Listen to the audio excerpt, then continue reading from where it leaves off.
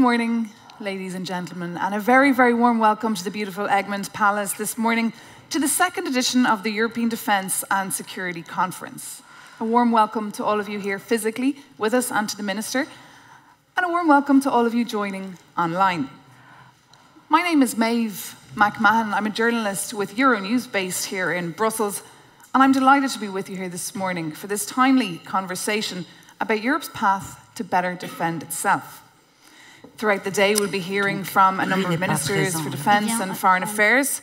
We'll have input for a number of members of the European Parliament. We'll also be hearing from representatives from the EU institutions and, of course, from industry. We also want to hear from you, so you'll, of course, be allowed to address your questions using Slido or using social media. The same for our viewers online throughout the day. To get in touch by using Slido, you can just pop the event code into the Slido application choosing the room corresponding to the session. And to get in there, the event code is EU Defence Security Conf. And that is also, ladies and gentlemen, the hashtag. So if you are using social media throughout the day, do use that hashtag. And as I said this afternoon, we'll be hearing from a number of various speakers. We'll have the Commissioner for the Internal Market, Thierry Breton. But now I would like to invite Joëlle van der Aure. She's the managing partner of Business Bridge Europe and, of course, the organizer of this event. The floor is yours.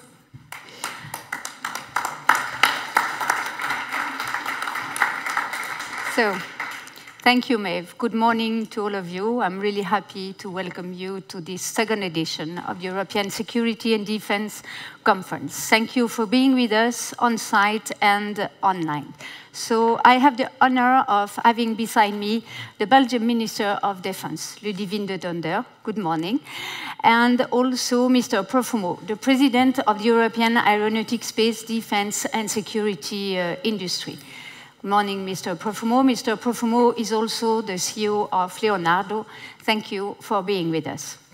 The High Representative of the Union External uh, Services, Josep Borrell, one of the pillars uh, of the organization of these conferences, does us the honor of opening the conference by video message, as he is not in Brussels today, he is outside uh, Belgium.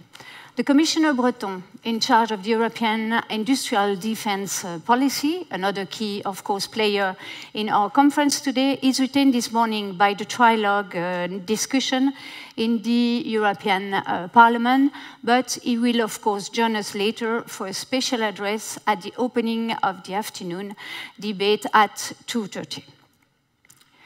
Normally, this second edition of the conference was intended to make a state of play of the European Union defense policy and its perspectives. Obviously, the dramatic geopolitical context gives this conference a whole new dimension to our debate. Madame la Ministre, Mr. Profumo, ladies and gentlemen, may I suggest that we listen together now to Mr. Borrell's special address. Thank you. Dear colleagues and friends, on the 24th of February, our world has changed. Our world has changed fundamentally, and our perspective has shifted dramatically. The Russia's unprovoked invasion of Ukraine has also reminded us the urgent need to strengthen our cooperation in the field of security and defense. Looking at the title of this opening session, New Threats and War in Europe, directions, lessons, and updated choices for European defense and security. This title says everything. So let me briefly unpack these three main elements. First, directions. In March 22, the European Union adopted the Strategic Compass, which is an important milestone for the Union's security and defense policy, which provides us with a strategic direction for the next five to ten years. And it will have to be updated because the next five years will be completely different of the years we could have foreseen when we wrote the strategy. It sets out clear goals to increase our capacity to act, to boost our resilience, to deepen our partnership, and to invest more in defense. And again, the backdrop of the war our most pressing challenge now is to replenish and restock defense equipment to continue supporting Ukraine, to fill critical capability gaps and boost our defense technological and industrial base. And to be successful and efficient, we need to do this together as Europeans. Second, lessons. We must draw lessons from recent crises, from COVID-19, Afghanistan, who remembers Afghanistan, Ukraine. What we have learned is that our unity and solidarity are our best assets, but they are not enough. These are the basis for action, but the action has to come. The global consequences of Russia's war in Ukraine, food security, energy prices, are a case in point. But we need also to learn from our mistakes and adjust our approaches and tools to the evolving reality. And third, choices. In the last month, we made many choices that were unimaginable for a long time. Our member states have clearly chosen to pursue a stronger European Union defense. They have chosen more action, solidarity, more defense investment. They have chosen to offer unprecedented support to Ukraine, including through the European Peace Facility, which for the first time has mobilized an important amount of money to arm a country at war. And I think we need to continue on this path. In that sense, I would add a fourth element. I've been calling for it before action. Action. In the last year, you have made many statements and taken many commitments to strengthen European Union defense. Now it's time to continue to move from words to deeds. It's time to act. With our values and our security at stake. European defense cooperation is uh, something nice to have. It's not a luxury. It's a must. It's a key to survival. That's what it is. Thank you for your attention.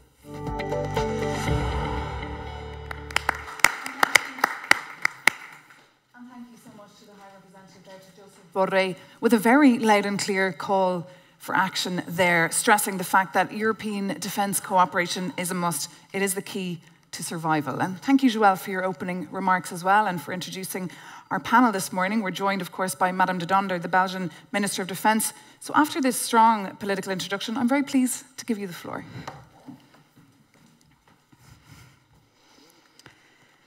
Ladies and gentlemen, good morning to all. I'm delighted to participate in this second European Security and Defence Conference.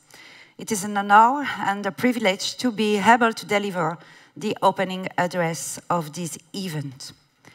This is certainly a very timely and useful discussion, and I would like to thank the organizers of Business Bridge Europe for making this gathering possible. It is also an opportunity to underline the key role of Belgian defense in the European security and defense ecosystem and how European cooperation is a win-win situation. Our world and our societies are currently facing fundamental challenges.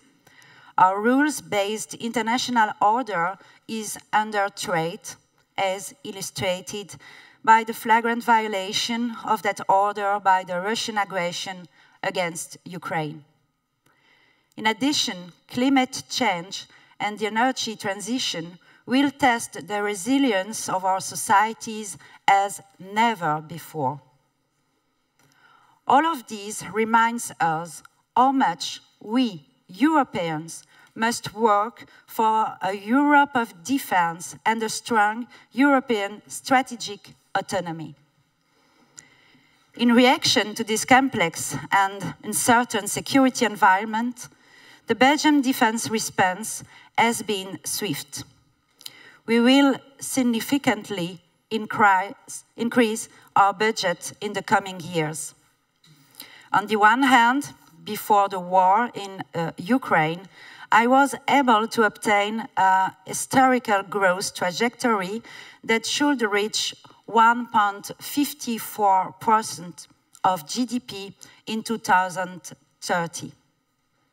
This increase is related to the government agreement of 2020, in which Belgium committed itself to continue and strengthen its commitment to an effective European defense in order to contribute to a real European strategy and autonomy, and to strengthen the European pillar within NATO, which remains the cornerstone of Europe's collective defense. On the other hand, this budgetary tra trajectory was further strengthened after the Russian invasion. The budget will indeed continue to grow with the intention of reaching 2% of GDP in 2035.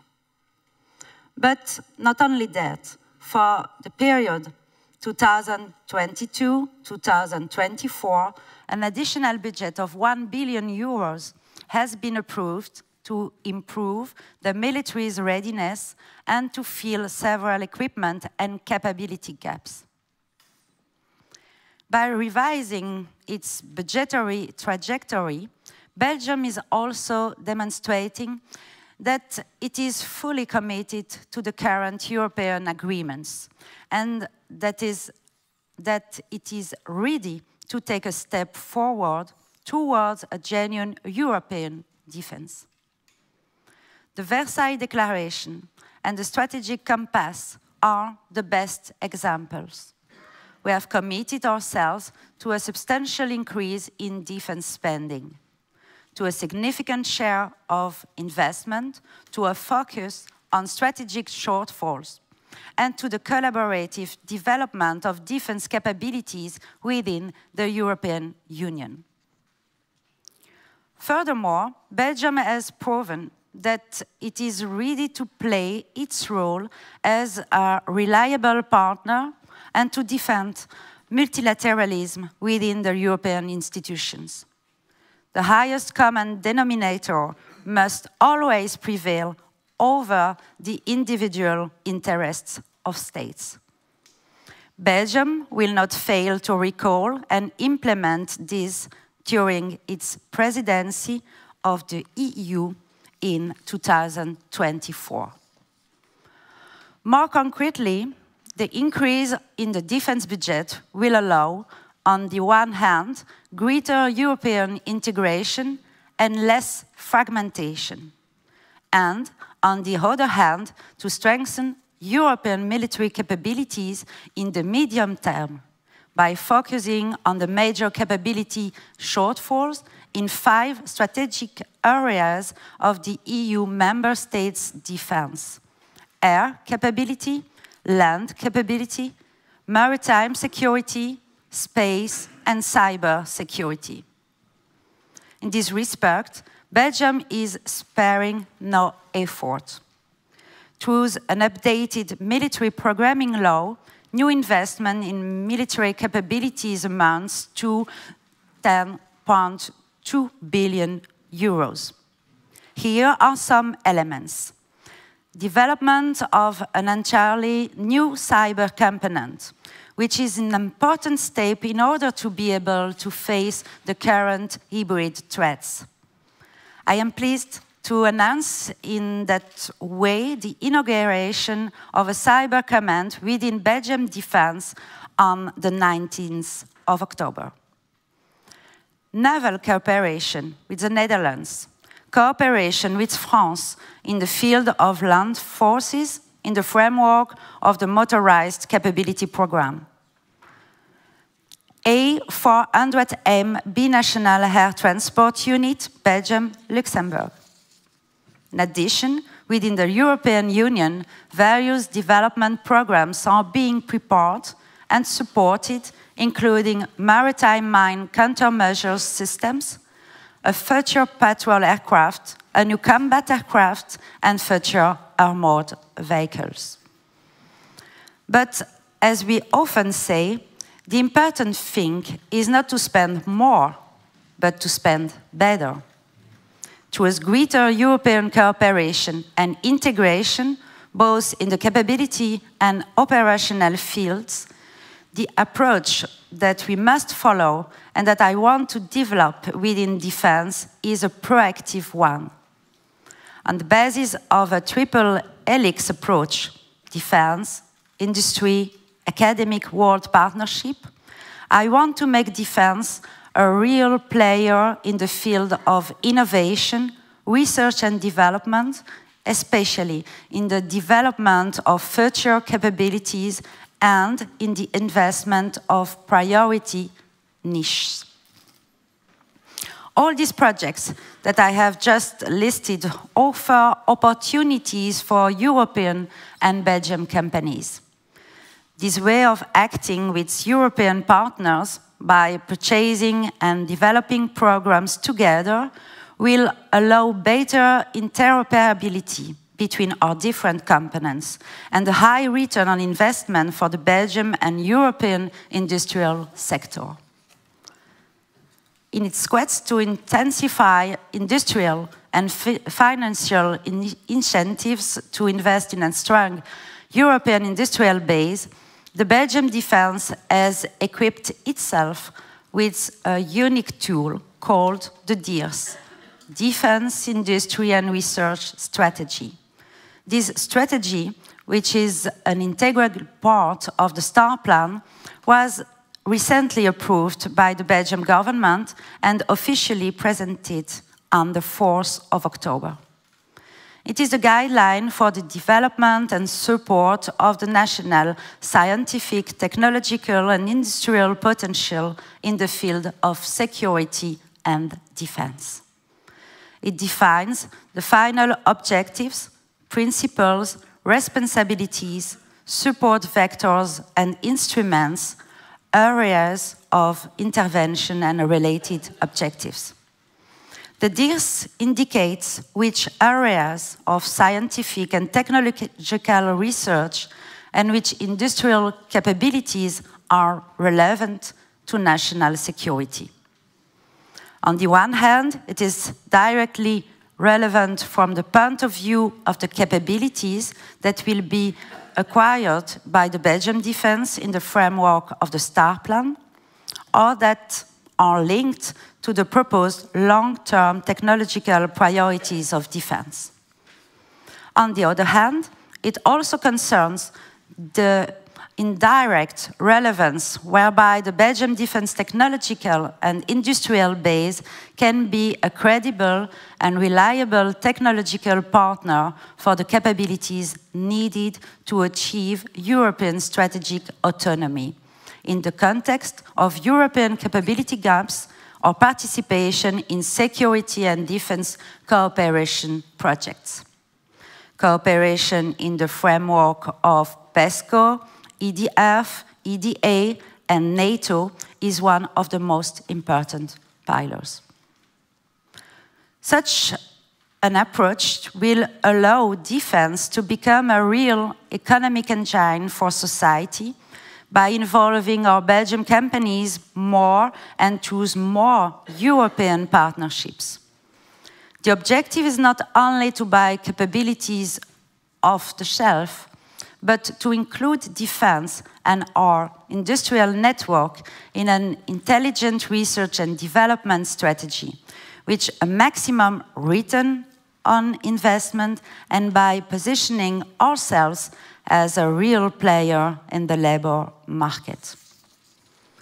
In conclusion, let me point out that the objectives of the STAR plan and the military programming law are not fixed and will evolve in response to the volatility of the security environment, both internationally and domestically. Russia's unprovoked and unjustified war against Ukraine has created a clear shift in the security paradigm. That is why we have provided for the possibility of a structural update of the military programming law and our strategic vision. Thank you very much for your attention.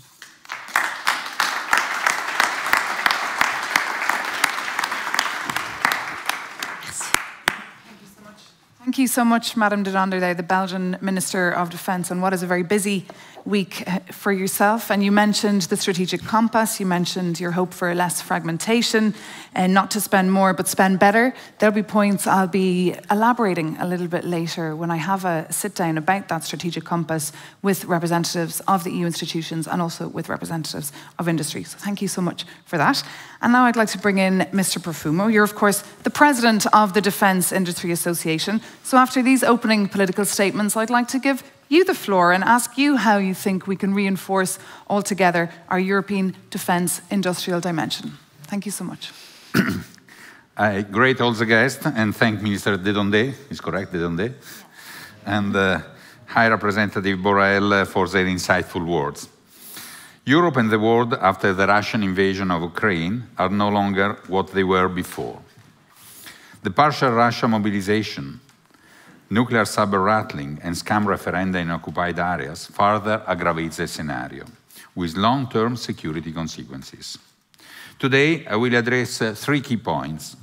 The reason why our defense industrial policy must change, the current challenges facing the European aerospace and defense industry, and third, lastly, I will put forward a concrete proposal for the industry to shift gears and accelerate its transformation to address new European security demands.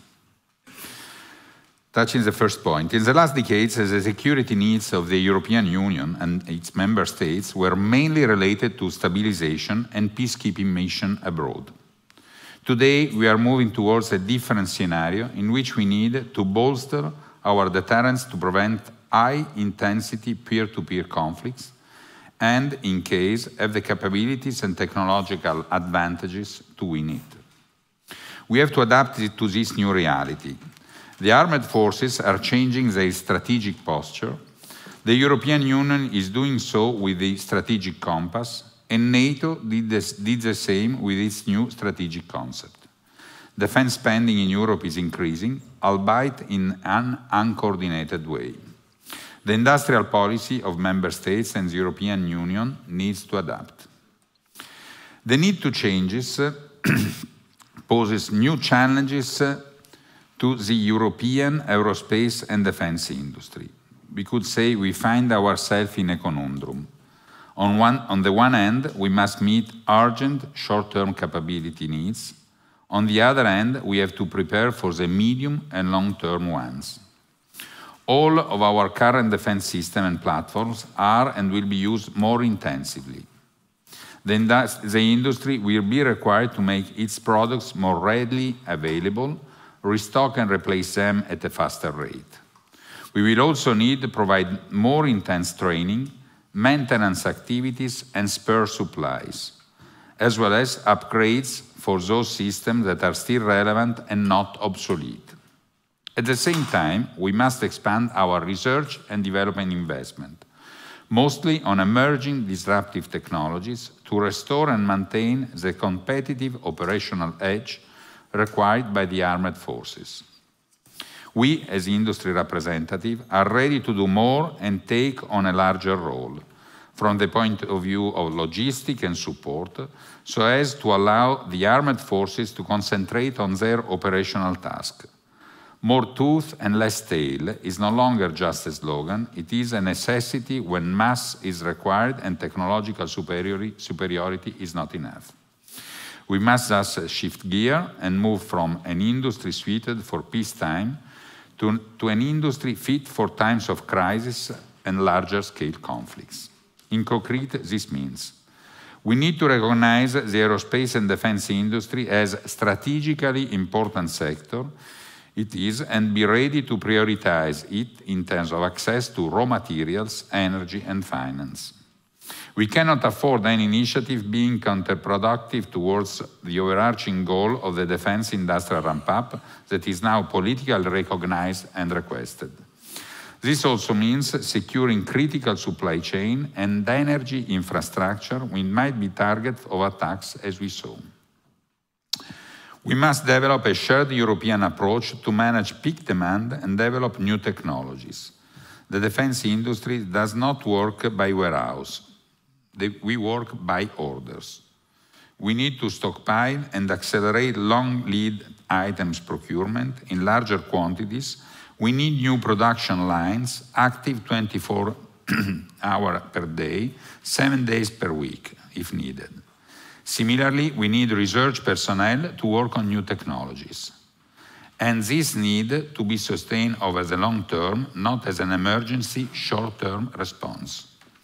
The greater the investment by member states, the greater the need to cooperate in order to avoid duplication and additional fragmentation. We must share the lesson learned from the conflict in Ukraine. Heavy tanks, artillery, and long-term range fire capabilities still with withhold significant strategic importance, as well as air defense, fixed and mobile. The days of uncontested air dominance are gone. Heavy land forces represent an area where the West can bring its technological superiority to bear, but we have neglected it for decades. We have to reverse the course. We have to take actions now. There is an ongoing crisis which is dictating its own timing. We cannot afford the luxury to wait. We must be bold enough to swiftly agree on our actual needs and secure all the resources necessary to fulfill them. At the EU level, there are the EDF, the DIRPA, the EDIP, which are vital instruments to foster much-needed cooperation. A first step would, would be to finance these instruments according to the expectation on them. Many thanks to all of you.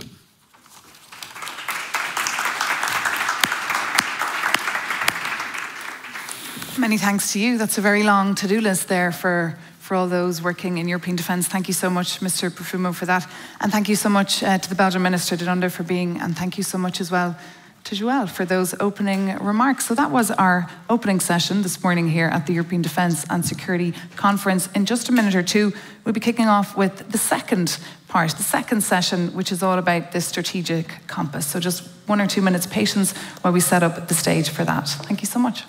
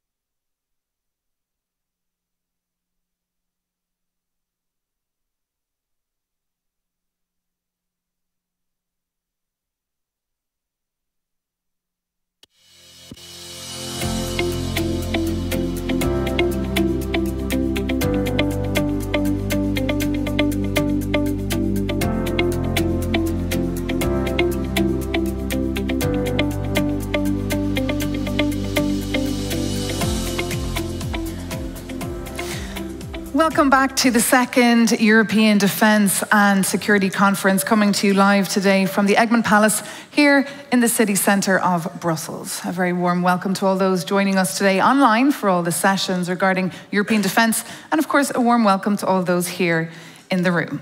This session will be all about the strategic compass, turning a strategic perspective into concrete actions. As everyone in this room is probably aware, the strategic compass was given the green light back on the 24th of March by EU leaders, and it aims to guide the EU's security and defence ambitions for the next decade.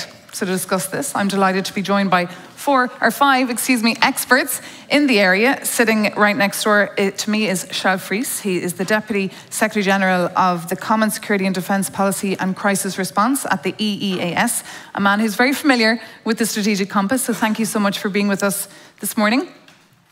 We're also joined by Timo Pesonen, the Director General of DG DEFIS, that's of course Defence Industry and Space from the European Commission. We're also represented this morning by industry to hear their points of view and get their perspectives on the strategic compass.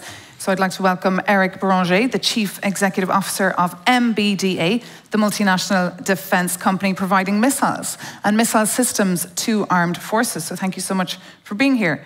We're also joined by Nicolas Chamussy. He's the Chief Executive Officer of Nexter, the French weapons manufacturer. So good to see you and also Pier Roberto Folgiero, the CEO and the General Manager of Fincantieri, that's the Italian shipbuilding company, the largest one in Europe with a big focus on naval. Now, this morning we are also hoping to be joined by Nathalie Loiseau, European Member of Parliament from France and the chair of the Security and Defence Subcommittee. But she had another pressing engagement and she sends her apologies. She would have loved to have been here today. But thank you all for you to you for being here and thank you for those for your attention in the room. Charles, I would like to start with yourself, because you, of course, were involved in writing the, the strategic compass that took some 18 months uh, to come up with. So here we are, six months since it's been officially endorsed. So where are we now? What concrete steps have been taken in order to implement it? Uh, we are, um, so first, good morning. Uh, we are um, progressing well for the implementation on the Compass. Uh, as you know, when it was adopted last March, that was a few weeks after the beginning of the Russian invasion. And to a certain extent, uh, it can be seen as one of the EU's answers uh, to this uh, war in Ukraine. But, but in fact, this document, of course, is, has a much, has a broader ambition because it covers the whole uh, security and defense agenda of the European Union. Uh, it covers a period uh, from now until 2030, and uh, it's, uh, and it's uh, above all a guide for action, and with the objective of making Europe a more efficient and a stronger security provider. And I think if we try to take some examples to be as concrete as possible, we can see that uh, in the framework of the compass and in relationship with the war in Ukraine, I would like to give you some, some illustrations. First, the compass said that we should use the full potential of the European Peace Facility, this new instrument which was launched last year. And in fact, that's what we have done, because for the first time in the history of the European Union, uh, we have um, decided to finance the delivery of weapons uh, to, uh, to Ukraine. And uh, you, I would like to say that when we launched this instrument last year, uh, we would never have imagined that uh, we, we would use this instrument uh, to help a country at war on European soil. So we have been, we have already committed 2.5 billion euros. Yesterday, High Representative Borrell has um, transmitted to member states a, a new proposal to, to add a new tranche of 500 billion euros. So to, we, I can say that it's, and, and, this, and this EPF instrument has been a strong um, incentive to, um, in, to, for, for member states to um, uh, deliver more weapons to, to Ukraine. And the problem is that to a certain extent, this European peace facility is today a victim of its own success. Because if you had what we have uh, promise to Ukraine, and if we add, and, and, and also what we want to finance in the rest of the world, we have already allocated two thirds of the global envelope of this EPF uh, after the second year of its existence. And uh, this instrument is for seven years. So uh, I think we will need to replenish this instrument uh, if we want to preserve the level of ambition as, as defined in the strategic compass, because we don't want to act only for Ukraine. We want to act for uh, Africa, for the, our southern, eastern neighborhood, and also for the Western Balkans. So comp the compass said we need to be more efficient when we want to support our partners, and I think EPF is a good, uh, is a good uh, illustration for that. Uh, a second illustration, uh, the compass, uh, strategic compass said we want uh, the CSDP missions uh, to be um, created more rapidly and also to be more flexible. And I think it's what we are doing right now with uh, the work done for to create a new military assistance mission for Ukraine. This decision is, again, is, is, going to be adopted next week by the foreign affairs ministers.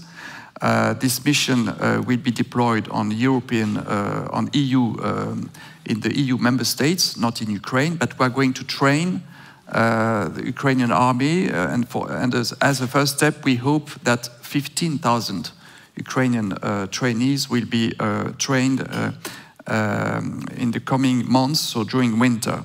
And I think this um, new mission can bring a real added value to the ongoing uh, training initiatives which have already been decided by, by, by some member states and also by our uh, by our NATO partners. I have in mind here uh, the UK, US, and Canada. So we are, I think the compass here again sets the framework, and after the EPF, the creation of this mission shows that we are delivering. A third illustration, very important in the compass, is a dimension concerning resilience. The compass makes a strong call to strengthen our resilience. And we have seen with a, a strike um, anti-satellite strike uh, done last year by Russia. More recently, the cyber attacks, and, and, of, and a few days ago, uh, what happened in the, um, in the Baltic Sea with uh, Nord Stream, we see that uh, to secure uh, uh, our, to, to, to secure Europe, uh, is, a, of course, a key work strand for all of us. And we have, we have progressed in this area with uh, uh, what we call the hybrid toolbox, which is a, an instrument in order for us to be more efficient when we need to face hybrid threats. We have been also progressing in the fight against disinformation. Uh, next month, with the Commission, we are going to propose a new cyber defense strategy. And early next year, we will put forward a space strategy for security and defense. So all these work strands are very important because it's an implementation of the compass. Another illustration, it's what we want to do with our partners. You know, we, we want, and the Belgian minister said that very clearly this morning, we want to develop our strategic autonomy. But strategic autonomy, that means that we want to act with our partners each time it's possible and to be ready to act alone when we don't have the choice. But when, when we can act with our partners, it's always, of course, uh, efficient. And that's what we have been doing with NATO since the first day of the invasion. Um, this cooperation has been very efficient, and, uh, and you will see probably in the coming weeks that the two organizations are going to adopt a new joint statement between EU and NATO, and that would be a new illustration of this strong partnership. Last point, final remark about the investment uh, dimension of the compass. It's obvious that the compass has shown that uh, member states have underinvested in defense over the last 20 years. And in addition, when they spent, they did that inefficiently. That means in a fragmented manner. And as you know, last year, only 8% of our defense procurement uh, was, invest, was invested in a collaborative manner. And that's, that's far below the 35% benchmark defined uh, by the uh, European Defense Agency. So that means fragmentation, that means waste of resources, that means uh, lack of economies of scale. And that's why, and, and the war in Ukraine has been an accelerator of this awareness and of this urgency. And that's why we need now to revise, uh, we need now not only to revise our military doctrines uh, with the return of high intensity conflict in Europe, but most, but, but most importantly, we need to refill our stocks depleted by the massive transfers of military equipment, of ammunition to Ukraine. And to do this right, we have to buy together as we did with the vaccines and as we would like to do with the gas. So we need, and that's, that was also the message of the High Representative, we need to spend more, but above all, to spend better. And that's why, with the Commission, we have created um, this uh, task force um, in June, uh, bringing together the Commission, the EEAS, and the EDA in order to bring together the demands, the needs coming from member states, and to engage with European uh, industry, European defense industry for supplying the needs uh, and, and, and also um, um, asking the, uh, the industry to, to increase its production capacity. And in parallel, as you know, the Commission has presented a proposal to incentivize joint procurement in order to fill the capability gaps and, and, and with an envelope of 500 million euros, but Timo is going to, to speak about that in one second. So finally, uh, you can see that we have been, we have been uh, working a lot on, on this issue, on uh, investment, uh, defense investment gaps with concrete proposals. Uh, now we see that NATO and also what we call the um, Ukraine contact group are also working on the same issue. It's positive, it's good. Uh, what is important is to keep a good coordination between these different formats, between the EU, between NATO, between the Ramstein format, uh, in order to avoid duplication. But this, it's obvious that this priority to replenish the stocks, uh, it, uh, it, it's, it's key because we want to continue supporting Ukraine, but we want also at the same time to boost and to strengthen the competitiveness of our European defense industry. Thank you. Thank you very much. This is the conundrum that we heard about earlier this morning in those opening speeches. Thank you so much for that. We'll be back to you a little bit later to elaborate on the astonishing amount of money that could be saved if there was more cooperation among the 27. It is unfortunate we don't have our MEP to, to hear more on the political will when it comes to the EU member states. But now let's move on to Mr. Timo Pesonen, Director General of DG DEFIS, and get his take on the strategic compass, whether or not it is a game changer. And I'd also like to ask you how can the EU be a credible international actor if it's so dependent on and if it can be blackmailed by hostile actors when it comes to its energy supply? Thank you, and thank Charles for, in a way, already giving the frame of the strategic compass and our good cooperation. I would like to start by saying two, two dates September 11, February 24th. I'm sure that all of you remember where you were on September 11. And all remember where you were on 24th in the morning when the news came on the Putin attacking a sovereign, independent European state. It's a game changer It's a real game changer. And that's why I think we are here. What we have been doing for years already has been strived by the political will and the industry steer also to strengthen the European technology, technology and, and industrial base in defense. That's for sure. We have been talking about defense union since the previous Commission President Juncker and then Madame von der Leyen strengthening the message together with High Rep Borrell, day after day, week after week, month after month there have been various initiatives launched. European Defence Fund, with its precursor programs, more than 1 billion a year, which is less than what the Commission proposed, but that was we were given by the budgetary authority.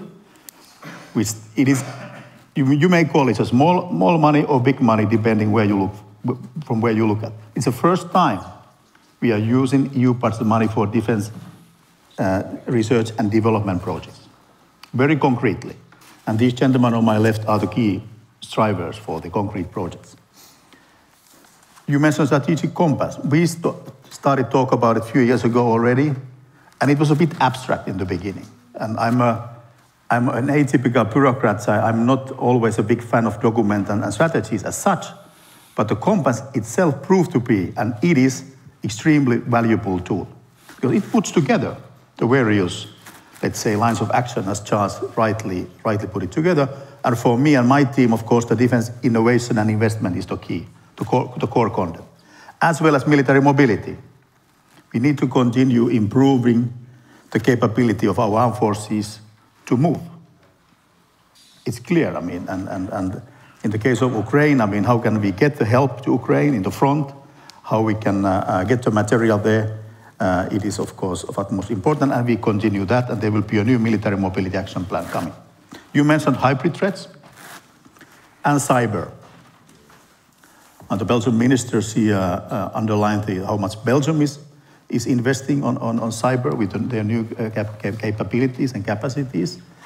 But I think both on cyber and hybrid, my, my, my point is that uh, after February 24th, and even before, I think it's not only enough that we detect the threats, we prepare, and we may react. But we also need to build up our deterrence.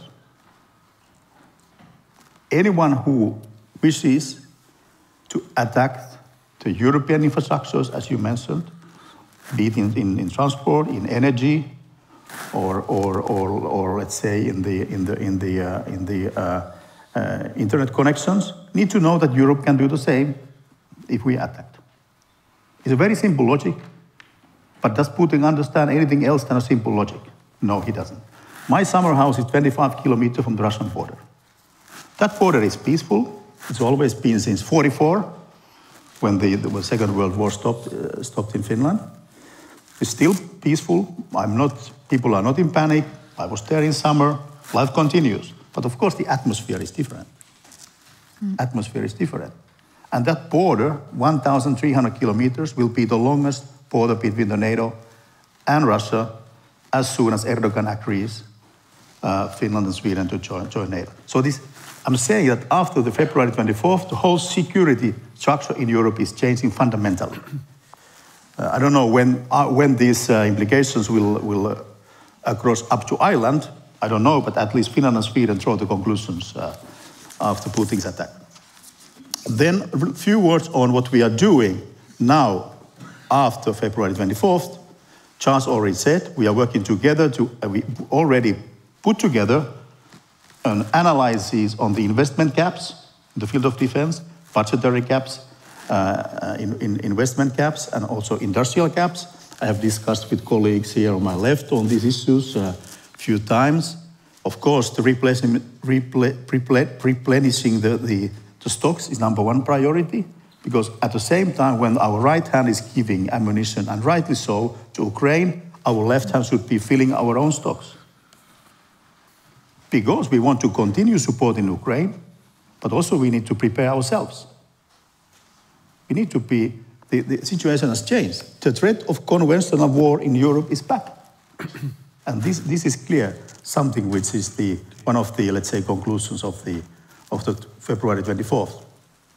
So what we want to do, to make member states, as the Belgian minister also said, investing together on, on, on defense uh, capabilities, investing better, i.e. the right priorities, smart investments, also to disruptive technologies, as Mr. Professor Kurma earlier said, and also invest in a European way, supporting our strategic autonomy, our technological uh, independence, because we need to look beyond the immediate short-term needs, also building in the mid and longer term our European capabilities in the field of defense. And of course, we need to get rid of the Soviet-type legacy armaments, which are in, in, several member states still in place, because there is the, the, the line of, uh, of, of, spare parts gone, you know, the, the, that dependence we have to cut, and we are doing it.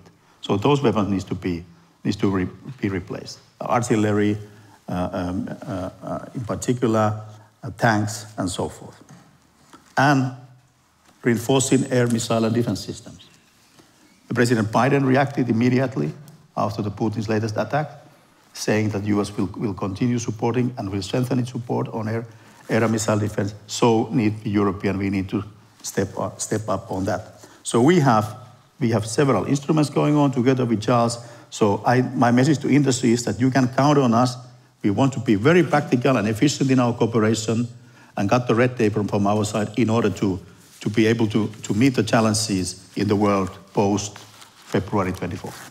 Okay, Timo Pesonen, thank you so much for that very comprehensive introductory remark. And you mentioned, of course, how crucial you said industry, the role they will play in all this. And I would like now to hear from them. We'll start with yourself on, on your take on the strategic compass and the role that you'll be playing vis a vis European security and defence. Thank, thank you very much, and good morning, everybody. Uh, yesterday again, with this strike of 75 missiles, we were indeed remembered uh, very harshly that, uh, that war is at our doorsteps. And um, uh, Europe, of course, is very active uh, in reaction to all what is happening. The strategic compass is a very important uh, tool for this, which started before the Ukrainian conflict, by the way, and which I think is giving us uh, something very important is giving us vision, long term, uh, and an ambition. Uh, but there's been also some other actions, and in particular in the Versailles summit, uh, there was uh, this trigger of the analysis of the European defense gaps. And if I take a look at the immediate consequences for, for industry, I would I would say that it's really indeed a change of paradigm, as uh, you were both uh, saying. And the immediate consequence for us is that we are asked to do more, to do to work faster, to deliver at a higher pace, and we are asked to do all of this now. Uh, and, and, what it means, I think, uh, it means three topics uh, when you look at what is happening. It's a point on which we need to be extremely vigilant. There's, a, there's no peace, there's no security without a defense industry. Thank you. Thank you so much, Eric Beranger, there, the Chief Executive Officer of MBDA. And I, in fact, noticed on all your websites, you're all recruiting, so human resources is an important topic for you all. And that leads us nicely now on to get the perspective from Nicolas Chamussy, the Chief Executive Officer of Nexter. And I'd like to ask you, sir, how can the EU's defence uh, technological industrial, industrial base meet the short term post Ukraine industrial challenge of increasing production to deliver capabilities for the armed forces? Thank you, Maeve. Uh, if you allow me, just one small correction. You introduced me as a CEO of a French weapon manufacturer Nexter, which is factually true. As a matter of fact, we are, as MBDAs, part of a European company. Uh, I think it's shown somewhere on the logo uh, just behind uh, Piefranco. Mm -hmm. so we are part of uh, KNDS as yeah. a European company. I think it, it makes sense in this, uh, in this uh, noble assembly. Yeah, um, thank you for clarifying. so um, the, the new geopolitical context in which we are we are living following the, the Russian invasion of Ukraine has created indeed a very new environment for all of us, for all industry representatives in this, uh, in, this, uh, in this room and in Europe.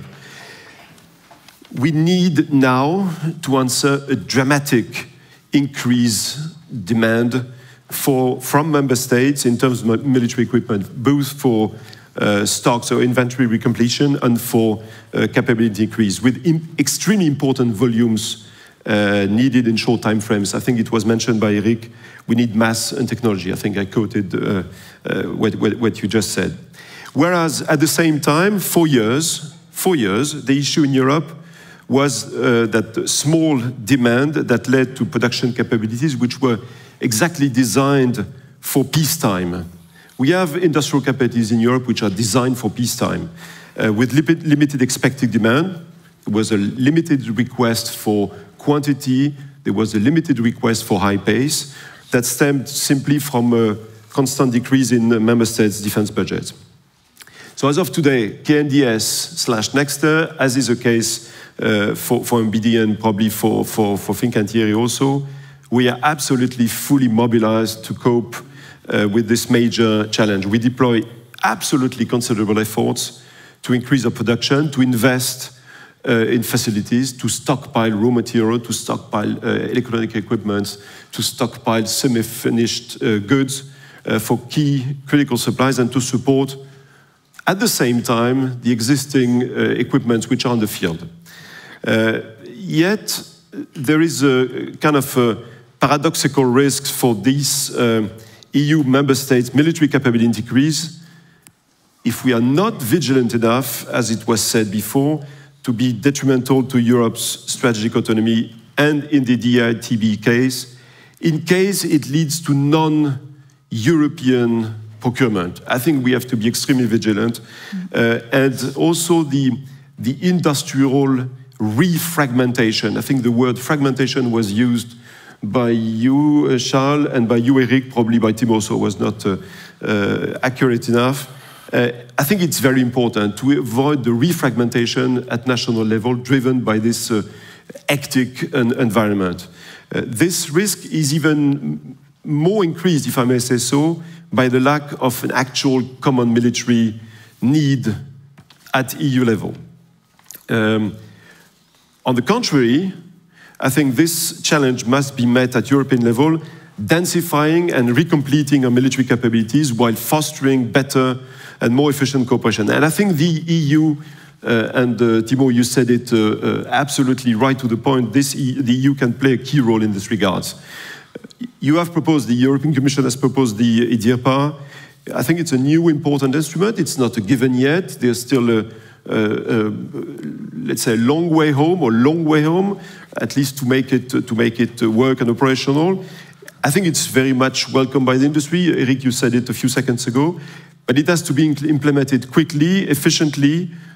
Yes, there are eligibility questions, but they have to be to be solved and move forward to benefit the, both European military capabilities and the European defense industry that we are representing today.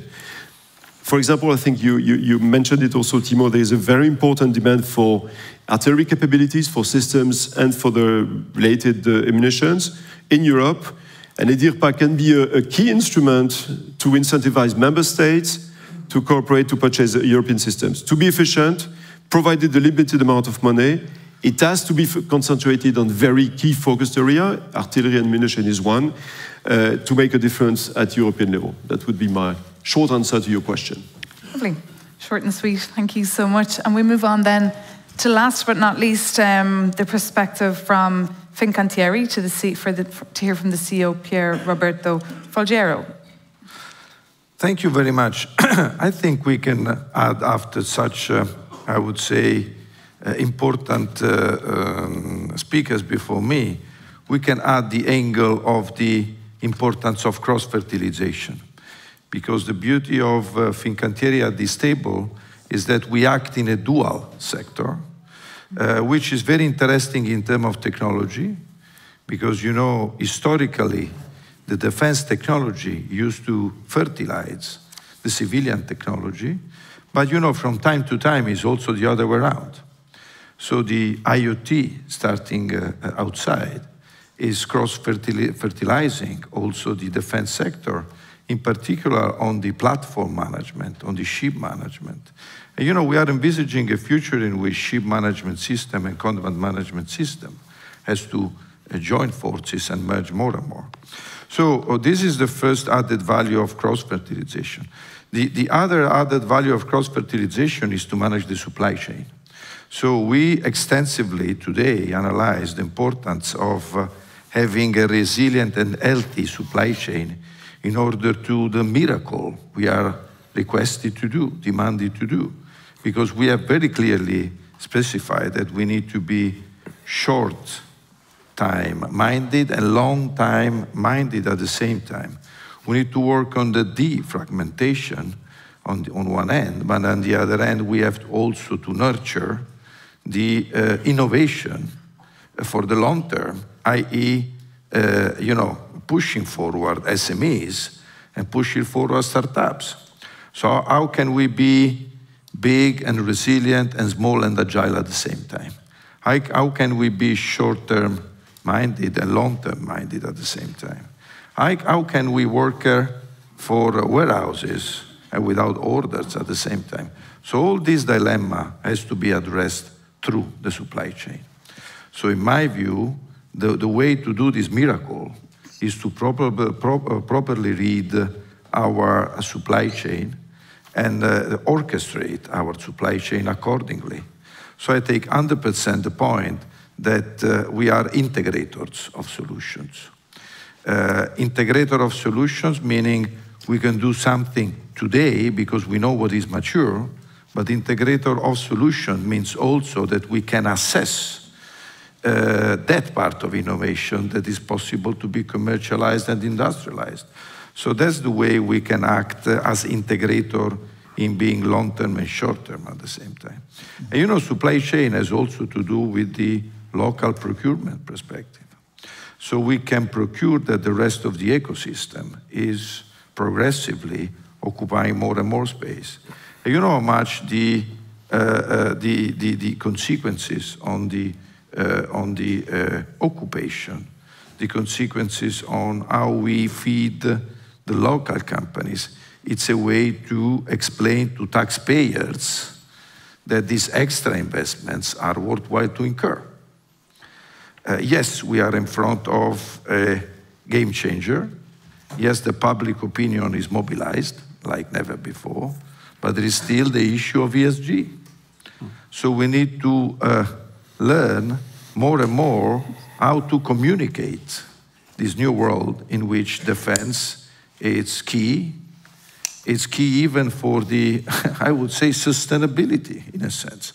So uh, supply chain involvement uh, um, explain very well the cross-fertilization. It's a way to me to help this communication exercise and to procure that the public opinion and the taxpayers are uh, sincerely and genuinely in favor of this huge investment program that is by no chance uh, very important to, to incur. So that's my angle. Thank you. Thank you so much. Very interesting perspective there from Fincantieri. And it's interesting what you say there about spreading the word and communicating to Europeans when there was no mention of defence really in Ursula von der Leyen, the European Commission President's State of the Union speech earlier this year in Strasbourg. Perhaps there's a reason for that? Well, I, anyway.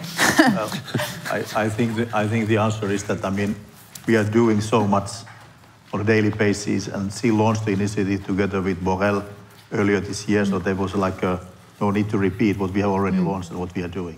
But the question of convincing the taxpayers is, is, yeah. is definitely an interesting one and a, a, role for people like myself, perhaps. Yeah. Can I comment something on, you can, on whoops, Mr. Bernard? You can react, Eric's, of course, to the CEOs. Yeah, Timo? I mean, I mean, what you said about, you know, the young engineers, I think that's the, one of the core, core issues we have.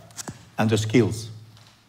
I mean, I have discussed with you also, I mm. mean, about the skills you explained to me. I mean, uh, how sophisticated skills you know your industry needs, and that where, where do you can get you know the, the skilled labor.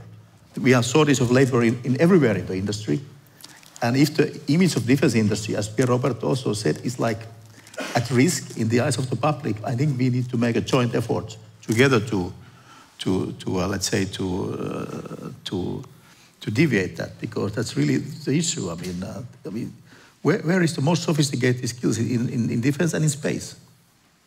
image of space industry is, is better to a certain extent because it's like a, you know, because of the American billionaires and Star Wars and Star Trek and everything like that. But defense industry and space industry are, are intertwined. I mean, they are, they are two, two sides of the same coin. So I think there is a kind of a look for good ideas also from you and your colleagues to what we could do together, Charles, also to, to, to promote, I mean, what we are doing.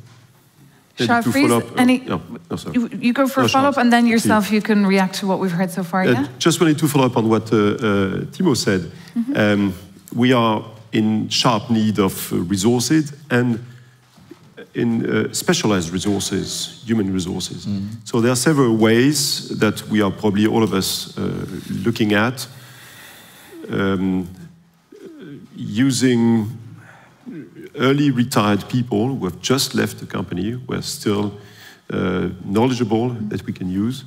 Also tapping into other companies in dual, dual industries where we have uh, resources which could be useful for, for, for, industrial, for industrial purposes in defense sector. And something that we are trying to put in place, uh, I don't know if it will go any further, is using defense reserve to serve uh, industry in case of uh, needs. Mm. Reserve is used to feed regiments and, and, and headquarters. Uh, it could be also used to feed industry to help us in case of urgent needs. This needs to be prepared. It's not something which should come overnight. But if rightly prepared, we'll have a reservoir of people who, who, who would be working in the civilian life but still be used and trained and usable for, for defense purposes in case of need. This is something maybe to be considered uh, uh, at European level. Charles, your reaction to what you've heard already? Good idea. Yes, uh, I think that uh, um, since the 24th of February, we have seen, uh, for it's for us, it has been for us a, a brutal wake-up call for Europe. Um, uh, the EU leaders have uh, spoken of a tectonic shift in the European security and defense landscape. Uh, I think uh, that's why all what has been said this morning is very important now to implement. Uh, we have underinvested in our defense, and now you, we, we don't have the choice. We, we need to, to cooperate more together. We need, that's famous catchphrase, we need to spend more, but above all, we need to spend better. That's what we try to push uh, with the Commission, uh, with these new instruments. Now, uh, of course, the European defense industry has a key role to play. The member states also are a key role to play to, to, to, to take this opportunity, uh, because otherwise, uh, you know, uh, all this, uh, we, we, we have considered that there are more than uh, 200 billion euros which are now going to be spent in defense. If we continue what we have done over the last 20 years, that would be a dramatic mistake. And so when, when we see that Finland and um, Sweden want to join NATO, when we see that Denmark uh, has decided to join CSDP, when you see that Germany uh, has decided to invest, you know, 100 billion euros. All these extraordinary uh, changes, we need also to implement them at the industrial level. We need, the responsibility of the EU is to offer a framework for the EU member states and for the um, uh, defense, uh, um, for the European defense industry uh, in order to now to cooperate more because, once again, we need to reduce this fragmentation, which is one of our main shortfalls and handicaps, I would say. Okay.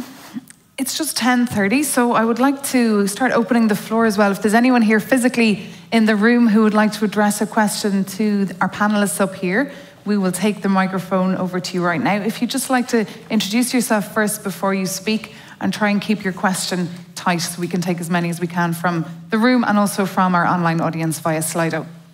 Yes, thank, thank you, you, very much. can you hear me? Perfectly, uh, yeah. I'm Frederic Moreau. I am a lawyer and a researcher. Um, amongst many other big surprises, the war in Ukraine has brought up two strategic surprises.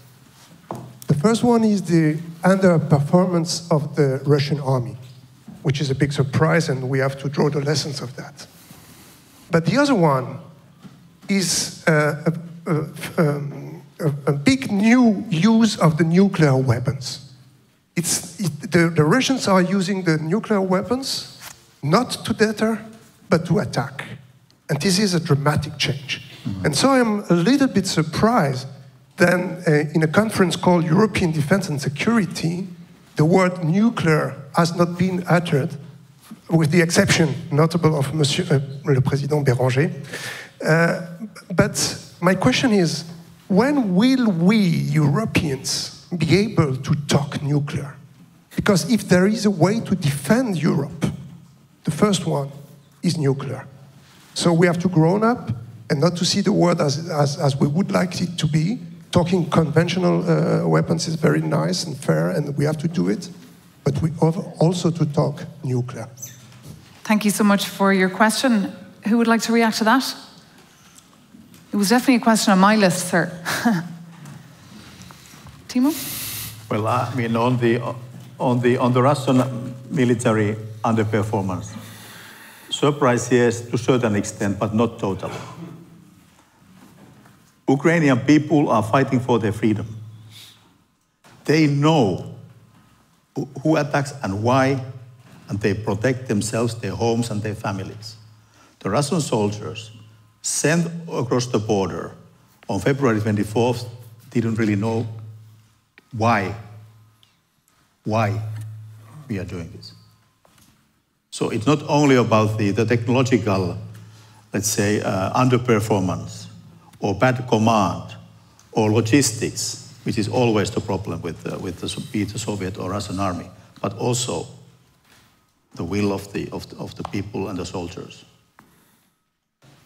On the nuclear, I refer to Charles because the European Commission is not uh, dealing with nuclear issues. of course, we have, a, as, as uh, Mr. Béranger rightly said, there is a member state with a nuclear deterrence, uh, but the European uh, nuclear is not in, in my agenda.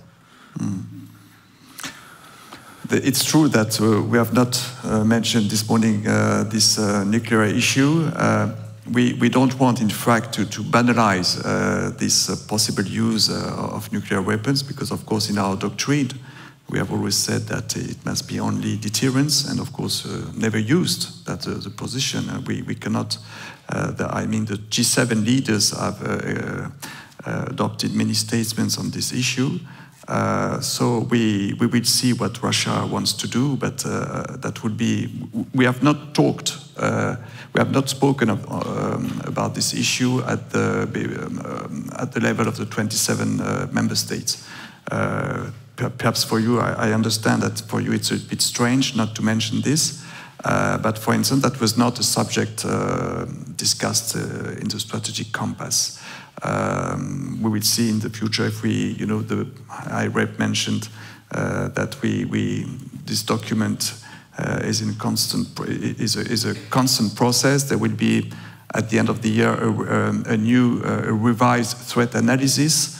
Uh, probably in this document we will uh, take into account the, the threat uh, used by, by Russia and the fact that want to, to, to, to um, put more pressure on us on this. But at, at this moment, I have to say that we are not we are not talking about this issue at the level of the 27. And from our CEOs, any advice um, to our representatives here from the institution when talking about this issue or when drafting the second edition of the Strategic Compass? No? Okay, well then I'd like to invite our next speaker. Just please introduce yourself. Yes, Antoine Bouvier, uh, Airbus. So the question was not to me, Frédéric, but uh, since uh, it was not really uh, answered to, I will take the liberty to try to give some elements. I think this was actually uh, addressed for the EU-NATO cooperation. Mm. Because what uh, we should keep in mind is first, the EU has declared that uh, NATO is at the core of collective defense, and NATO is positioning itself as a, as a nuclear alliance with three countries, the US, the UK, France being nuclear countries, with five countries being part of the nuclear sharing uh, activity, uh, Germany, Italy, Turkey, Netherlands, Belgium, and with all the countries except France uh, being part of the nuclear planning group. So uh, indirectly, and I think this is something which is a sort of uh, elephant in the lobby, indirectly the nuclear deterrence debate in Europe is directly linked to NATO acting as a nuclear alliance and the cooperation between NATO and the EU for security. And this is certainly a topic, but I think we should not say it is not addressed. It is addressed through this NATO angle. Thank you so much. We have one more question, a lady there in the back. Thank you so much for that. Yes, just down there.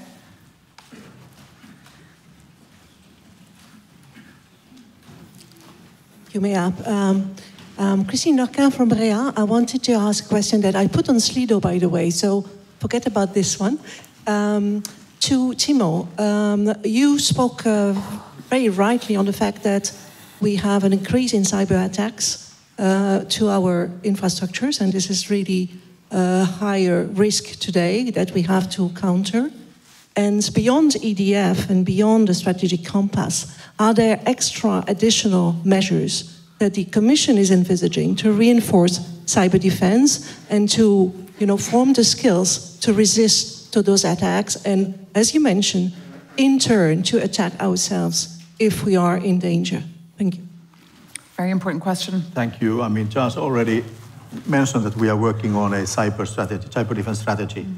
in the Commission, and we will uh, uh, publish it in, uh, in three, four weeks' time. So uh, that will be kind of a guide for our enhanced uh, cyber defense uh, activities. You also, Charles, you mentioned, you know, the space defense and security strategy, we are working together. So early next year, during next year, we will come with a strategy on space defense because, of course, space is vulnerable. Our, our satellites are vulnerable. We need to protect them. We need to secure them. And also, at the same time, our both uh, Galileo navigation and Copernicus observation they also are useful tools in protecting our strategic infrastructure. I mean, detecting uh, and, and, and, let's say sharing the information and data about the possible risks of infrastructure also. So I think we have a, here a very concrete space and defense uh, uh, cooperation. And anything you can tell us to look out for in that that's coming Sorry? out? That document you said is coming out in a couple of weeks? Like a 9th of November, something like that. 9th of November? Okay, we will keep an eye out on that. Um, we have a question for yourself, uh, Mr. Folgiero, a question that came into us from, from Slido, so thank you so much for that. What would your recommendations be to the European Commission as regards improving the European supply chain? Uh, uh, I believe it's, uh, uh, first of all, I believe we should uh, procure that the existing programs are well implemented. So I believe in this concept of being short term and long term. Let's start from existing programs. So we have a couple of programs that are already there. For example, the EPC, the European Patrol Corvette, it's a program in which uh, uh, we should get into implementation. And uh, you know, if we don't implement well existing programs, future programs will be more difficult to do. So my first point is let's start with what we have in, on, on, on the desk. And let's procure that we uh, get into this new collaboration mood, uh, starting from, from what we have uh, in front. Okay, I'm just looking around the room to see do we have anything else? If not, I have a question for yourself, Timo Pesonen, that I wanted to put to you about um, the European Commission and the European Defence Agency putting together analysis recently of defence investment deficits. I think it was in May. Can you just tell us what analysis was revealed then? Well, it, it really, I mean, Charles was also working, we were working uh, together. I mean, it really also, we knew that there are, of course, these gaps. I mean, it is, it's not rocket science. I mean, it was visible already before, but of course, the, the, the February 24th underlined the urgency to, to be more specific. And I think what I, what, what I mentioned already, that we need more ammunition, we need, we need man-pads, we need bazookas, we need, you know, grenades, so it's clear what we need. And air defense, uh, air missile defense also. And if you look at the, what was invested in defense during the 21st years of this millennium, European defense investments grew something like 20, 22%.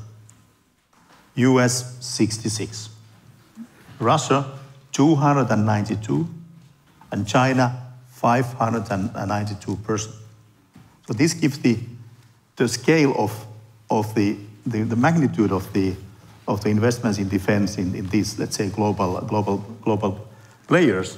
And unfortunately, after the, the euro area debt crisis, where I, I was uh, unfortunately had to work before in my life and my career, of course, it was a moment when the European EU member states cut their defense spending. And that we should not repeat that mistake now. And, the, and the, one of the enemies what we are facing, and I, thi- I think Pier Roberto was uh, at least indirectly addressing that, is a kind of a war fatigue in Europe. There's also a high representative in Prague in the Defense Ministers' Council. He referred to that. And that we have to fight against together. I mean, there is a war in the European continent. And Putin reminds us on his daily strikes on with missiles. There is a battle at the border still. And, and I think this is something we are defending ourselves. We are defending our way of life our values, the, the European member states. Our, so I think we, we, we kind of need to keep on talking what we are doing and why we are doing it in order to have the public support with uh, which uh, Pier Roberto uh, referred. I think this is, this is important. And a war on European soil that came as a surprise and as a shock to yourself and to your colleagues at the External Action Service. So I would imagine the hope is now with the strategic compass that there would never be such shock again, that you'd be better prepared. I hope that's what we, we try to do. Uh, you know, the strategic compass, it's a list of around uh, 80 actions, very concrete, with timelines, uh, with a follow-up mechanism. Uh, 50 of them have to be delivered until the end of the year. We will have a first debate on the implementation of the strategic compass at the level of uh, defense and foreign affairs ministers next March, with, uh, on the basis of a first report presented by the HRVP. It's, it's really our roadmap now for, for, for the next years. Uh, and we are ready to adjust this document if, if needed on the basis of the evolving threats that we have been talking about this morning. Uh, and, um, And uh, now what we need is action, not only to concentrate our energy on elaborating new documents. I think uh, strategic compass, it, it, was a negotiation of almost 18 months, so now we have to, to implement it. And I would not, uh, I think it would not be a good idea to, to try to reinvent the wheel. What we need to do now is to implement what we have decided and, and, and to put in place all these instruments. For instance, EDIRPA, uh, I mentioned the European Peace Facility that needs to be replenished. We had a, a lot of things to do, uh, and I, I, I, think it's better to do this instead of uh, once again um, um, elaborating new, new documents. But there, there will be a, a, a midterm review uh, in some years, and so we will see at, at, at that moment. Okay, so not the time for documents, the time for implementation. Yes, exactly. Proof, of course, is always in the pudding. If there are no more comments from the room or questions or any more comments from our CEOs here in the panel? No? Yeah. Everyone's ready for a coffee? Yeah. yeah? Maybe one, one to one add to, to what there, Charles yeah? said. No more documents, but I think there's still two which are of importance for the defense industry the Raw Material Act and the CHIPS Act. Yes, I think they are I don't know exactly, in preparation or in the, in the course of being prepared, I think the, the defense implication is, is of importance for, for us, I suspect, and it has to be taken into account. And on those acts, we might hear a little bit later on when Thierry Breton, the European Commission for Industry, is in the room. Um, Timo Pesonen's final word, yeah? I, I received an SMS from my Irish colleagues asking that did I propose Ireland to join NATO? No, I did not. I want Ireland to be active on the European Defence Fund, more active and so forth. I made no reference to that, just to be, to be, to be sure. There you go. On that, on that note, a debate, an ongoing debate, of course, in my home country of Ireland. Thank you so much to all our panelists. You've been fantastic. Thank you so much to our audience, you too, and thank you for all those who've been watching online. Enjoy the rest of the day. You have a short coffee break now, and 11 o'clock we'll resume here with my colleague Torsten. Really? Enjoy. Very good. Thank you. In the world of defence and security, leading the innovation means contributing to a safer tomorrow. Indra has been working for 100 years at the service of its clients. With world-class references in the five defence domains, land, sea, air, space and cyberspace. An extensive portfolio of complete and integrated solutions. we develop systems for air, naval and land platforms. We design integrated command and control systems for complex operations. We create technologies to anticipate and face all kinds of threats. We apply the use of space technologies to military operations. We cover all types of simulations for military and civilian training. We design models adapted to new conflict scenarios and apply digital concepts in our solutions. We are global leaders in defense technology systems, acting as a driving force for the national industry with unique capabilities for system design and integration With a high level and key participation in the main international cooperation programs and a leading position building the new Europe of Defence. We are the national coordinator of the largest European military technology program. Continue protecting and driving the future, a future full of challenges where anticipating is as important as knowing how to react.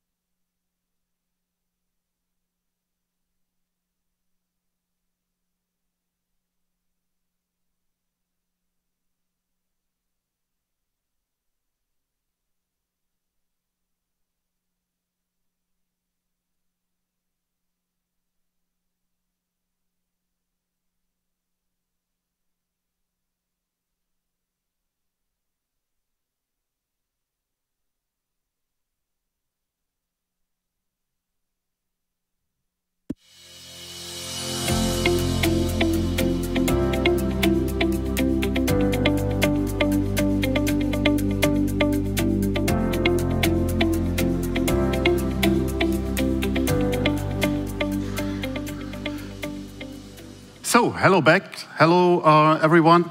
Apologize for this unplanned coffee break uh, that gave a bit of, bit of confusion. Um, now we have two hours, or two one-hour sessions back to back, and then you will have the well-deserved lunch. So, stay with us. Before we start, I'm asked to encourage you also to connect on slido.com and use the code EU Defense Security Conf, also for Twitter. And as it states, hashtag EU Defense Security Conf, what is pretty self explaining. We have heard in the first panel about the strategic compass and its implementation, aiming at strengthening the EU's strategic autonomy, reducing dependencies and fragmentation. Let's build on that. So, welcome, distinguished guests, Your Excellencies, dear audience here in Brussels and on the screens, to the second session today towards a European Defence Union ensuring efficient joint programming and procurement. We will address the ways to, increase, uh, to decrease fragmentation and duplication of capabilities with a specific highlight on the work undertaken by the EU's Defence Joint Procurement Task Force and a view towards current and future initiatives such as the European Defence Fund, the short-term instrument, and the extended European Defence Investment Programme regulation. My name is Thorsten Kriening, and I'm the publisher of SpaceWatch.global and your moderator for this and the next session. How fragmented are we in Europe when it comes to defense programs and procurements? What are the most pressing capability gaps? All that I will try to discuss with my distinguished panel in this very short one hour. From the EU institutions, I'm delighted to welcome Christian Silviu Bușoi, the chair of the ITRE committee at the European Parliament, Francois Arbault, the director of, defense industry, DG DEFIS at the European Commission, and Stefano Cont, the director capability, armament and planning at the European Defense Agency. As we would like to foster the dialogue between the institutions and the industry, I welcome from the industry Antoine Bouvier, the head of strategy, mergers and acquisition and public affairs of, at Airbus, Ignacio Mataix, the chief executive officer of Indra, and last but not least, Pascal Rogies, the managing director of RIA Group Cybersecurity Division and Chief Strategy Officer at the RIA Group. So, welcome, gentlemen, here on stage. As we have a full panel and not endless time, I'm asking all of you to stay in the time limit. I will point later to you while asking the questions. On 18th May, we saw the publication of the joint communication on the defense investment gaps analysis and the way forward recommending a set of key measures to strengthen the European defense technological and industrial base, as well as to pave the way for an EU framework dedicated to European defense joint procurement. This has been put in motion with the European defense industry reinforcement through the Common Procurement Act. In June, a 500 million euro short-term EU instrument designated to address the most urgent and critical defense product needs resulting from the Russians' aggression against Ukraine and to allow for EU, uh, a joint EU procurement. So let's start with the first round here. Um, and I'm addressing the question to Mr. Bușoi. So how far is the European defense industrial landscape affected by the EU initiatives and programs? For three minutes, please. And I know that can go for an hour, but we don't have the time. Mr. Bușoi. Thank you so much. Uh, first of all, uh, thank you for the invitation, and I'm very honored to be part uh, uh of yet another European Defense and Security Conference in a such distinguished uh, uh, company with such distinguished audience. and it is a moment where clearly a lot of opportunities are open for European defense industry. Unfortunately, it we needed, let's say, like that, uh, illegal aggression uh, against Ukraine by Russia in order to understand uh, something that uh, uh, the defense industry and some policymakers tried to explain during the years, Uh, we need to invest more in our defense uh, industrial base. We need to coordinate more. You talked about uh, uh, fragmentation. We are still fragmented. We are still uh, seeing the application. We are still competing uh, against each other um, inside European Union and outside European Union. And this is something that maybe will change with this boost now and with a strong political will to support uh, defense, European defense uh, industry.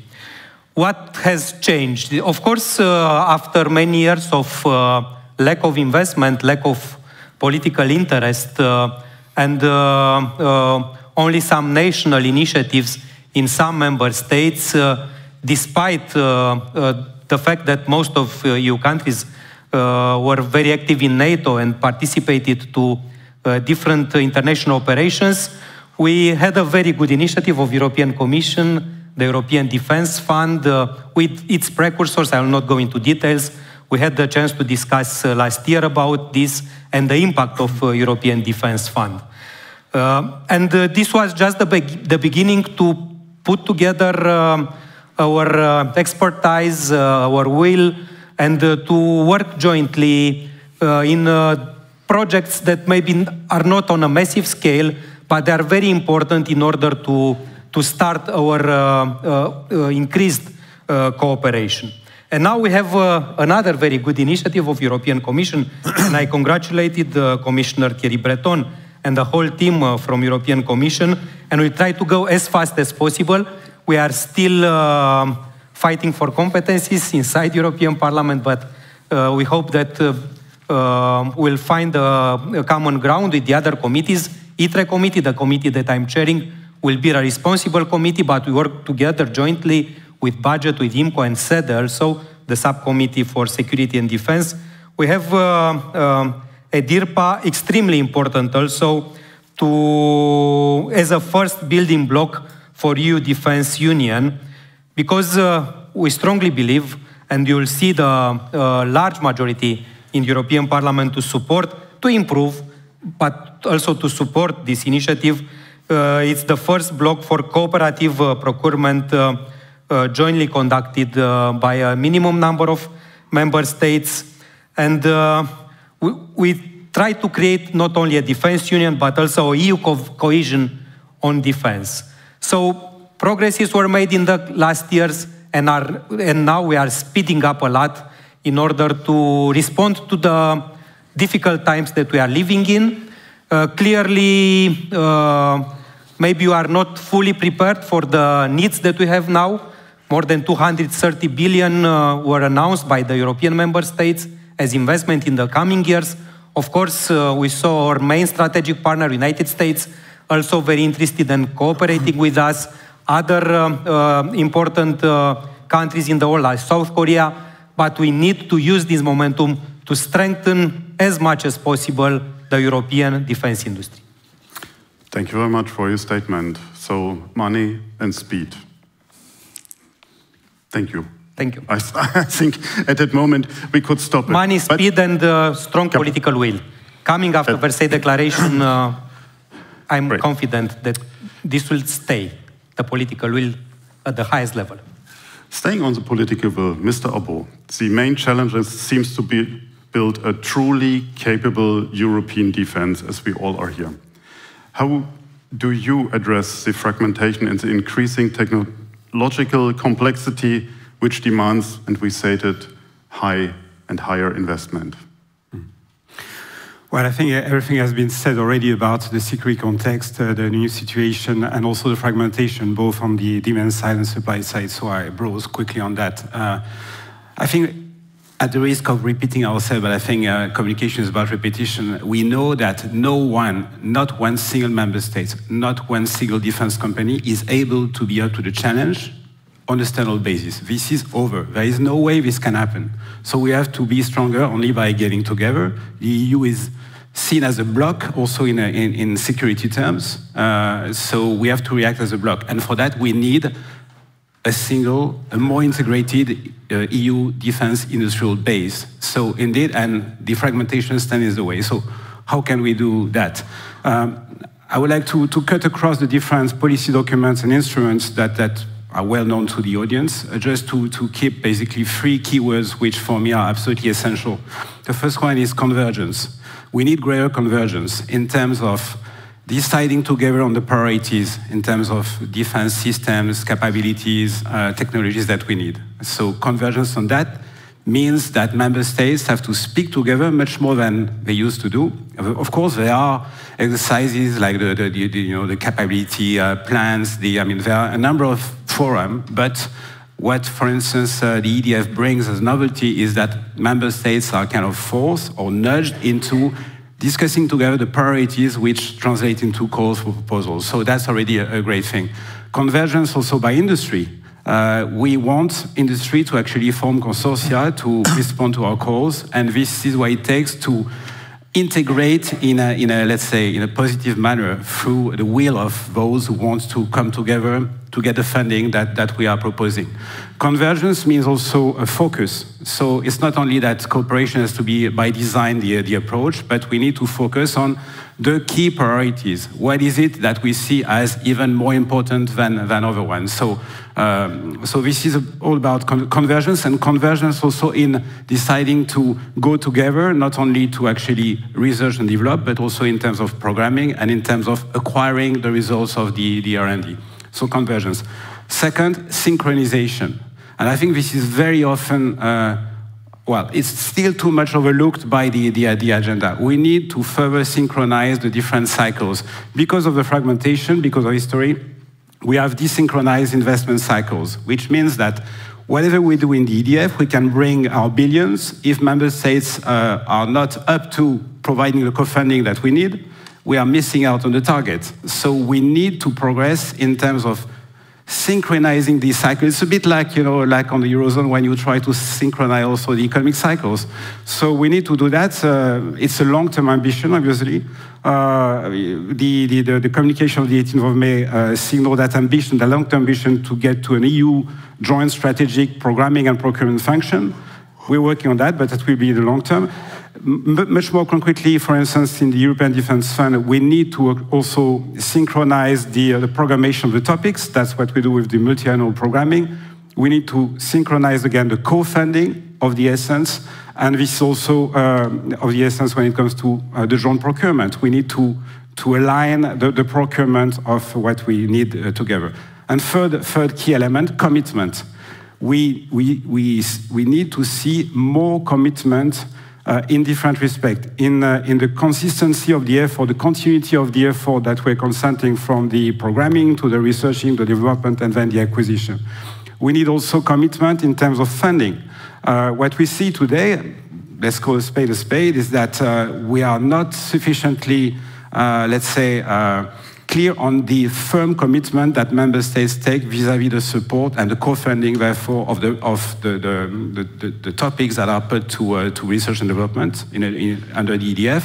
And then once the results are there, we need also to see the commitment of member states materializing in terms of acquiring together the the, the results the equipment, possibly maintaining, co-owning possibly the equipment. So uh, this is absolutely key. So I think these three elements, further convergence, further synchronization, and firmer commitment of all the parts. This, is what it takes to make, let's say, the different instruments and policy uh, documents really uh, tangibly successful. Thank you very much. Uh, I know how hard it is to get this message within this three-minute time frame, but um, i really appreciate your, your discipline on that. And I also like that you mentioned the, the rule number one in communication or in journalism, repeat your message again and again and again.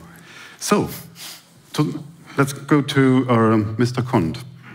To what extent do you consider the competition is needed to foster the EU defense industry competitiveness? Can you briefly explain to us and to the public which one is uh, EDA's role and mission in that?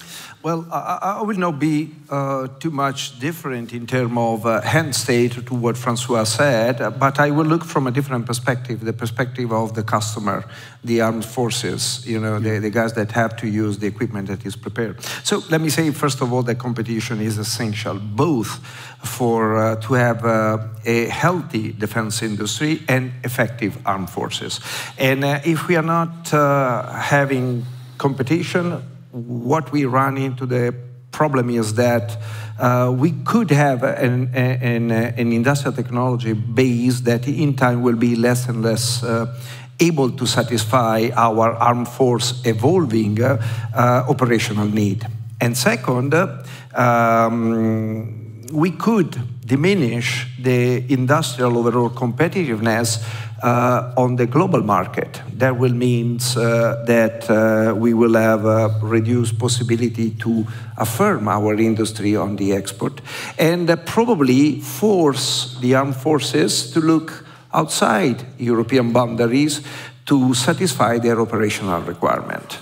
And that's a risk that we have to avoid. How to avoid that? Well, there are two different lines of action that we are looking at. Well, the first one, Francois already pointed, is just to have both incentives at uh, financial and regulatory levels that can foster, you know, uh, the joint uh, research and technology, research and development, and joint development of the systems, and then in turn even joint acquisition.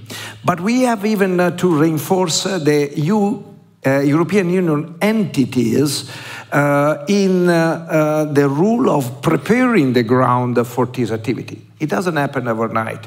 Uh, cooperation is, we, we don't just declare cooperation. You have to build cooperation. And it takes at least uh, a few elements in terms of harmonizing requirement, operational requirement among different member states. Harmonizing the member state financial and operational planning. If we don't do that, uh, we will not be in the position to have a, a harmonized or joint uh, industry program. Um, we need to finally implement even best uh, best practices at our level uh, to support member state in their action to cooperate and, and collaborate together. An eye, obviously, on industry. We, we cannot create a war that is totally uh, foreign to, to defense industry. We need to keep that in mind. Uh, so um, the bottom line uh, is that we need an integrated systems, kind of a, a blueprint for action at European level. Um, I would say less uh, process-oriented, uh, and much more objective oriented. So to fix objective and to be able to reach them in a given time, you know, to uh, kind of give the pace of the advancement. But the most important point for us that a clear focus has to be on operational requirement. What I mean is uh, the focus has to be on the customer need and the customer desires. Because if we can produce exactly what the customer uh, want, obviously with, a, with an eye on innovation, innovative systems, uh, introducing uh, new concept, uh, new ideas, we will even support the industry in developing innovative products. And uh, uh, in this way, industry will be more competitive. That's Thank, it. Thank you very much. Let's ask industry how they respond or how your statements resonate with them. Let's start with Mr. Bouvier. How does the European Defence Fund uh, impact the demand and offer regarding military equipment on the EU defense market? I mean, you are one of the big players in this field. So, may I share some further views about the competition before I answer the question, trying to keep in my three minutes uh, slot. Uh, competition is not an objective in itself. Competition is, is a way to achieve a target. And this target is affordability, competitiveness, innovation, and proximity, intimacy with, with the customer. And so these are the objectives of uh, any competition. And to reach these uh, objectives, there are different ways which could be combined or which could be to a certain extent uh, contradicting or opposing each other. There is uh, the necessity to have the critical mass. If uh, you don't have the critical mass in terms of technology, in terms of industrial capabilities, whatever the competition you put in place, you don't have the right product. You need also to have the objective, which is well shared among us, of cooperation and cooperation and competition are not easy to manage and to, to combine because cooperation takes a long time, maybe too much a long time, long time to, uh, to, be, uh, to be organized uh, with, the, uh, with the customers and uh, with the industry. So I think uh, the question of competition, critical mass, innovation, affordability, competitiveness is a very complex question, which has to be, in my view, addressed case by case. In some, uh, some activities, we need to have the critical mass, and critical mass could be achieved through a certain competition. In, other situations, it is not the case. So this was uh, on my uh, three minutes slot. EDF. So I think we all agree that we need a political vision. We all agree we need a budget. But there is something that I would like to, to share with you, which is, I would say, a very pragmatic and operational experience about the process. And then maybe it would be seen a bit as a paradox that the industry is uh, really uh, explaining and sharing what is the value of the process itself. So I'm not uh, here to claim for additional budgets, but uh, to share how this process has been extremely efficient. And I will take uh, the example of uh, FMTC, so the mid-sized cargo, tactical cargo, which uh, used to be in the previous uh, sequence a PESCO project. Now we have a call, it's an uh, EDF project. So what have we done? We meaning different countries, the armed forces, the national armament directors, the industry, small uh, companies, larger, uh, larger companies. What we have done? We have started, uh, at the beginning, it was just a sort of brainstorm with our countries when it was at the PESCO stage. We have started to think about what could be a product, what could be the operational requirement, what could be the right trade-off between a performance and affordability. And then we have had a lot of discussion between our air forces, which obviously are pushing for something more affordable, short-term, less risk, and uh, our armament directorates, which normally are pushing for more technology, more sophistication. And then we have uh, used this uh, PESCO first uh, stage to trigger this debate. Then we have uh, had the second stage and the call uh, that uh, we'll respond to end of, uh, end of November. And I would like really to highlight how much this process has delivered value as a process itself. We have a deadline. Uh, in defense, uh, it's not so frequent to have a deadline. When we uh, sell commercial aircraft, there is a deadline. In defense, it's not obvious. Uh, we know how long it takes for national uh, uh, countries to uh, member states to uh, to get a maturity of requirements and to also to set up a budget and to discuss the budget. So we have a deadline, a deadline for the first phase, but the deadline. Uh, and the value of a deadline is that everybody is aligned. And I like the term you have used, which is synchronization. A deadline is the best way to synchronize all the players. And we have uh, also something that uh, I have to confess at the beginning when uh, I was uh, with uh, MBDA, uh, this is my okay, so give me, give me 30 seconds.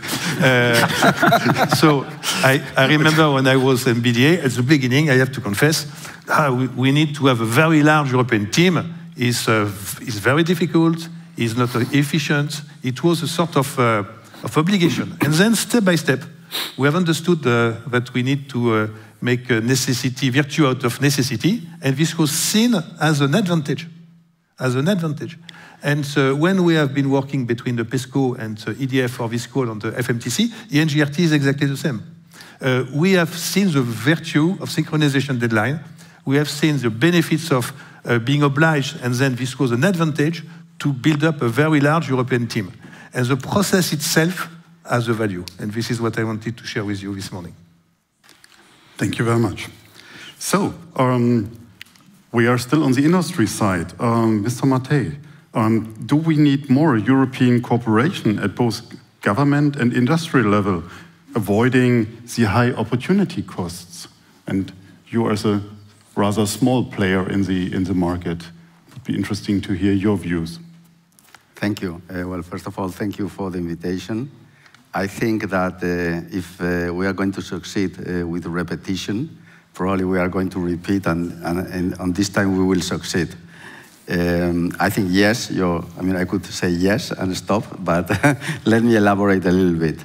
Um, first of all, um, uh, I mean, there's been a dramatic change uh, in the past months uh, towards mm-hmm. European defense and security, and that's extremely positive.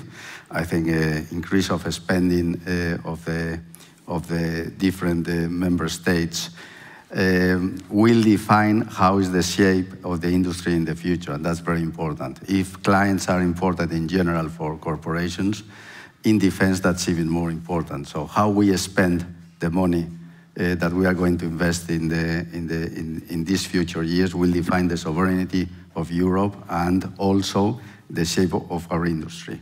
Very clear, as, as the panel said, uh, uh, we cannot do it alone, so each uh, uh, member state cannot do it alone. And for that, we need clear joint programming at member state and cooperation between the industry. Uh, I, think, I think we need to strengthen the cooperation. Cooperation started maybe in many programs uh, 20 years ago, uh, programs we all know across Europe. But I think we need a second level of more profound cooperation between the member states and also the corporations uh, to be able to achieve what we will need to achieve, I mean, to have this sovereignty. I think also this cooperation needs, needs to be strengthened because um, well, the, the products and the programs of today have uh, much more uh, uh, R&D expenditure that we could see in the past. So the procurement, uh, the procurement cost, because of the complexity of the products we are going to see in the future, mean higher R&D, and that means that we need to involve uh, more people, more countries, and more talent. And we should not forget that because, uh, I mean, talent, talent is a scarcity today. And we, if we don't spread more, we will not get enough talent to, the, to develop uh, the products. And that's cooperation.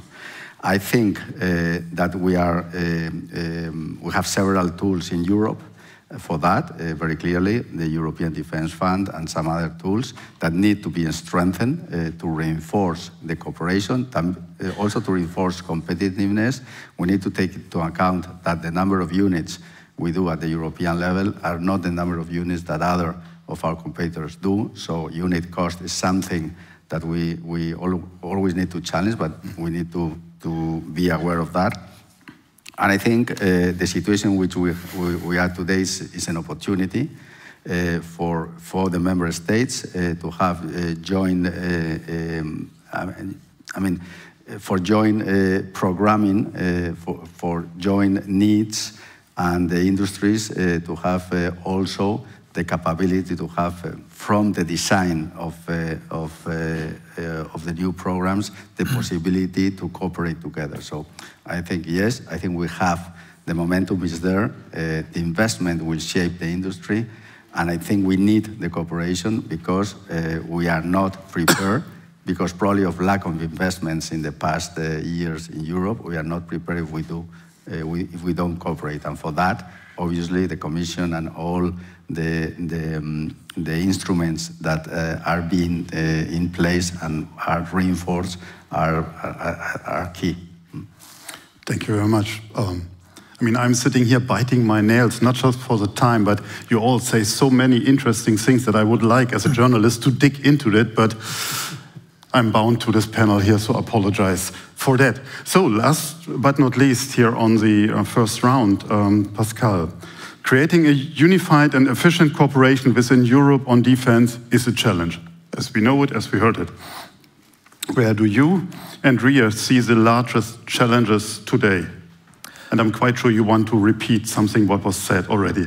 Well, instead of repeating and, and, and, agreeing on everything what I said, there is a point where I would like to insist is the, the timing aspect, the, the time to execution. Uh, because we, I mean, from an industry perspective, we have enjoyed all the industries here in the room. We have enjoyed uh, excellent support from EU in the past for endorsing a lot of innovation, uh, getting ready for being operational and respond to needs uh, that the community and the European uh, defense would, would require. But now we are in a situation of urgency.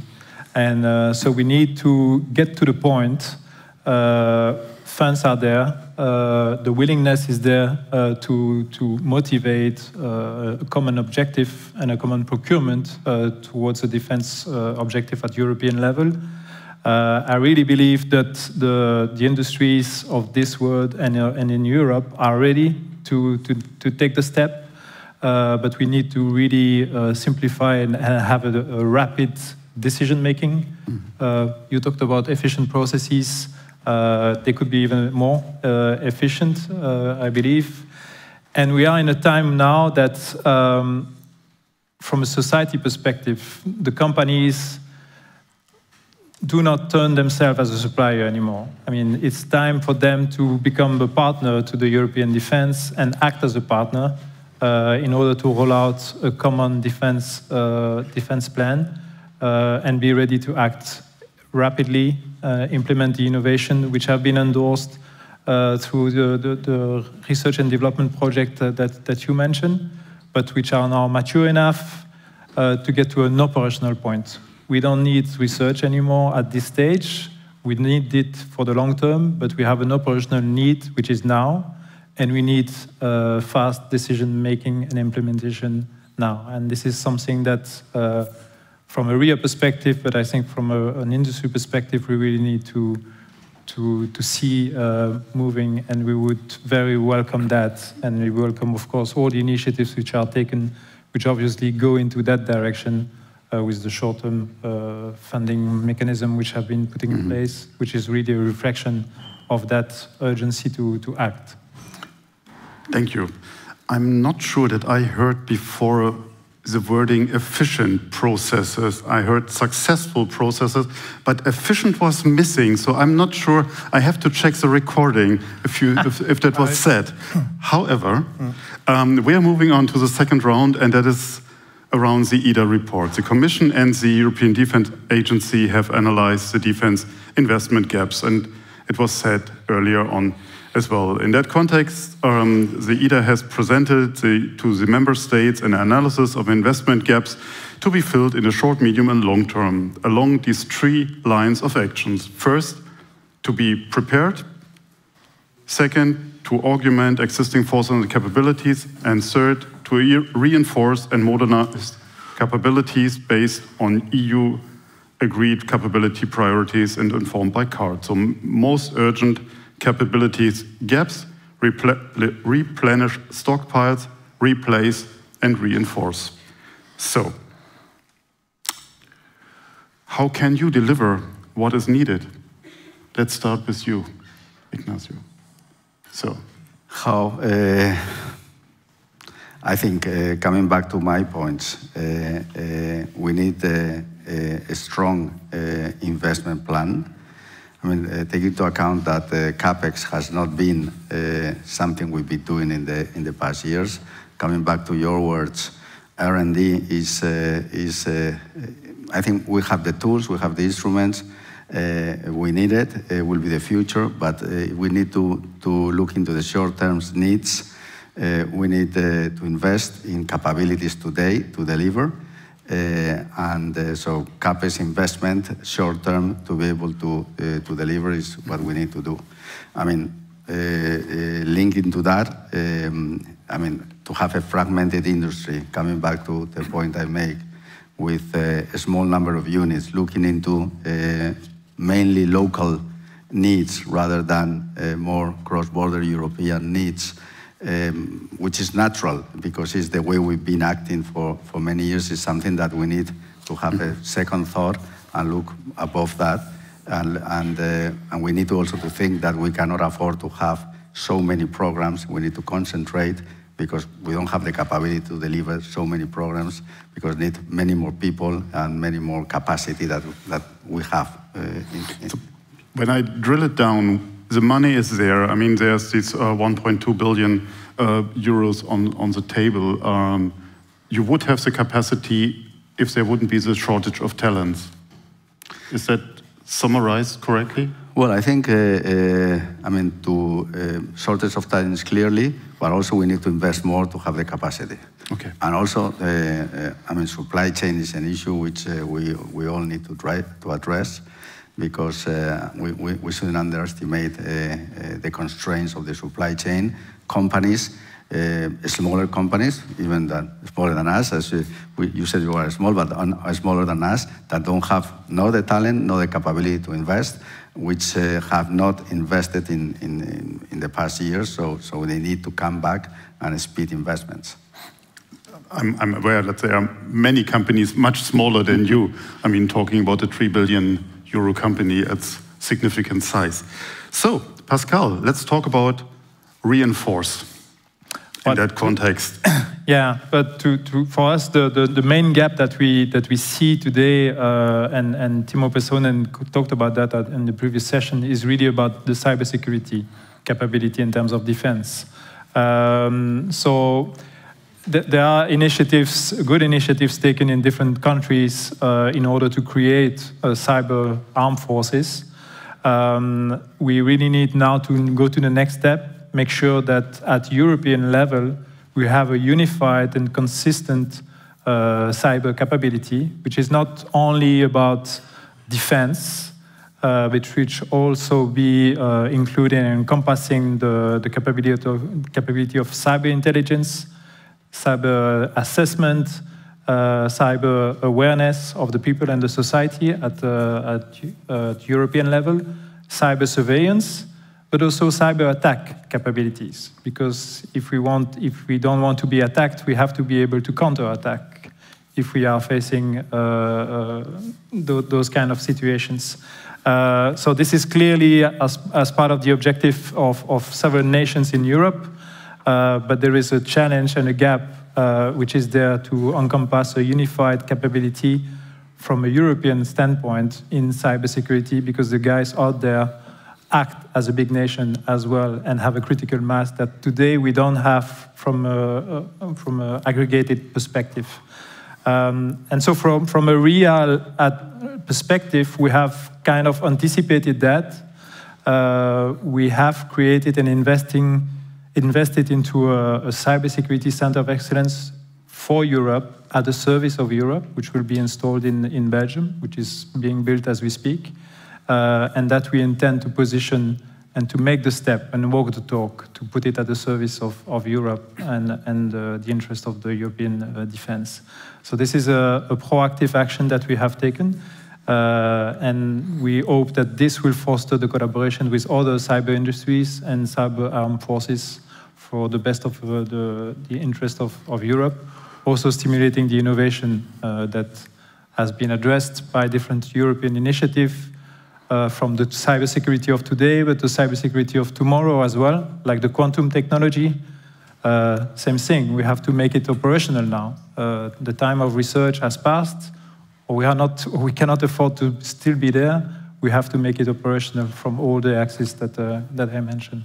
And this is really the, the, the leitmotif of this initiative, and this is the, the, the direction that uh, we will take uh, at the RHEA Group for stimulating a, a European interest. As we are both ex-SES, uh, I think you're pleased as I'm to see the signature of Eagle One as a quantum satellite, so we are on the right way. But as a good European, what really has a bit bitter taste for me is when you talk about cyber surveillance. Maybe it's just me, but it does not resonate well with me. Moving on, um, Mr. Bouvier, um, how can you, how can Airbus deliver what is needed? In this three minutes, of course. so uh, I don't think I have said that the EDF process is the most efficient. I'm sure there are some room for improvement. My point was to say that the process has a huge value in itself. Uh, so how to deliver? First, to deliver, we need uh, technology. We are investing in technology, but what we need even more important, because this is uh, just our strength, this is our value, this is the technology of tomorrow. What uh, we need is to attract human resource. We need to attract the best engineers. We need to uh, attract uh, the ones who are not necessarily motivated to join uh, the defense uh, industry. And this is a discussion we have started uh, this, this morning, which is not a new discussion, but which is at the core of the long-term success of the defense industry in, in Europe. But uh, we are not uh, just regaining attractivity, but uh, we are regaining legitimacy. And legitimacy is not just to fight against ideas like Ecolabel, to say, no, we are not true, you are going too far, but to rebuild the legitimacy. And to rebuild the legitimacy is more, uh, say, uh, long-term vision than just to be defensive on a number of initiatives that, uh, unfortunately, we have seen developing in, uh, here in, uh, in Brussels. And to rebuild the legitimacy is to rebuild the purpose of the defense industry. And the purpose of the defense industry is so close to the purpose of defense itself that it cannot be disconnected. So when you attack the defense industry, you attack defense. When you attack the defense, you also attack the defense industry, which is the most uh, obvious short-term target. And this is why we need to, to understand that uh, uh, we should not uh, disconnect uh, the long-term strategy, the uh, defense posture of Europe, the defense strategy of our different countries, and the defense industry, which is a critical contribution to the defense strategy. And once this is understood, once this is communicated and shared at the highest political level and shared with our public opinions, with an S, public opinions in the different countries, then we rebuild the legitimacy. This is what we need to do. So the time is now. I mean, we have all the ingredients on the table. Even a bit overdue, yes. Good. Moving on to um, the colleagues from the institutions. So how can EU secure these most, most urgent needed capabilities? So, Mr. Bușoi, um, do you see other steps to be taken to ensure greater integration and cooperation in the defense domain at the EU level, giving all the um, great programs that were mentioned before? Yes, of course. Uh, first of all, uh, the logic of these initiatives is to foster cooperation, to improve the cooperation, to avoid duplication, to avoid uh, or to reduce fragmentation, and to incentivize uh, companies to work uh, together, and member states also. This was of the main logic of uh, European Defence Fund. Uh, of course, uh, beside the fact that we want to support innovative ideas, innovative projects, and should do it uh, jointly. Uh, at the EU level, of course, the money available are not comparable with what member states, uh, even until now, with the low spending, invested and what they are prepared to invest. Clearly, the most important part are the budgets of the member states. But with these common projects that could be improved as framework, uh, as Mr. Bouvier mentioned, but of course they are extremely welcomed. Uh, we could uh, at least uh, trigger this uh, joint cooperation. Now we have this short-term instrument. Of course, it's 500 million. It's nothing compared with the big needs, but it's a lot as an initiative uh, in order to uh, uh, organize our in industries to, to work together and also to look to the most urgent issues. And what we are waiting now, and the European Commission uh, uh, committed to this, is to see the regulation for European Defence Investment Programme. This will be the logic uh, following of this short-term instrument. Of course, uh, this, I believe, will uh, remain limited if we compare with the needs, the big needs, but uh, this will be the anchor for joint procurement and develop projects of high interest for the security of uh, European Union.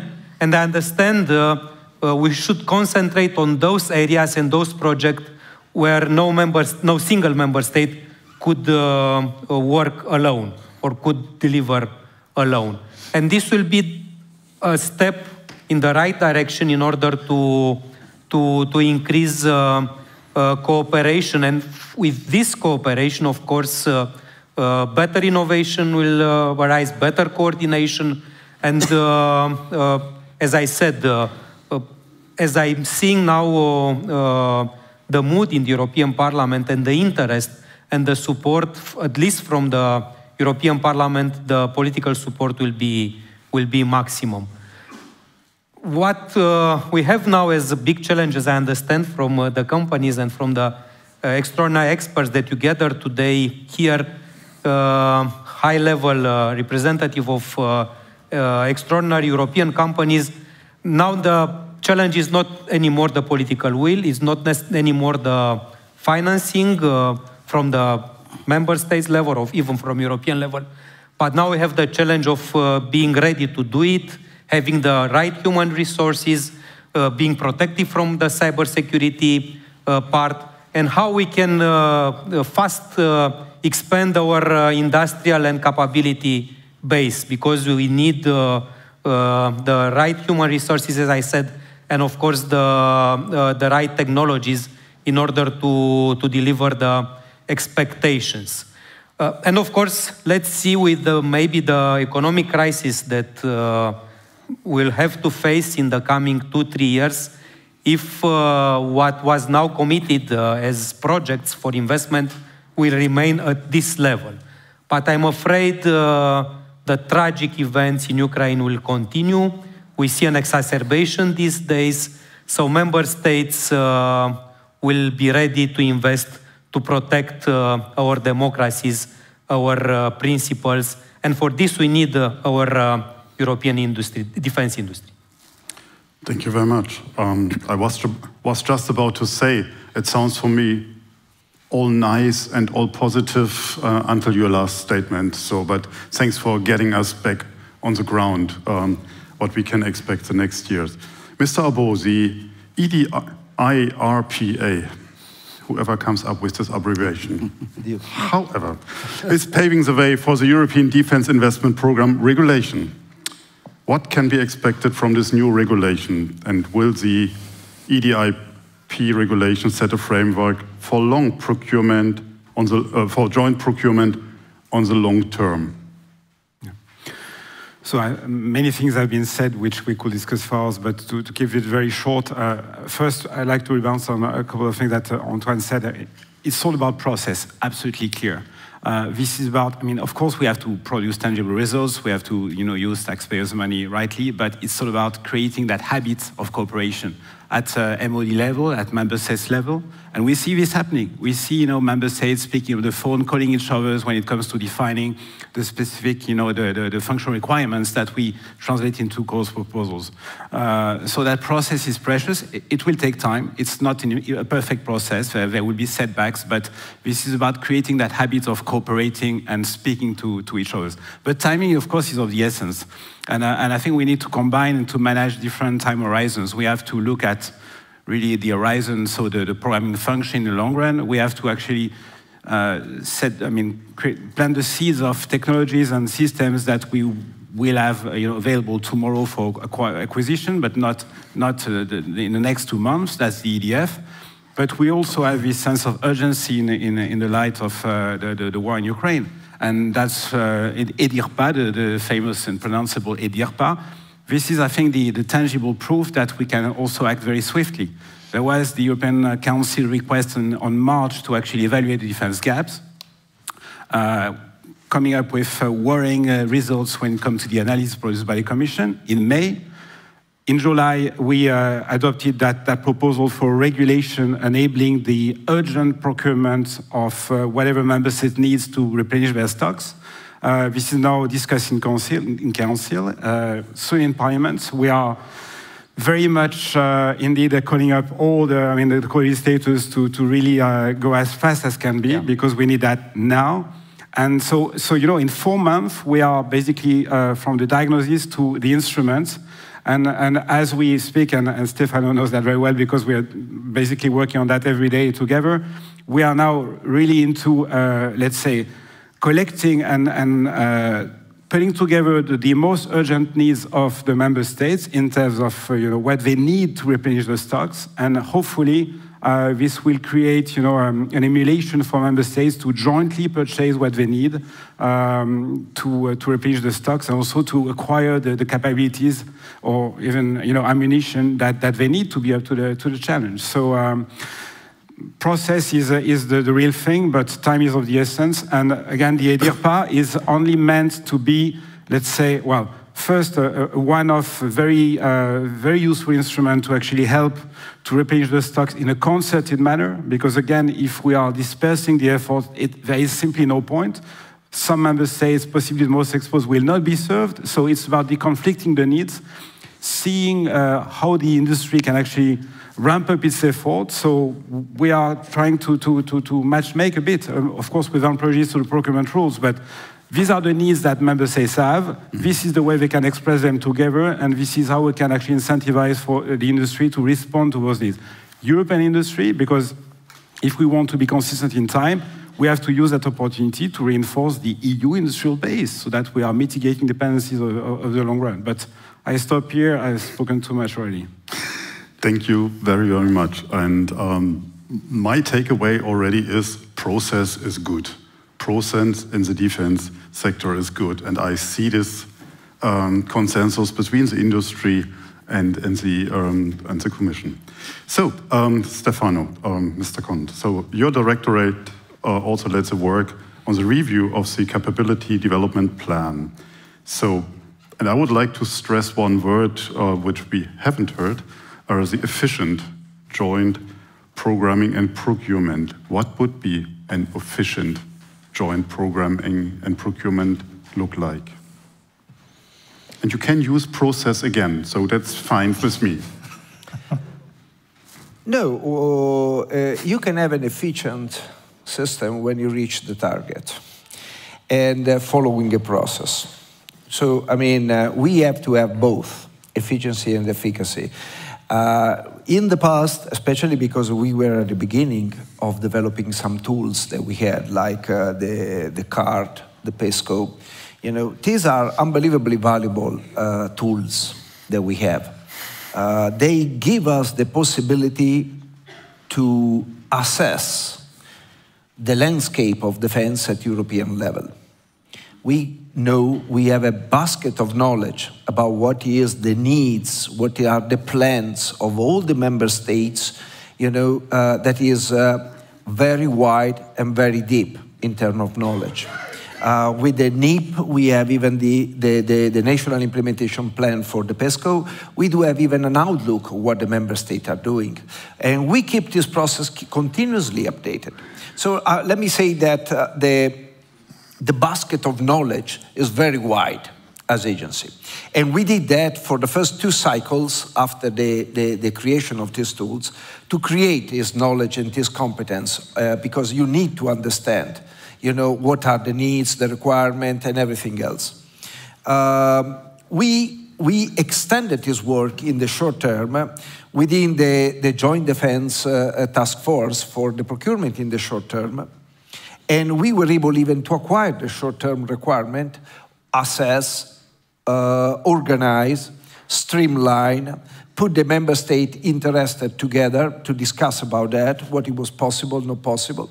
So let me say that uh, right now we have a, a, very sound foundation to move on um, in the task force with, uh, uh, with uh, uh, let's say, probing industries in terms of what they can be on the supply side, uh, the, the response. Or in our term, how to set up the instruments that are needed to do really joint procurement. Because joint procurement doesn't happen by itself.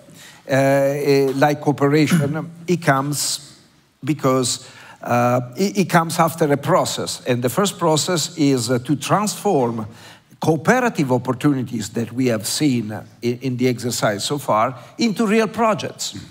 And that is a time-consuming process because every nation have different legislation, uh, every nation has different limits. Every nation has obviously their own interest. And you have to listen, compound, and prepare the ground to be able to aggregate those countries together into a joint project to achieve, uh, you know, something. Uh, the second element is uh, what kind of entities have to do this joint procurement? You know, uh, well, at European level, I mean, full European Union uh, entities, we don't have too many entities possible. Yes, there is OCCAR, but it's not really a full European Union entities, but it still have potential to evolve. Uh, obviously, we don't want to, or we can use even an, an NSPA, but it's a NATO agency, so, you know, it does have other rules and other possibilities, still is a possibility. We were even exploring the possibility to have member state uh, uh, national armament directorates to take charge of this doing this procurement. Uh, but we have seen that many countries have leg legislation that does not allow that. They need to go with an international organization. And finally, may say, uh, I mean, there is even EDA, they can do the job. Uh, but uh, probably does not have the size for full joint procurement of uh, long-term or big items. But it can be very much uh, uh, useful for the short-term procurement because most of the time we're talking about replenishment of stocks. And replenishment of stocks is, is, quite, is quite faster or simpler in terms of requirement. And we can even offer some uh, possibility of facilitating uh, an incentives, like, for example, the VAT exemption that we can have uh, through our CAT-B programs with industry. So it's something very, very much important. And this is for the short term. Uh, let me conclude telling what are the most important relevant elements if you want to have an effective joint procurement in the long term. And is the necessity to harmonize with member state requirements financial perspective because member state can have the money allocated in different time frames and that doesn't work very well in terms of uh, mm -hmm. uh, collaborative programs or collaborative joint projects. And especially uh, IOC and FOC operational requirement. What I mean is timing because if you need something in two years, you cannot join a program that uh, deliver in 10 years. Or if you need something in 20 years, you cannot join a program that delivers in five years.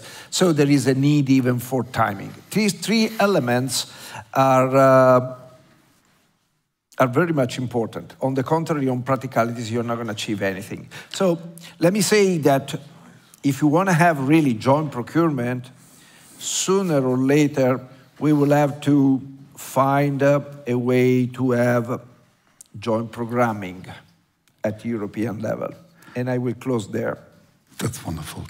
So we see on the screen here already the next session is um, announced, but hey, I'm the session head, so we take the liberty here for one question from the audience, if there is a burning one over there.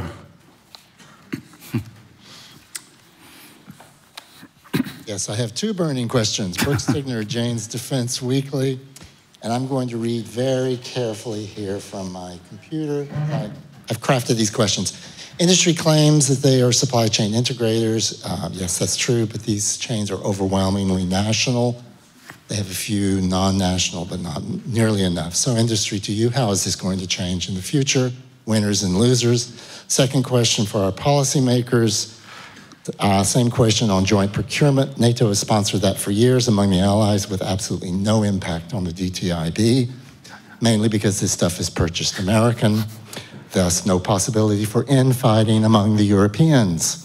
So question, will EDIRPA award joint procurement contracts to single suppliers, thus creating losers, or will you have to inefficiently spread the largesse of each contract among the member states, a little for Germany, a little for France, etc., thus having no impact on the DTIB. Thank you. Thank you very much for this couple of questions. Um, and we, I leave it to you to take a short element out of it. Who wants to give it an attempt to answer this very complex one? François. Maybe on, on EDIRPA and how the joint procurement is meant to, to happen. We are not prescriptors here. I mean, I want to be very clear. Of course, this is without prejudice to the final shape of the of the instrument because it is being negotiated by by the co-legislators. But what we want is to incentivize the approach. Joint procurement makes sense. In, in also respects deconflicting the needs, uh, getting more indeed smart, uh, to, smarter together. But we are not saying you need to buy the. I mean, we are not prescripting prescribing either what to be purchased. We're not prescribing who should purchase on behalf of whom. We are just saying, guys, if you think it is a good idea, and we think it is, to actually get together to procure the most urgent thing so that industry has more um, also predictability in terms, in terms of what is coming, in terms of ramping up you know, the, the, the manufacturing capacity, then go for it. Then it's for you to decide what to buy, it's for you to decide who will be the procurement agent. But if you go for it, if you present us a plan that we are able to, uh, to, to, uh, to actually validate, then we will actually compensate, and even I will dare say overcompensate the cost of uh, the cooperation because it, it, it is costly to cooperate, to go together, but it's smarter. So we want to compensate for the cost. And let's see uh, what, what comes out of that pilot. And then, of course, the, the, um, the real objective, the steady state objective, is the famous EDIP. Uh, Mr. Bușoi re referred to it, where we want to be even more ambitious, but we learn from, uh, from the first, let's say, lessons of the EDIRPA, and that's why we are staggering the approach. Let's see where we land on EDIRPA, and once this is clear, then we will actually uh, propose the, the EDIP, the more steady state, more ambitious instrument. Thank you very much. Um, and I see a consensus here on the, on the panel, what is uh, very nice to see. I don't want to close the session without giving you the chance for the last famous 30 second, 60 second, even we are still over time, um, 60 seconds that you want to address to our audience, to our listeners, or online. Stefano, would you like to start? I will be very, very brief. You know, my final consideration is really a message. Uh, we know that we are all in a hurry to procure what is needed in the short term. So many countries going uh, uh, to buy off the shelf whatever they have because the, the, the pressure of the situation, international security, is a very big concern. So my, my, my only message is uh, let's not lose uh, the long-term perspective. Yep. What we are doing in the next uh, six months, uh, one year, it will have an impact in the next 10, 15, 20 years. Both in terms of the system we are going to achieve. Sometimes what is available is not probably, is a compromise due to the situation. It's not probably optimized to what you really need. And second, it will uh, impede in a certain way the possibility to uh, collaborative opportunity be developed in terms of uh, uh, putting together to develop something for the next generation. So my, my suggestion, I know that uh, there is a, a, an urgency, but don't lose the long-term perspective uh, for the defense acquisition. Wise words. Mr. Bușoi. We are facing now uh, extremely challenging, difficult, tragic times, clearly, but in the same time, uh, we have the opportunity first to strengthen visibly, significantly, our uh, uh, defense industry base in Europe, to incentivize uh, our companies, uh, big uh, players, big companies, reputed companies, but also SMEs. They are also extremely important for European Parliament and European Commission to become more innovative, to collaborate together, to work better together, to be more competitive even worldwide. So let's not lose this momentum. Thank you very much. Mr. Arbault. Well, I mean, what we aimed at is competitiveness in the long run. So, I mean, it was said a uh, number of times, we need a long-term vision and ambition. We need a course, but we need to get to, we need to get there through competition because we want the, the, the, best players to be the, the, ones delivering the solutions. And this is a huge challenge. Let's not you know, ignore that. Uh, the, the, the, the, the ambition to combine the continuity of the effort on a given course with the competition and with the competition that actually informs you know, many of the tools that, that we are deploying at EU level, getting to that, uh, I mean, it's, it's a bit squaring the circle, and we have to face that. It will be very uh, challenging to get to that uh, fine balance, and this is, I think, the core of what we need to achieve. Not an easy task, but precisely that's why it's not an easy task that we need to, uh, to actually uh, deliver it. Thank you. So now the last well, words just, or just remarks a, from, a the, from the industry. For, Pascal, from, yeah, please. Yeah, from an industry perspective, I think, uh, of course, and it's a very important point, we will always combine the short term and the, and the, and, and the long term in terms of keeping the pace for innovation. Uh, the message I gave at the beginning is that I think now industries are ready to put strengths together in order to face the, the urgency uh, that, we are, that we are dealing with now. In terms of joint procurement, there are best practices which are out there, which have been already proven in the space industry, for example. Joint procurement has been, has been done in, at European Space Agency, for example, for, for years. We have techniques to encompass uh, requirements there. Uh, so maybe we can leverage uh, from, from there as well uh, on the best practices and, and extrapolate that in a defense, in the defense area. Learning from other sectors. That sounds interesting. We should look into that. Mr. Vauvier. May I come back one second on competition? so question is, which is uh, the relevant market? Not just the European market. We are competing against uh, the US, Israeli, a number of uh, uh, defense uh, companies on export markets. So I think the, the question of competition is not just within our uh, EU perimeter, it's also to be addressed through the global market and global market is uh, once again critical mass. And when we compete against the US uh, outside of Europe, we have to deliver affordability, we have to deliver innovation, we have to deliver performance. then this question of competition, in my view, has to be a bit, uh, a bit enlarged. So a recommendation, I think we have to stick to the uh, investment uh, gap analysis, which has been done. All the principles, the good principles are in this, uh, in this communication. The right balance between uh, short-term and long-term, and not just the balance short-term, long-term, but the continuum short-term, medium-term, long-term, and to have a roadmap. This is extremely important. Uh, to understand that uh, anything which is uh, could be seen just as a procurement actually is also an industrial policy. There is no procurement policy without an uh, industrial policy, and the two have to be managed together.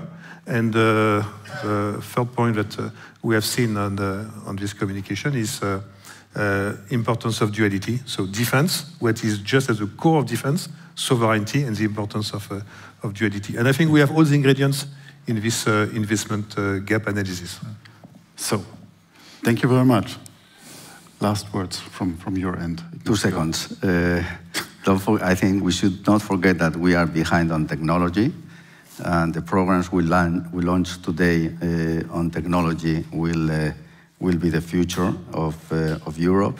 And we, we should speed on those, on those programs, on launching those programs. And we should not forget that we have in the pipeline technology programs and cooperation programs, like, like for example, ESCAF, that uh, are there to be launched. So we should speed on that.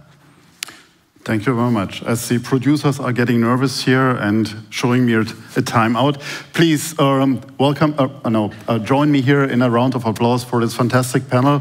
Thank you very much for your time. Portugal is a country of dreamers whose dreams never cease, of explorers who aspire to reach further. Ferdinand Magellan's circumnavigation is matched by man's arrival on the moon.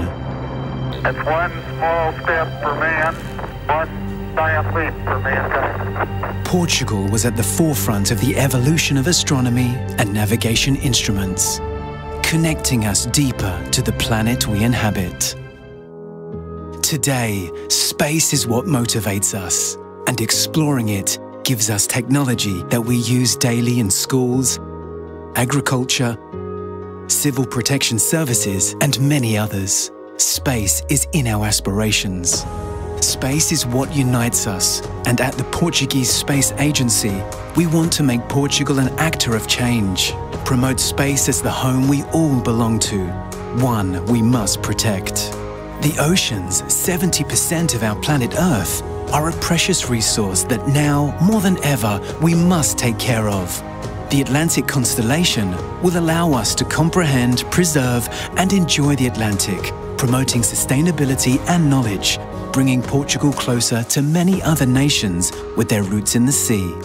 The digital planet supports the creation of a multi-platform of Earth observation data. Creating an ecosystem of connectivity through quantum technology will complement global growth by contributing to the development of the Atlantic and the outermost regions.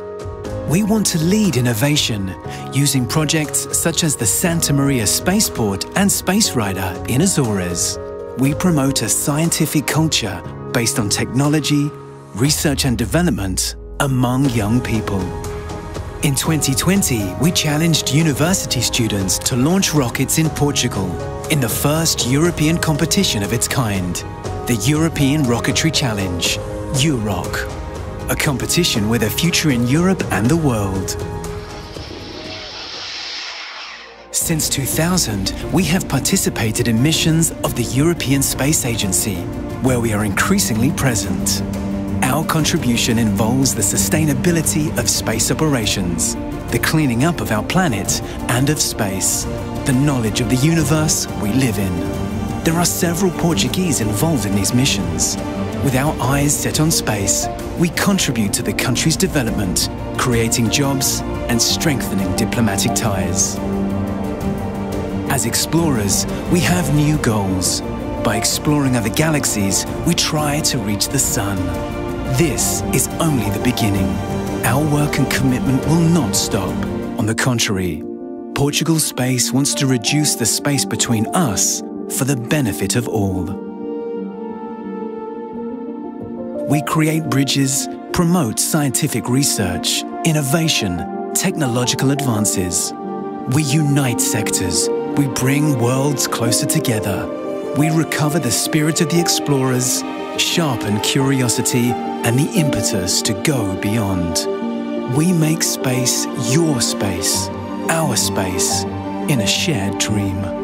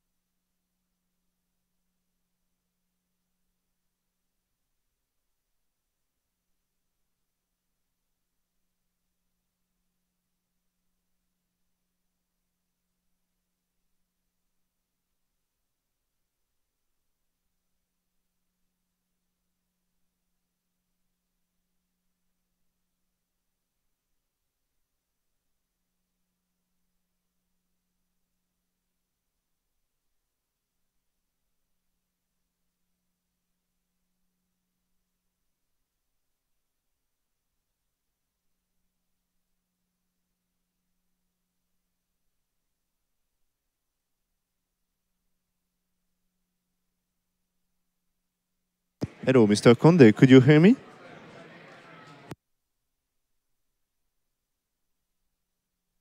Yes, um, I'm the, the sound engineer here for the event. Uh, I may have a little test with you. Could you speak? Yeah, it's very good. You have a, you seem to have a very good connection, so it should be working fine. Thanks. And you hear the event in the Zoom, right? Since the beginning. Yeah, okay, perfect. Thank you.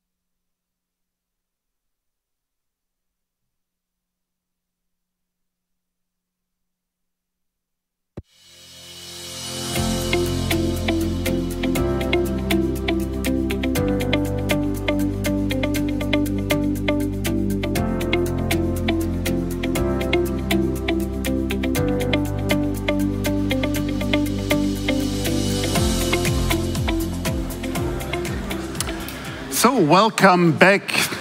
Okay, I get the sign that you can hear me now. Um, please come in or take your seat for our third session here today the EU space strategy for security and defense, the challenges of a crucial operational domain. And again, before we start, I'm asked again to encourage you to connect on slido.com and use the code EU Defense Security Conf. Also for Twitter, if you want to tweet about the session, use the hashtag EU Defense Security Conf. Good. In that session, it's quiet in the room. I have your attention. That is wonderful. In this session, we will explore the ever growing link between the space and defense domain from a strategic and operational standpoint, while also focusing on dedicated applications. This session will also be an opportunity to take stock of the ongoing work on the EU space strategy for security and defense. My name is still Torsten Kriening, and I'm the publisher of SpaceWatch.global and your host for this session that stands now between now and the lunch. So, Russia's anti satellite missile tests that took place last year in November 21. which has increased the risk of dangerous collisions in space by generating debris in various orbital shells. That shows very clearly space became, became the fifth war-fighting domain declared even by NATO in November 2019, two years before that. Since 24th of February, talking about space in a military context in the space arena has become possible. The understanding for dual-use technologies from on-orbit maneuver capabilities to hyperspectral small satellite was growing. Space safety and security arrived on the highest political and corporate levels, as we can see here in this conference. We will try to learn about the status and the demands for the EU space strategy for defense and security. And from the EU institution, I welcome here Christophe Grudler, the Vice Chair of the Sky and Space Intergroup at the European Parliament, and Catherine Cavada, the Director for Innovation and Outreach at DG DEFIS European, at the European Commission, and as a last minute replacement, uh, Patrick Chatard-Moulin, I hope it was correctly spelled, the Deputy Head of the Div Division Security, Space and Defense at the European External Action Services. As we would like to um, see this dialogue between the institutions, the agency, and the industry, I also welcome here on the screen uh, Ricardo Conde, the president of the PT Space, the Portugal Space Agency. Bon dia, uh, Ricardo. And um, Alain, Alain Boris, the senior vice president, business development and political affairs, and member of the executive committee of OHBSE. So, in this case, I can say, lady and gentlemen, are a pleasure to have you here. And we go online um, with our first question. So, Christophe, for a long time, the EU was more seen as a civil actor, not sector, as a civil actor in the space field. Is this predominance, predominance of the civilian sector still relevant today, or are we just naive? Sorry. It's a parallax mistake. No, no problem, not, not right. Uh, first, thank you very much for having um, invited me to, today. Uh, as a member of the Industry Committee uh, and of the Security and Defense Committee in the European Parliament, uh, I really appreciate uh, this panel where we uh, will mix the two subjects, space uh, and defense. Because indeed, for, for a long time, uh, we didn't mix enough the, the two topics uh, at the EU level. Uh, our space program were mostly about civilian uses. For example, for Earth uh, observation with Copernicus, meteor meteorology uh, with EUMETSAT, or positioning with, with Galileo. with that classic sentence, this program is under civilian control. And even when we try to incorporate uh, even the smallest dual use system, uh, like the Galileo PRS, for example, it was difficult to, to make it uh, accept. Uh, of course, uh, all of that uh, changed, unfortunately. Uh, because uh, aside the, the great uh, scientific possibilities offered by space, the strategic value of space activity uh, should not be uh, neglected. Uh, and by not taking into account early, early enough the, the, the security and defense dimension, the EU didn't prepare for what we have today. A, a battle of, technologies and information from space to help uh, our Ukrainian friends and protect our un union. Because to, to whom the U Ukrainian asked for intelligence on space data, on, on satellite data, uh, the United States, not the EU. Mm -hmm. uh, because, uh, let's be frank, we don't have today the, the capacities. Uh, so I'm convinced uh, that we, we should be more vocal on the security and defense dimension of the EU uh, space policy. and it's getting better. Uh, uh, first with European Defence Fund, which invests in, in defense technologies with a space dimension. Uh, we also have Galileo's uh, PRS, I, I told before, which is a, a great success. One of the best things we did for our EU strategic autonomy in space in the last uh, 15 years. We also have, of course, the EU Secure Connectivity Programme, for which I'm the rapporteur for the European Parliament, and we will we'll vote on it uh, in our committee uh, on Thursday.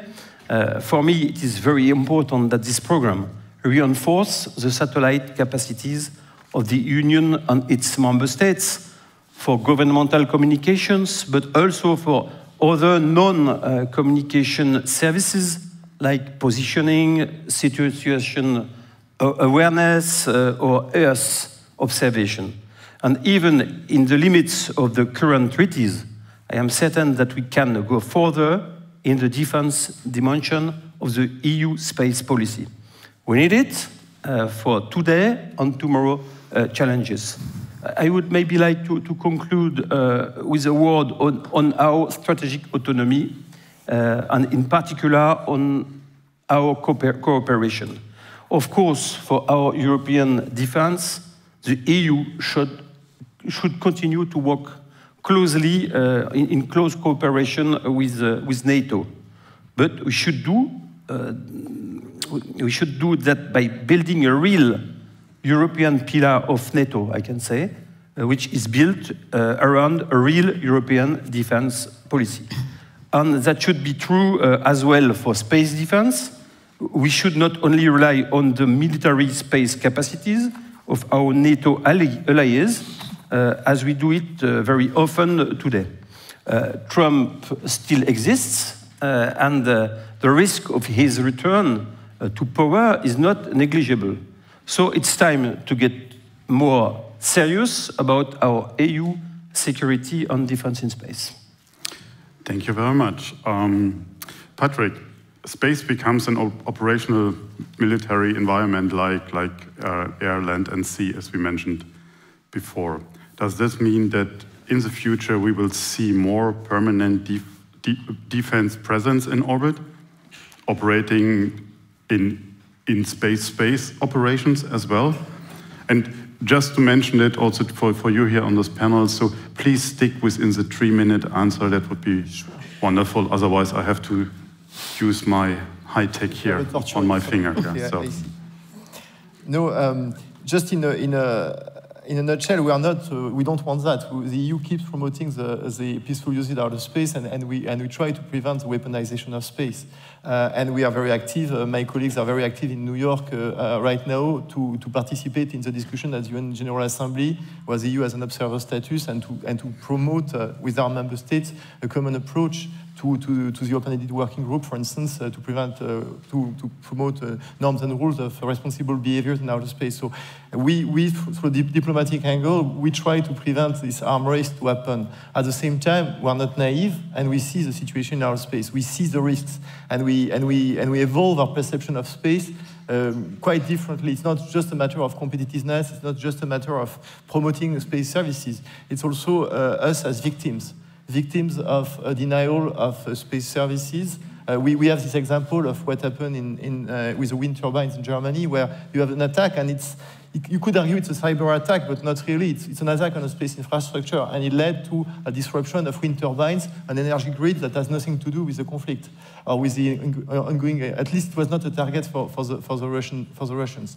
And, and we see that we are very dependent upon uh, space services, and we are not always aware of this dependency. And that is very much what we, we name, uh, why we name space as a new domain, because we need, it's a new contested domain. As other uh, uh, global commands, other contested domain, the strategic compass highlighted space as a new contested domain. And, and, and, and we need to, uh, in, in first place, we need to be aware of our dependency. And it's not only about the space program. We are very proud of our space program that uh, Catherine is managing so well. And, and it's true that it's among the few assets that the EU really owns and they can be victim of different kind of aggressions. But I think we need to have a wider picture and consider any dependency on any ser service and try to understand what could be the result of us being under attack and whether we need to create a level playing field in this area. So I think it's very much a spirit of, of the space strategy for security and defense. Uh, don't get me wrong, I'm not saying that it's only a one-way street and we only uh, care about space from the defense perspective. We also very much would like to address the I mean, more traditionally, what we, how space can support security and defense. And here, I mean, we, I would just want to quote one example also to say that we're not totally uh, doing nothing for, for Ukraine. I mean, we just uh, had the 30th anniversary of the EU Satellite Center.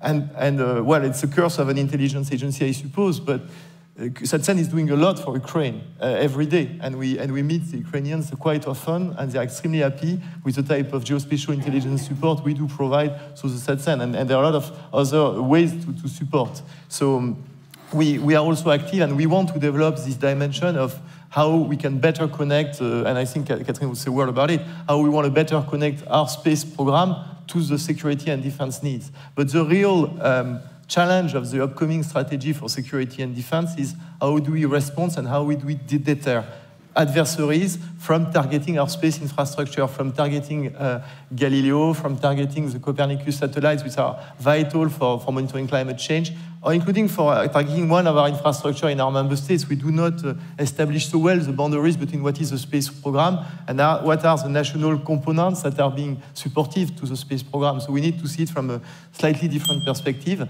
And here, I see the ring, so I will stop.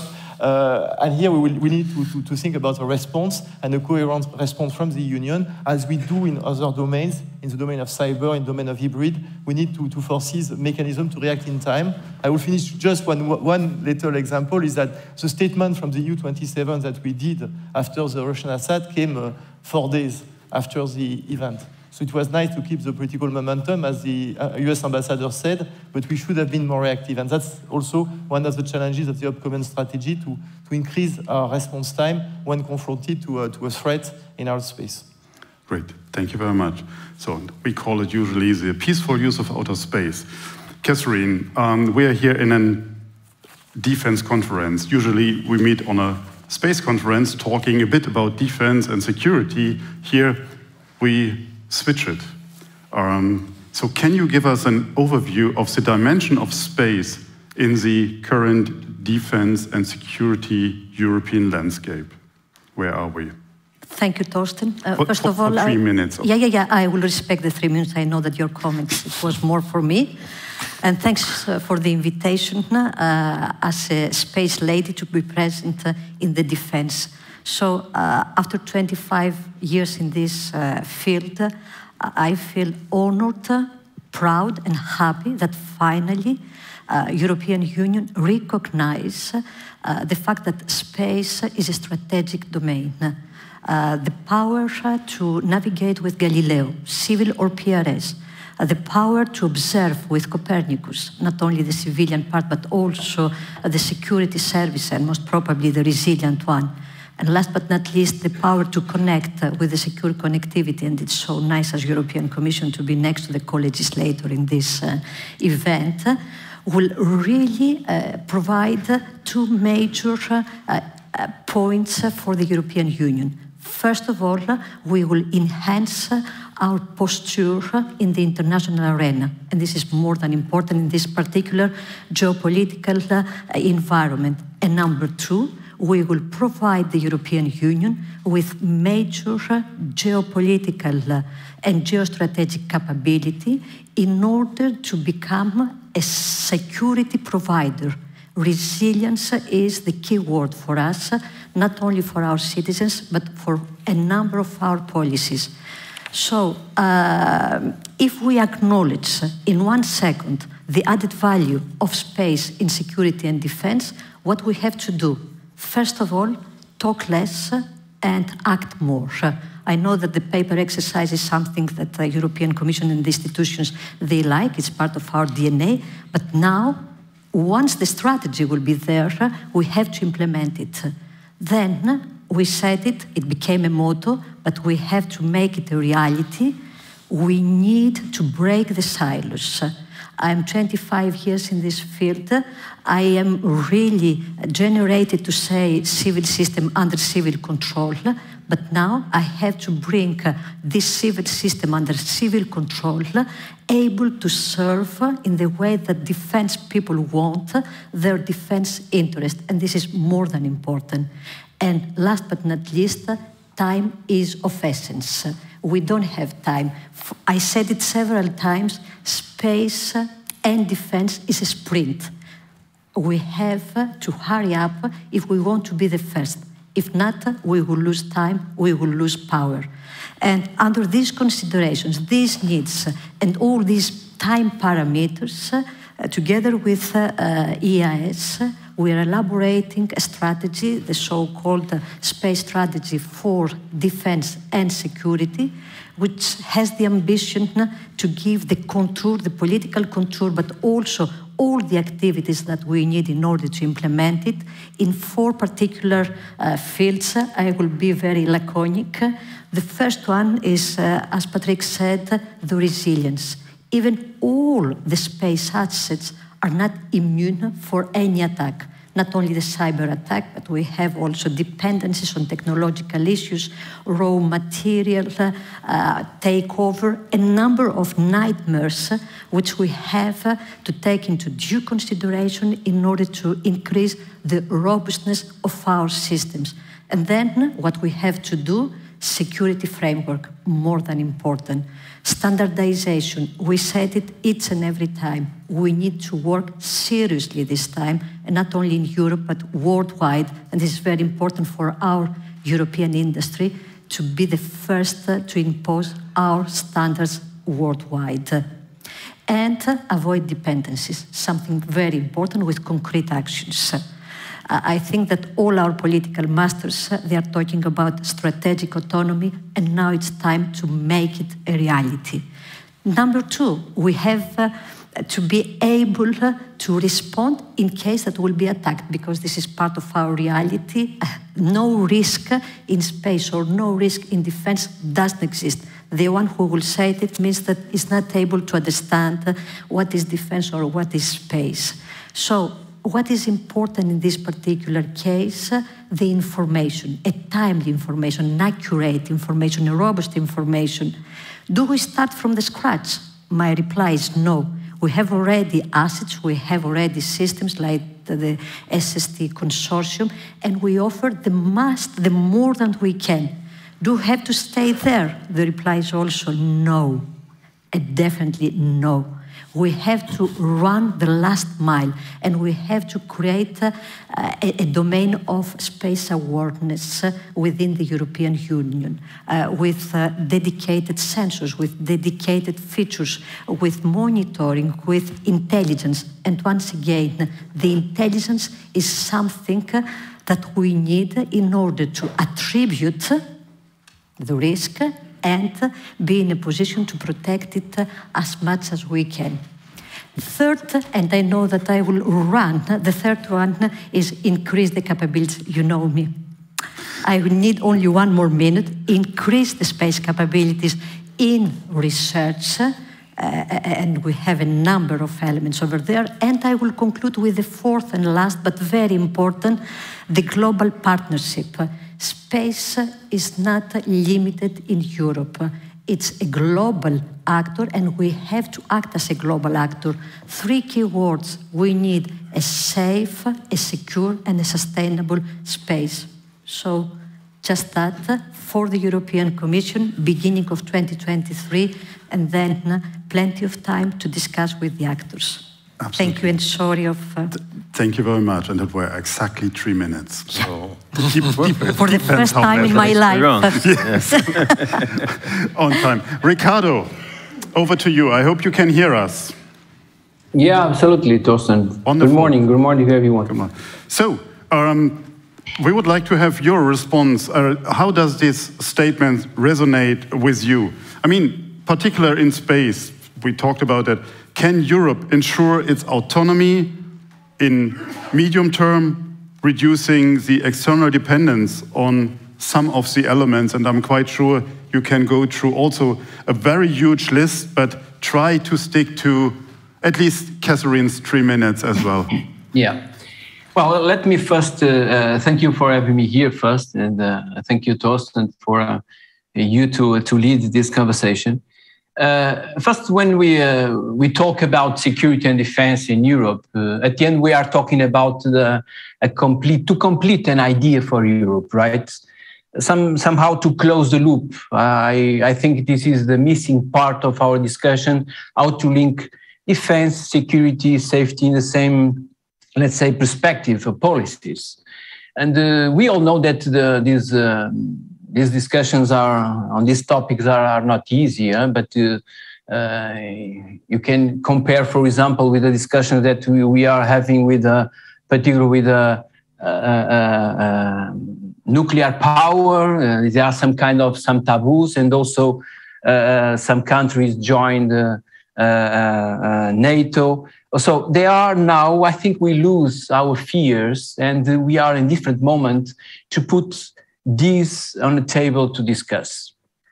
And uh, uh, you know that uh, um, in the safety and security domains, we, uh, we already did something uh, uh, in, in Europe. And I have two examples to share with you. One is particularly, you know that here in Lisbon, we have the European Maritime Safety Agency, right? And uh, since 2000, as far as I remember, 2008, 2009, uh, particularly this agency uh, started to work in the, let's say, protection, the environment protection of the North Atlantic.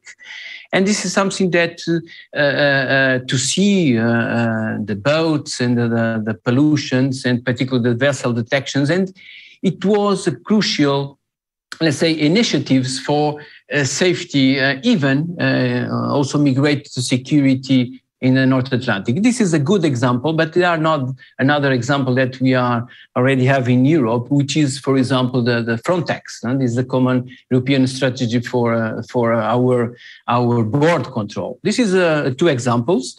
Uh, of course, there are they, there are some uh, um, let's say uh, five ten years.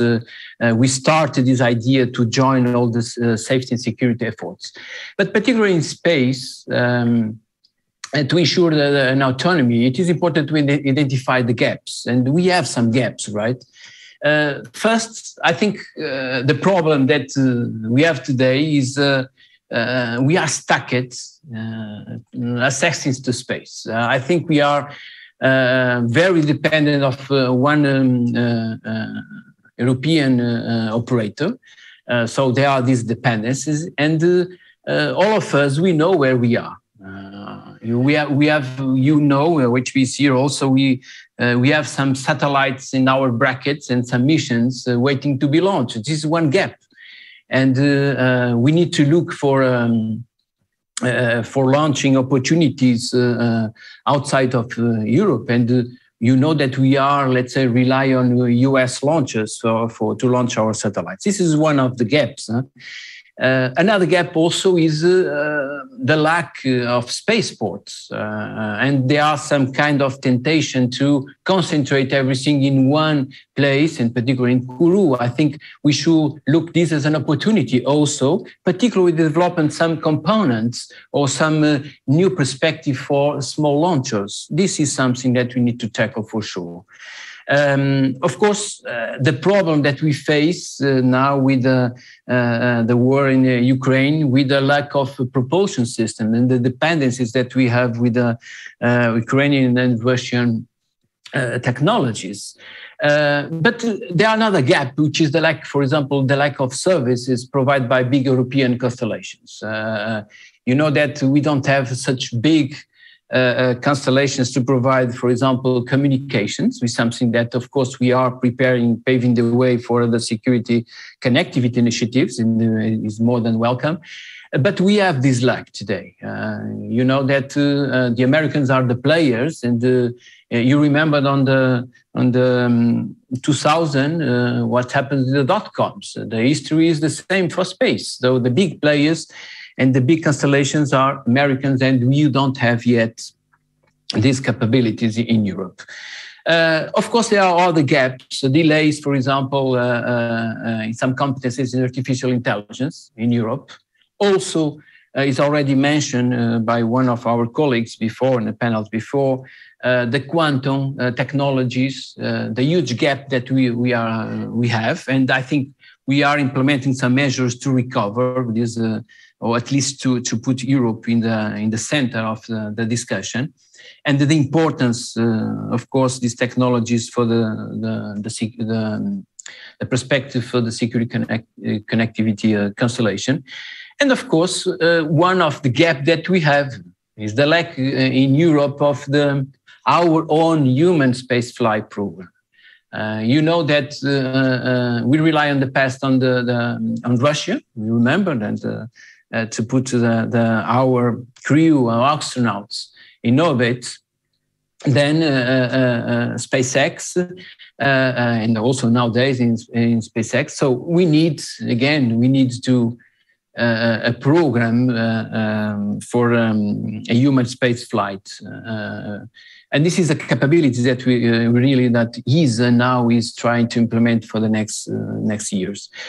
Another uh, gap, and I conclude here, another gap is the effective service for uh, the traffic uh, uh, the space traffic and space weather services. I think there are uh, perspective for good um, uh, uh, uh answers from the, the union, but as Catherine already said, we need to to um, talk less and do more.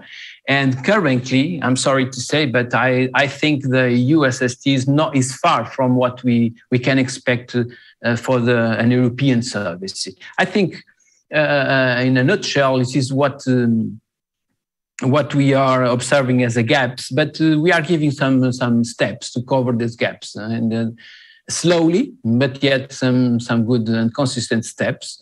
Uh, for example, the idea, as I said, for the security connectivity is more than welcome. Uh, the idea also for the space traffic management initiatives to reinforce with the commercial initiatives, the technology-driven initiatives.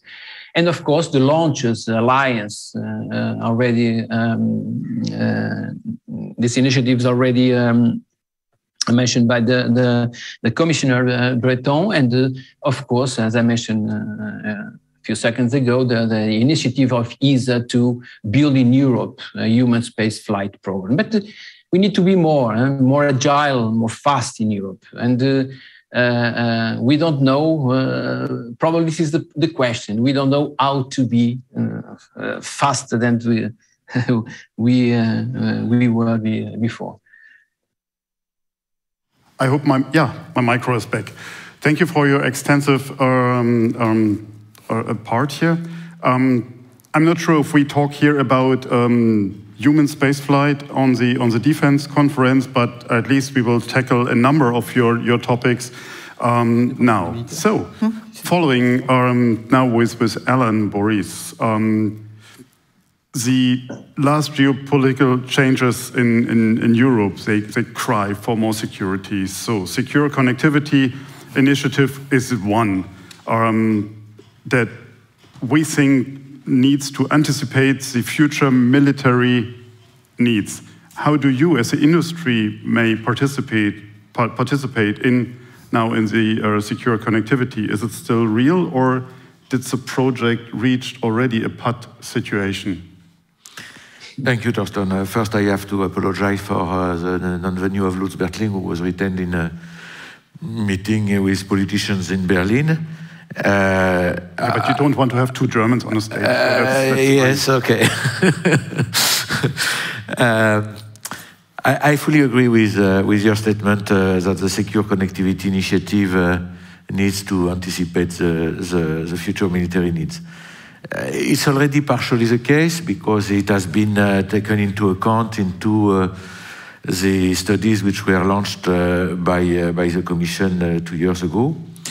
Uh, however, the world has changed a little bit on February 24th, and uh, uh, with the war at our doorstep, and it has shown to the urgency to take into account now uh, what was supposed to be part of an evolution of uh, the constellation.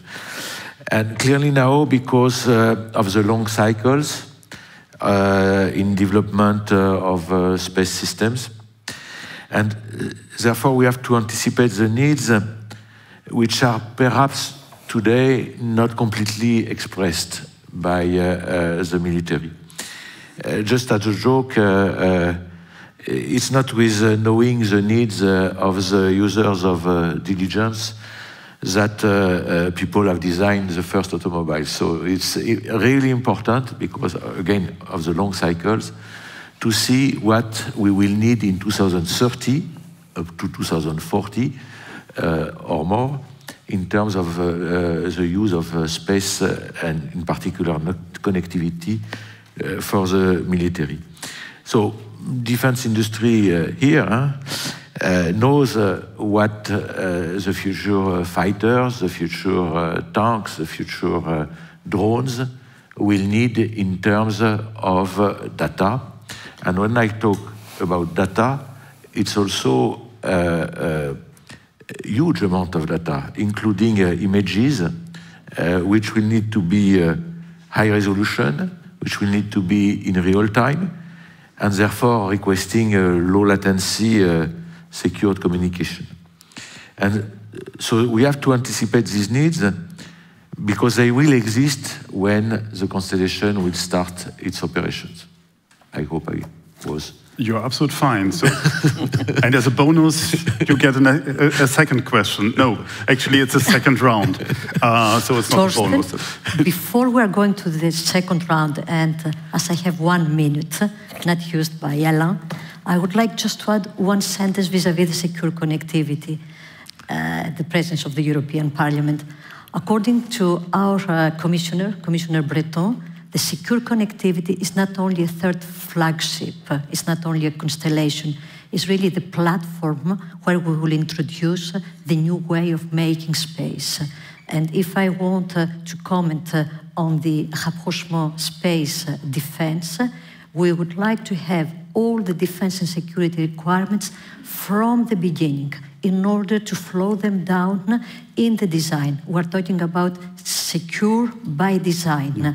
And only if we follow their requirements and their needs, they, the communities, defense and security, they can use it because they will trust it. And for us, it's more than important. Thank you. Thank you.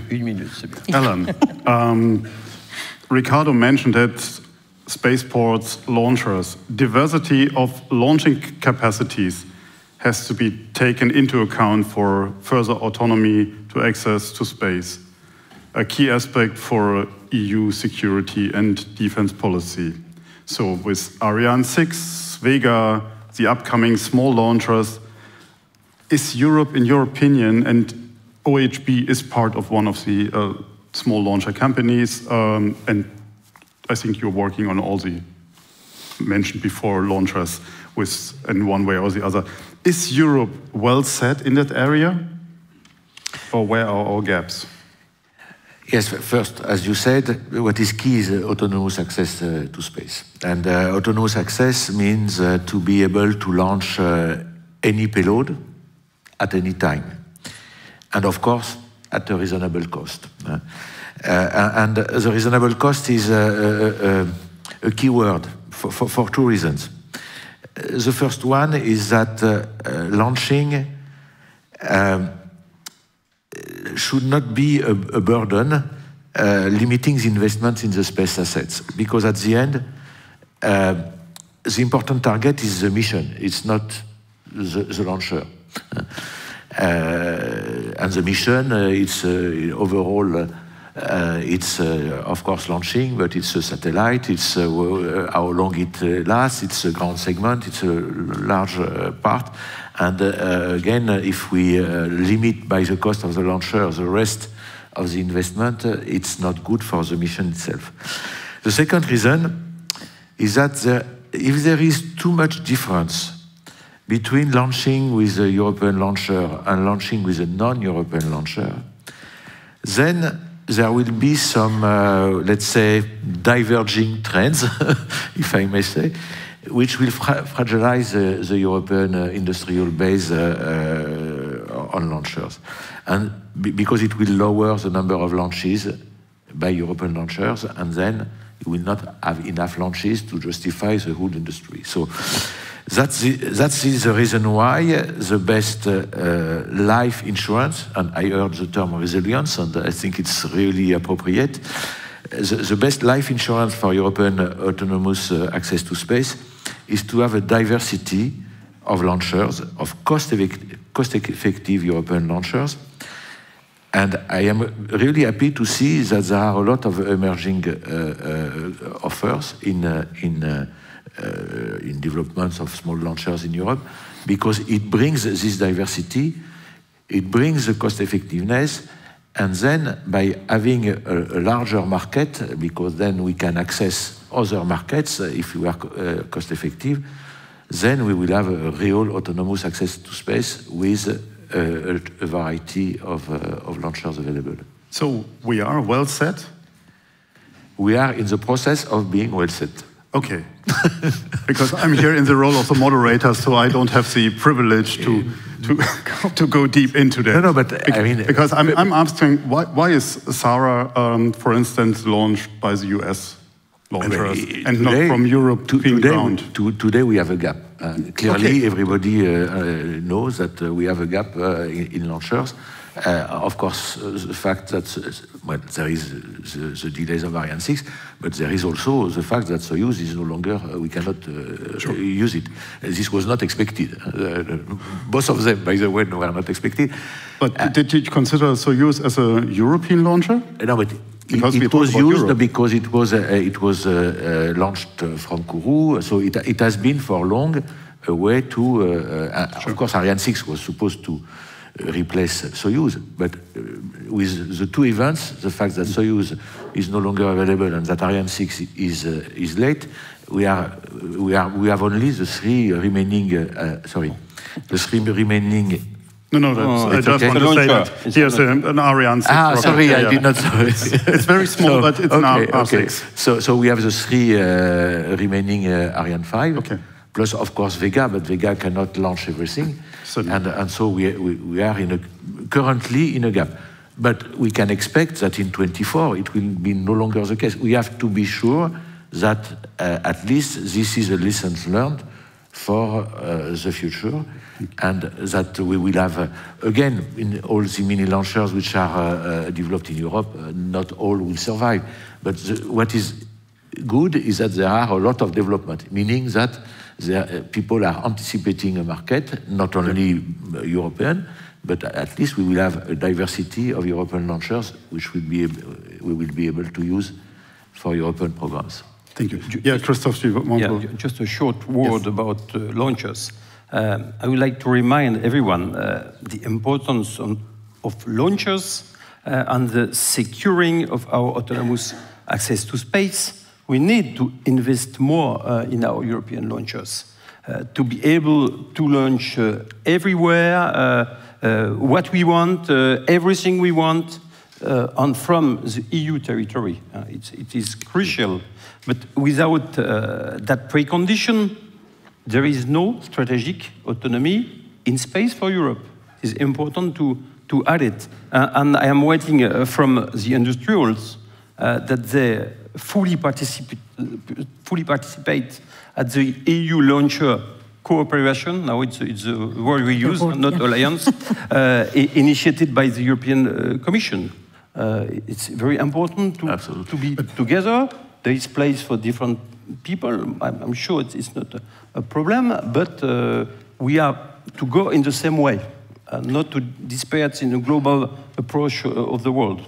But strategic to, to, autonomy of Europe, it's crucial. To, to, to be clear, um, you're talking about Ariane 6 and more, and not... Yeah, of okay. course. Uh, Great. And more. Uh, but, okay, you, as I am French, I will talk about Kourou. It's very important, it's crucial. But maybe we need some uh, polar pad yep. in, in, the future. Maybe we have some different one on the Azores, for uh, instance. Yeah, but but we, we can speak together. Uh, for example, in the cooperation mm -hmm. for, for launching. If I may, yeah. of course you. So we're not here to put names. Uh, we are here in order to confirm that there is no uh, space strategy, space policy, if we don't have an autonomous access to space. And for us, this is fundamental. We debated at political level with industry for many years, and finally, two years ago, under the space regulation, Article 5, if I will remember, we anchored such a policy objective in a piece of legislation. Mm -hmm. So, first of all, the European Commission paved the way and uh, uh, demonstrate that uh, if we want uh, to go ahead with the deployment, the replenishment, or the replacement of our own EU infrastructures, we have to rely on EU launch capacities. This is why, for many years now, we pass contracts uh, with European providers. And uh, recently, we conclude the negotiations uh, for the Copernicus launches with Vega and we expect uh, to make the same uh, framework contract as far as the Galileo uh, launches are concerned. And we don't have to forget that there is also a perspective, and the perspective is the one who will come with the secure connectivity. And there we will not have six or 30, we might have more than 200 satellites. Uh, we are talking about autonomous, but let me add two main words the first of all is uh, the flexibility that we have, and the number th three is the competitiveness. It's not only our uh, domestic uh, environment, we have really to push our companies, well established or newcomers, to do it. Where we work, I know that you are pressed by the time, but very important for our audience. We work from the European Commission in three layers anchor customer, for what I said, research and evolution because all these developments they have been uh, supported by an innovation funding. And last but not least because we need diversity the Cassini initiative will come in order to promote. And it's not only the commission it's ESA member states and industry inclusiveness. Apologize if I go by the names or by the facts as a trained engineer and a journalist by passion I'm I need something to put my hands on. So, Ricardo, um, we know about the assets that we have in space that are worth to protect. You spoke earlier about space traffic management. So, may Europe reinforce the idea of an alliance with other countries to protect its, our assets in space, leading the agenda for a global STM yeah, I think and so. Uh, in, in, in, two minutes, if possible, because we are running out of time and yeah, will be very short. We'll be very yes. short. Uh, um, of course, uh, um, there are uh, some ongoing initiatives uh, to develop some technologies. To, uh, but of course, this takes time. But let me just give you a crazy idea to the discussion you know that uh, I really believe that you, you should, we should not be naive in the moment that we are living. Eh? It's already addressed for one of our colleagues in, in a panel. In this perspective, I do believe that we need to promote uh, space in our alliance, it's particularly to protect our assets. Uh, I believe that we need to use more or less the same concepts of the old military alliances that we have. And uh, for example, this could, could seem a, a crazy idea, but uh, I really believe in the concept of the extension of NATO alliance uh, for space. This is something that uh, we need to think because, uh, as you said in the beginning, NATO declared it as an operational uh, also scenario. So, of course, in this perspective, I really believe that we can let's say, promote our uh, alliances also in space under the umbrella of, um, uh, of NATO. That means a threat for an asset for one country should be a threat also for uh, the completely alliance. Um, and of course, uh, uh, uh, there will be, in this perspective, joint monitoring capabilities. And you mentioned the space traffic management. Uh, uh, but we need also uh, fast deployment of means to orbit with fast availability of launches. I do believe that the competition will foster the, the this rapid response to put some assets in orbit. And don't forget one thing which is important. Um, there are um, in the in the in the horizon, in the outlook, uh, uh, some new concepts uh, for space stations, and uh, uh, this idea of joint defense space stations for early detections, for example, of uh, threats, and also for fast reaction in orbit.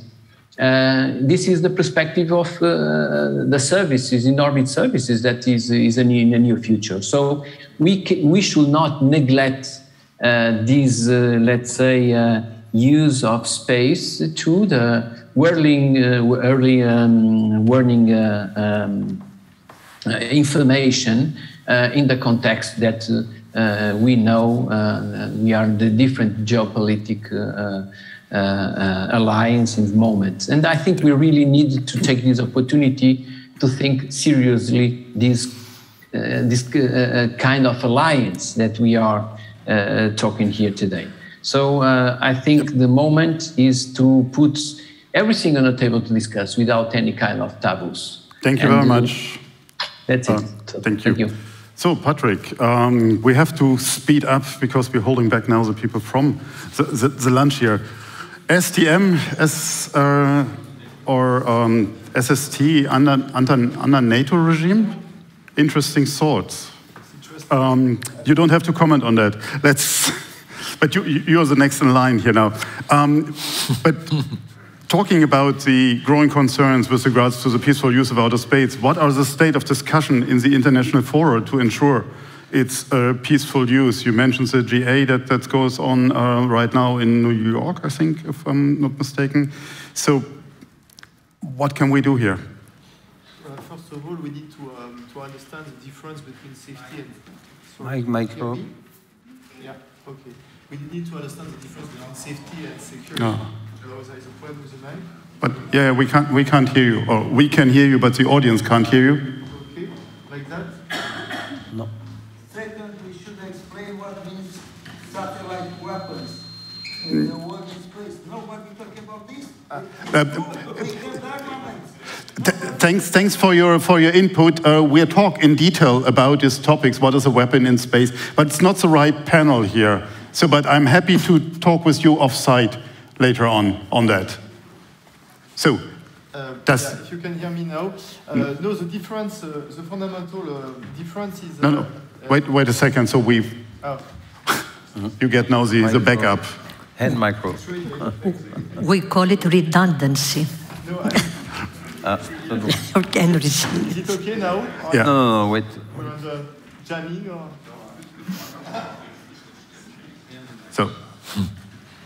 Um, no, to come, to, to come back to the discussion in United Nations, and I think it's also behind our discussion.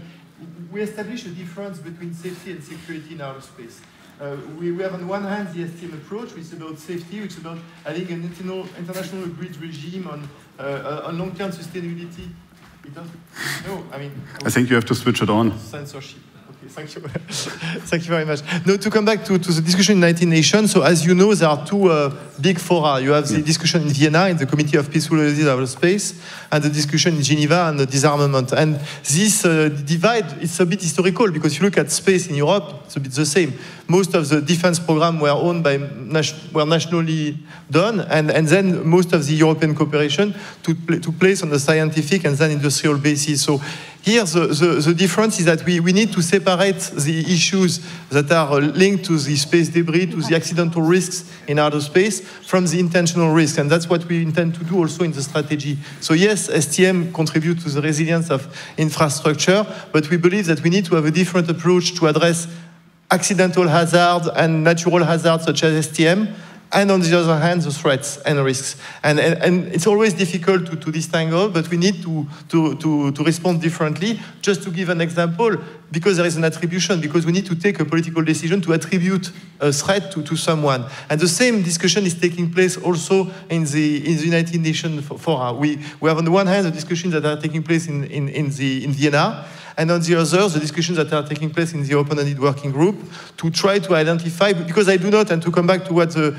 gentleman was saying, the question of weapon in space is already tricky because anything can be a weapon in space. So the, the approach that we are promoting with the with the EU and, and the allies and, and, and all the, the Western countries is instead of to, to, to, to prevent the placement of weapons in outer space, we believe in the behavioral approach. We, we believe that there are some types of behaviors that we shall condemn. We shall condemn when the satellite goes too close to a satellite, or if you want to do an orbit servicing with someone that didn't uh, give you permission to do so, then you are having a hostile behavior, and that's something that we need to condemn. So again, behavioral approach instead of weapons. That is the, the way we look at things.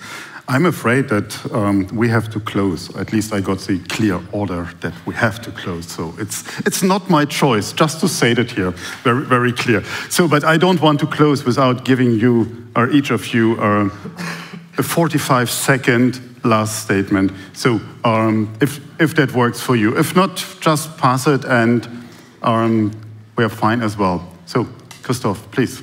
Thank you very much. There's so much to say about, about the file, but well, let's uh, stop. Thank you very much. Uh, to, to, conclude, uh, to conclude, I, I would uh, like to say now it is time. Uh, it's time to, to stop being naive uh, in space. It's time uh, to, to stop uh, uh, pretending that nobody will try to damage our European satellites. the time to, to build a, a real policy of security and defense in space. The time also to invest more in space because our international competitors are getting very good.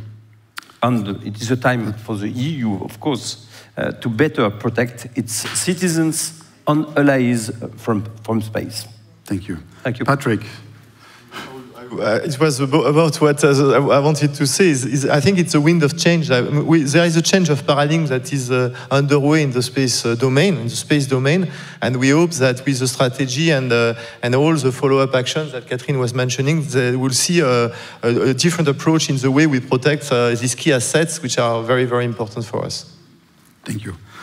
Catherine, um, 45, Very briefly, 45 40, seconds. 45 seconds, yeah. Okay. And may, maybe you just can confirm, uh, Timo mentioned earlier, um, on the 9th of November, the EU strategy or for uh, space strategy will be published. Is that correct? Is that, did I got it right? Or Which date?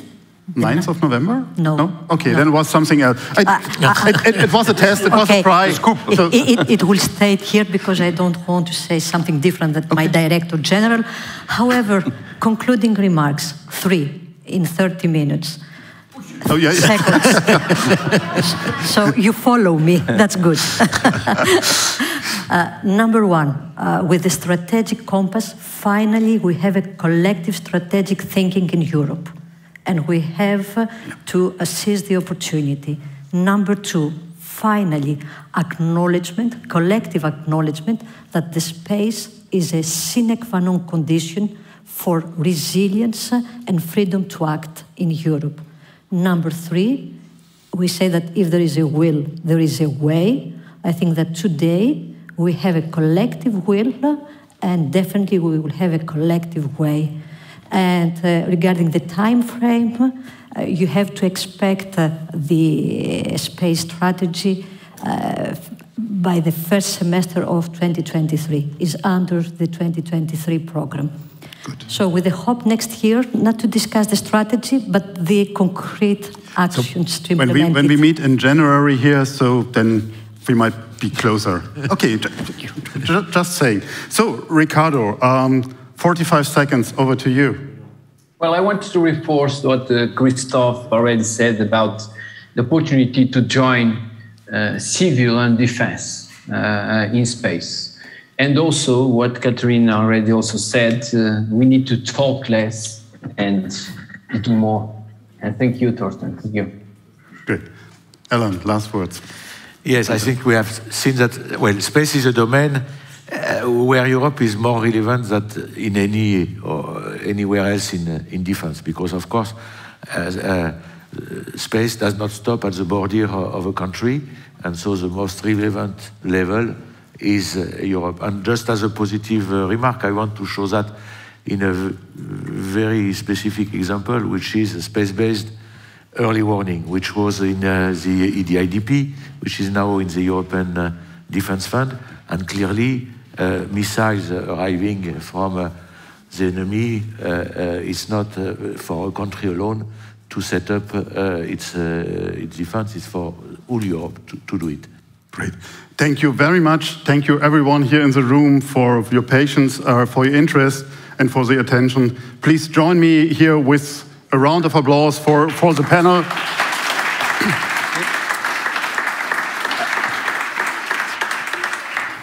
to, yep. Uh, please uh, be back here at 2.30 for when we resume the program and with a keynote, I think, from the Commissioner Breton. Thank you very much. Thank you very much, Mr. Cont. Thank you.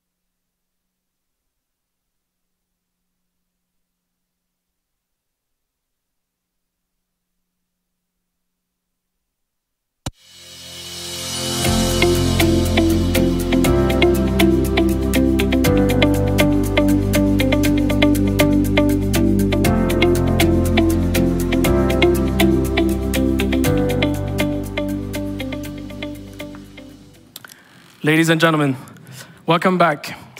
I'm Julien Bouquet, EU Public Affairs Consultant at Business Bridge Europe. And in my capacity as coordinator of the second European Defense and Security Conference, I am pleased to welcome you for the second part of this day, both online and on site. Thank you to all of you for being here with us during this day of debates on crucial issues for the European defense domain. We are honored to welcome today Commissioner for Internal Market, Mr. Thierry Breton. Commissioner Breton, thank you very much for being here today. This morning, we have heard Minister Dedonder calling for further investment in the defense domain in view of the challenges and the threats that Europe is facing.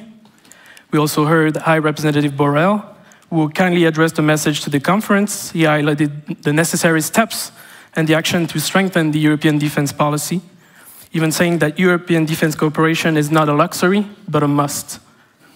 Commissioner Breton, under your initiative, the European Commission has established forward-looking initiatives in the defense technological and industrial domain, which of course now resonate more than ever in light of the unprecedented geopolitical context that the EU is facing. As the architect of the European defense industry policy, spearheading the work for the European defense, I'm certain that all participants gathered here today are keen in hearing your remarks. Commissioner, Monsieur le Commissaire, I invite you to take the floor.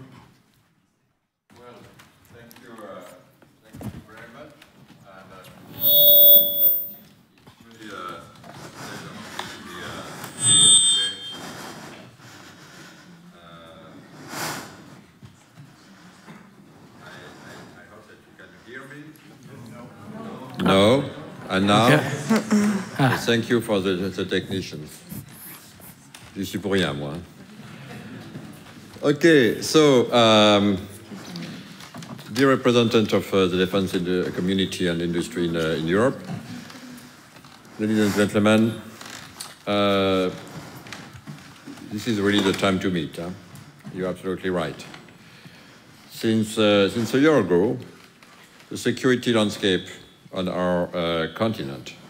Has, of course, uh, drastically changed, and of course, you discussed this uh, before me uh, this morning, and of course, with the aggression of, uh, of Russia uh, in Ukraine, we all know that Vladimir Putin um, intend to redesign the whole security and architecture of defense in, in Europe, and also threatens our fundamental values of uh, what makes Europe. By the way, he didn't wait for the war to do this. We have been uh, used to um, his ability to use hybrid uh, threats um, in many domains. So it's uh, unfortunately not a surprise, but of course, this is not an excuse, on the contrary. Of course, peace has never been uh, for granted. We all know that. let's not uh, be afraid of the words.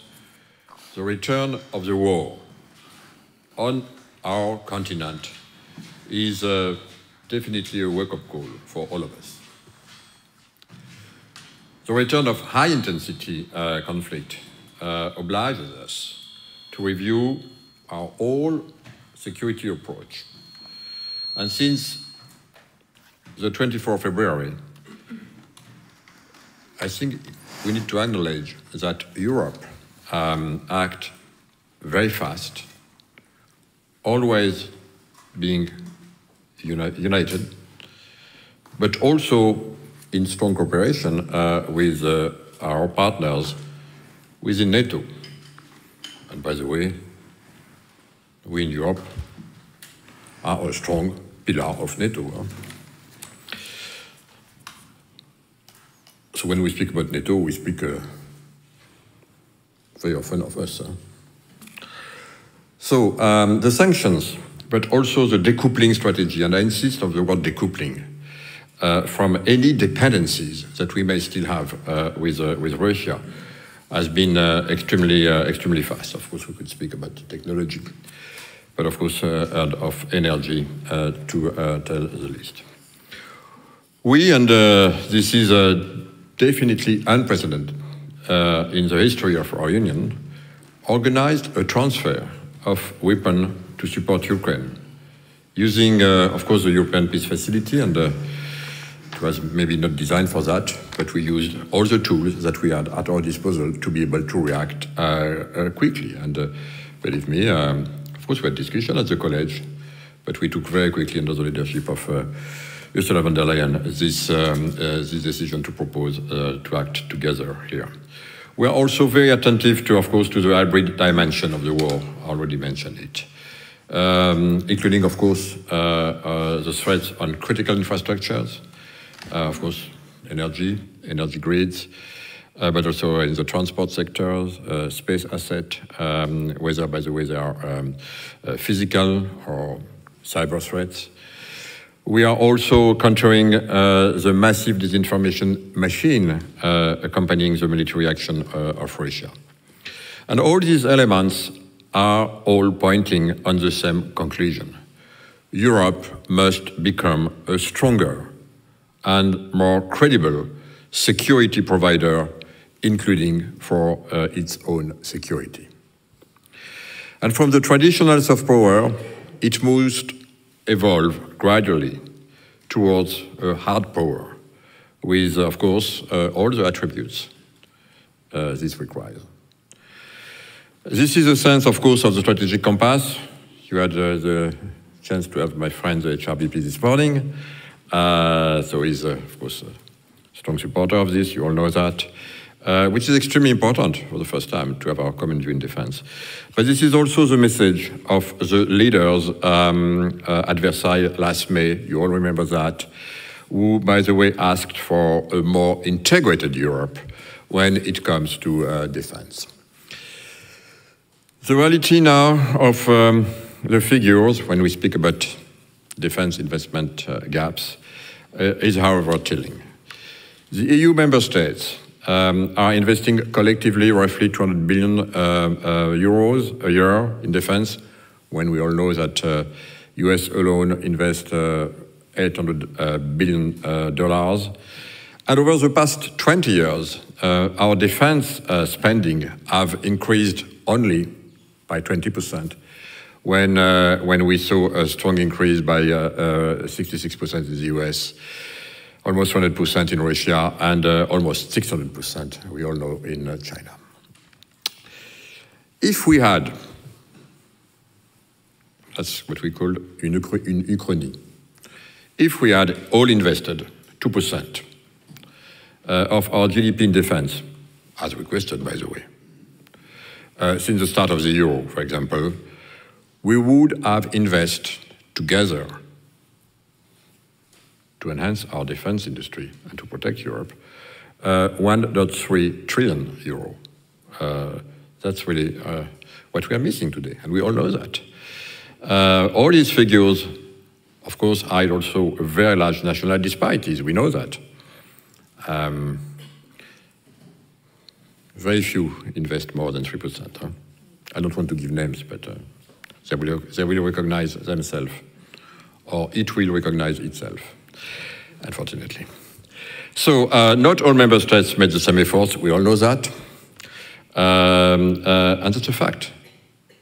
We should need to acknowledge that not all member states took their part, their burden, to defend collectively our continent. That's a fact. And this translates, of course, into capabilities and industrial gaps, as well as also uh, dependencies um, uh, uh, that must now, of course, uh, close urgently. Several member states are now investing heavily, which is good news, into defense. I think we have more than 200 billion euros, which have been announced in the past few months. that's good. Uh, that's, uh, of course, an extremely important message. Uh, but, of course, my message regarding this fact is simple. This investment cannot fragment Europe. They must be used to foster cooperation uh, rather than support, uh, of course, uh, exclusively national lines. The only approach is indeed a European one.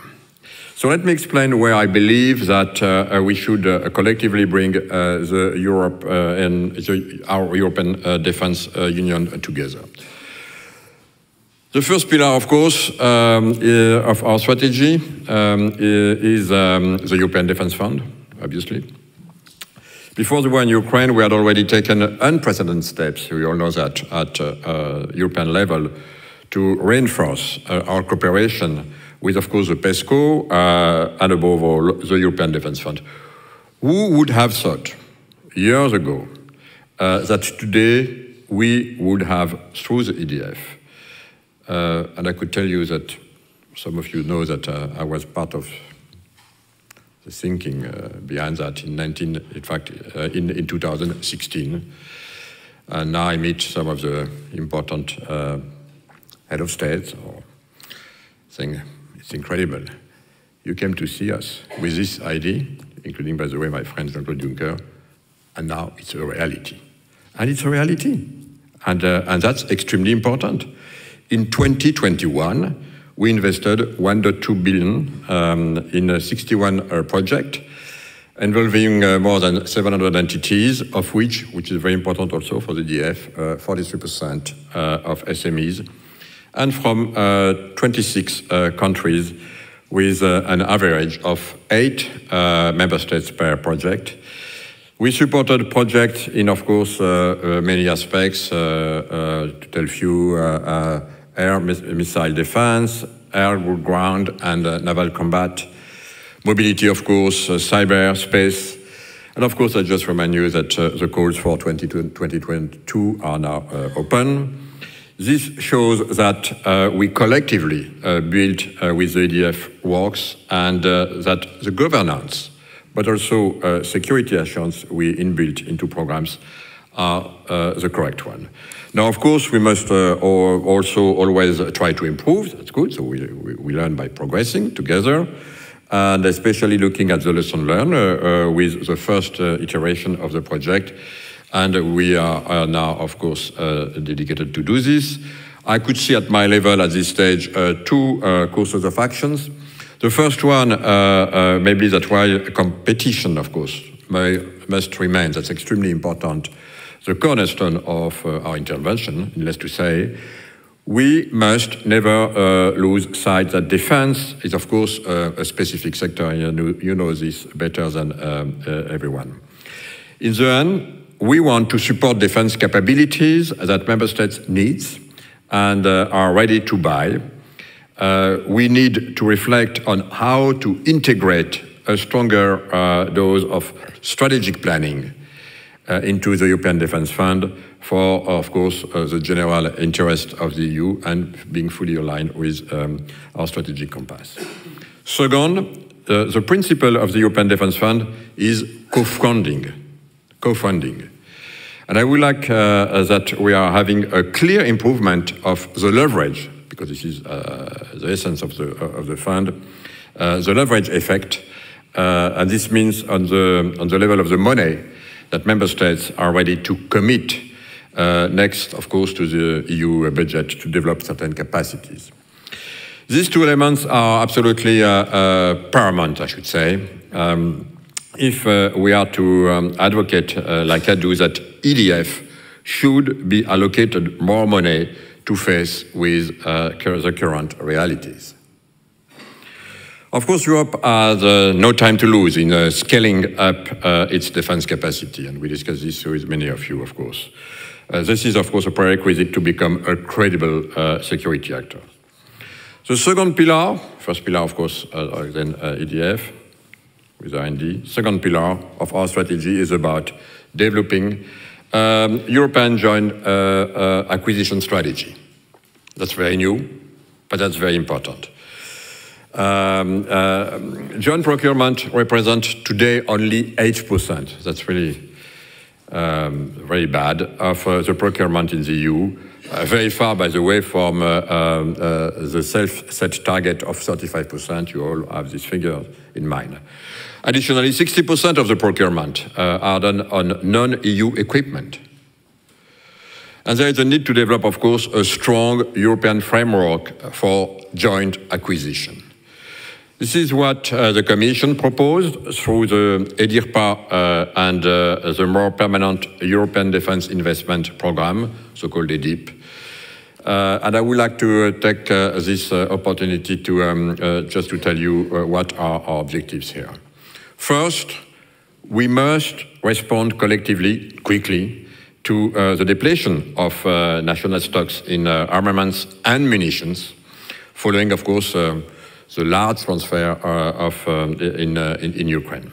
And this situation represents in itself, uh, of course, we could say it, a security risk. Uh, and uh, of course, uh, we, we, we, must definitely act extremely quickly here. And with the EDIRPA, we are proposing a European vehicle to drive a part of the replenishment effort. Second, I'm, of course, in charge of defense industry, but I'm also in charge of internal market. So you will not be surprised if I say that we must avoid fragmentation. Fragmentation is a poison of our market. And believe me, you need to fight on a daily basis. C'est comme les mauvaises herbes. Right? So uh, the risk, uh, uh, but it's, it's worse. Huh? The risk uh, is indeed, uh, of course, uh, to channel the massive investment increase that I just spoke a few minutes ago into purely national lines. And this could lead to a lack of interoperability and could, of course, also undermine uh, all the efforts that we do through uh, the EDF to consolidate a European uh, industrial base. So with EDIRPA, we are offering to the member states a European alternative to, um, to invest, but to invest together. I just remind you that you need to to come with three member states, and we'll be ready to support. Third, we must support the adaptation of our defense industry. Um, I will not, of, of, course, offend anyone uh, in saying that today our European defense industrial apparatus is not exactly um, uh, adapted to the security reality we are facing, not in uh, volume nor in cadence. The risk is, of course, high, sorry to take this analogy, but uh, like we uh, had uh, for the vaccines, uh, that member states are put into competition uh, for the same equipment. Believe me, uh, I saw this often in my life. So we have to avoid that, of course, with sometimes also a price hiking and eviction effect for those who have no, not the means nor the volumes. So EDIRPA is designed, again, to act in a, a truly European spirit, to structure the demand, and to support a fast industrial ramp-up, and of course, uh, of course, also to give visibility to uh, our um, uh, industrial uh, industry, uh, uh, defense industry in Europe. So this proposal, as you know, is now in negotiation um, between our two co-legislators. Um, I will uh, allow myself uh, only one remark, uh, if you allow me, uh, as these negotiations are ongoing, so I'm cautious. Uh, but while uh, we take these really um, unprecedented steps, we must also be clear that our strategy and security interest as Europe is to ensure that the European industry is benefiting from these efforts. We are not uh, changing the rules uh, uh, of defense procurement in the EU. Any member states can buy, of course, uh, uh, the capabilities uh, it wants with its own budget. But let's be frank, nobody will understand in Europe that EU budget, in other words, European taxpayer money, will be mobilized to support non-EU industry, and especially these days. So I want to be extremely clear uh, there is no trade-off between quality, efficiency, and uh, European capabilities. So, of course, um, now this is not in, uh, in, uh, in my hands. As you know, uh, we are a democracy, as I said. Uh, we have our co-legislators. But I count now, of course, on the Council and the European Parliament, our two co-legislators, to move as fast as possible, um, in line with the need to give member states and the industry the visibility uh, uh, that we need as the replenishment effort is uh, definitely ongoing. And now, one word on the third pillar. Uh, uh, the third pillar of a true defense union is to extend the notion of security and defense uh, into new sectors. So this is especially the case, I believe, uh, on four dimensions. Um, so I don't want to speak about uh, uh, air or maritime and space. That's extremely important, and I don't forget maritime needs. But, but in this new, let's say, um, era, um, I could mention cyber, part of the, also of the strategic compass. Space, same thing. Critical infrastructure, absolutely important. We see the news every day. Uh, and of course also technological superiority.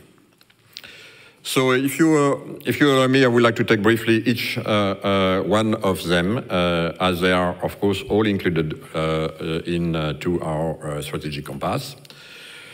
First on cyber, we will present early November together with um, my colleague and friend Josep Borrell a new cyber defense policy. Uh, while the Commission has put forward a wide array of initiatives on cybersecurity, it is, we believe, now time to enhance our cooperation uh, on cyber defense to protect, detect, defend, and deter.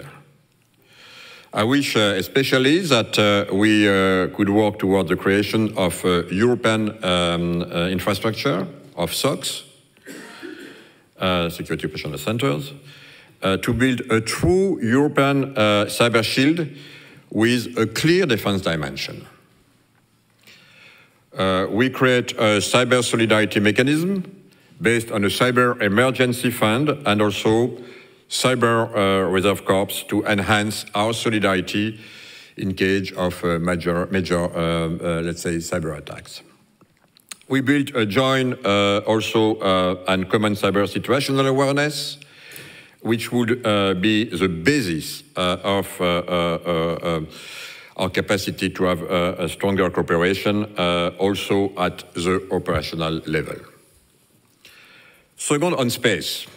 Space, of course, is, uh, we all know that, a newly contested area uh, where our competitors can have uh, hostile behavior and uh, threaten vital interest. I don't want to, uh, to give you the, all the examples we have in mind, not too far from us. And this is why we need to develop a true space dimension in our defense strategy. We will present uh, also here this strategy early next year. I want that uh, by design, all the EU space infrastructure develop a defense dimension. On the model, by the way, that uh, we uh, have done successfully, for example, with uh, uh, Galileo PRS. And this will, of course, be true for uh, Copernicus, for also the upcoming connectivity constellation and the space traffic management system. This is definitely a major change of paradigm, breaking taboos, uh, but, uh, but absolutely mandatory. Third, on critical infrastructure. Unfortunately, of course, uh, the news of, uh, of, the past days are showing now um, uh, how in an hybrid warfare, critical infrastructure in energy, but also in digital uh, cables, uh, satellites, uh, telecom, transport, and, and, many others can be targeted to disrupt uh, our strategic interest. While the legislative framework uh, exists to enhance the security, what we lack is uh, definitely concrete operational capacity to ensure collective protection of uh, all this infrastructure. And this is what uh, we will try to fix very soon. Uh, when I say very soon, is in the following days, hopefully. Uh, on, uh, on, the model of what uh, we have in case of cyber attacks. First, first, on technological superiority. Europe definitely must remain at the end of technologies while closing, of course, existing dependencies that we may have uh, and avoid uh, creating new ones. So whether uh, it is in cyber, uh, in quantum, uh, uh space, uh, chips, of course, HPCs, uh, edge computers, Europe cannot lag behind. And synergies with uh, the advanced civilian technologies is, of course, here also absolutely paramount. So, uh, however, uh, for, uh, for this, we must be uh, definitely better organized at uh, European level. And in uh, this vein, we are working on the three following elements. First, we will map out our strategic technological dependencies and act upon them to reduce them by mobilizing all our EU instruments. Second, we will also create a EU sovereignty fund to have the means to reduce our dependencies and uh, protect EU strategic interest, whether for a technology or a given company in a strategic value chain. And third, we will work towards an uh, ambitious uh, European Defence Innovation Scheme designed uh, to bridge all the EU instruments supporting disruptive innovation and uh, create a Cassini-like for defence fund of uh, 1 billion euro. So uh, NATO is doing uh, Diana, uh, EU will do EDIS. So, to conclude, ladies and gentlemen, dear friends, um, I think that we have made unprecedented uh, progresses uh, over the past uh, years about defense cooperation. We have initiated new capacities and new capabilities and industrial projects. We have built trust, I believe, and we have also set up, which is extremely important uh, for all of us in our sector, uh, the right governance structure. But of course, the situation and, uh, and the war in Ukraine called on us, member states, EU institutions, industry, to definitely speed up uh, and to bring European defense to the next level. We will not be able to do it alone we will do it and we will succeed because we will need the three key words solidarity, unity, and leadership. Thank you very much.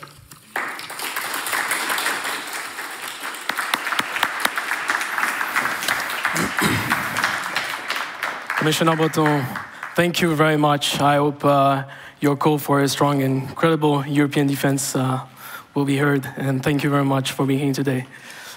Stay tuned for our next uh, keynote addresses of the afternoon. We will have the pleasure of welcoming Vice President of the European Investment Bank, Chris Peters, Chief Executive of the European Defense Agency, Jiří Šedivý, and Ambassador Jitka Znamenakova, Ambassador to the PSC. Uh, thank you. Uh, yes, please, yes.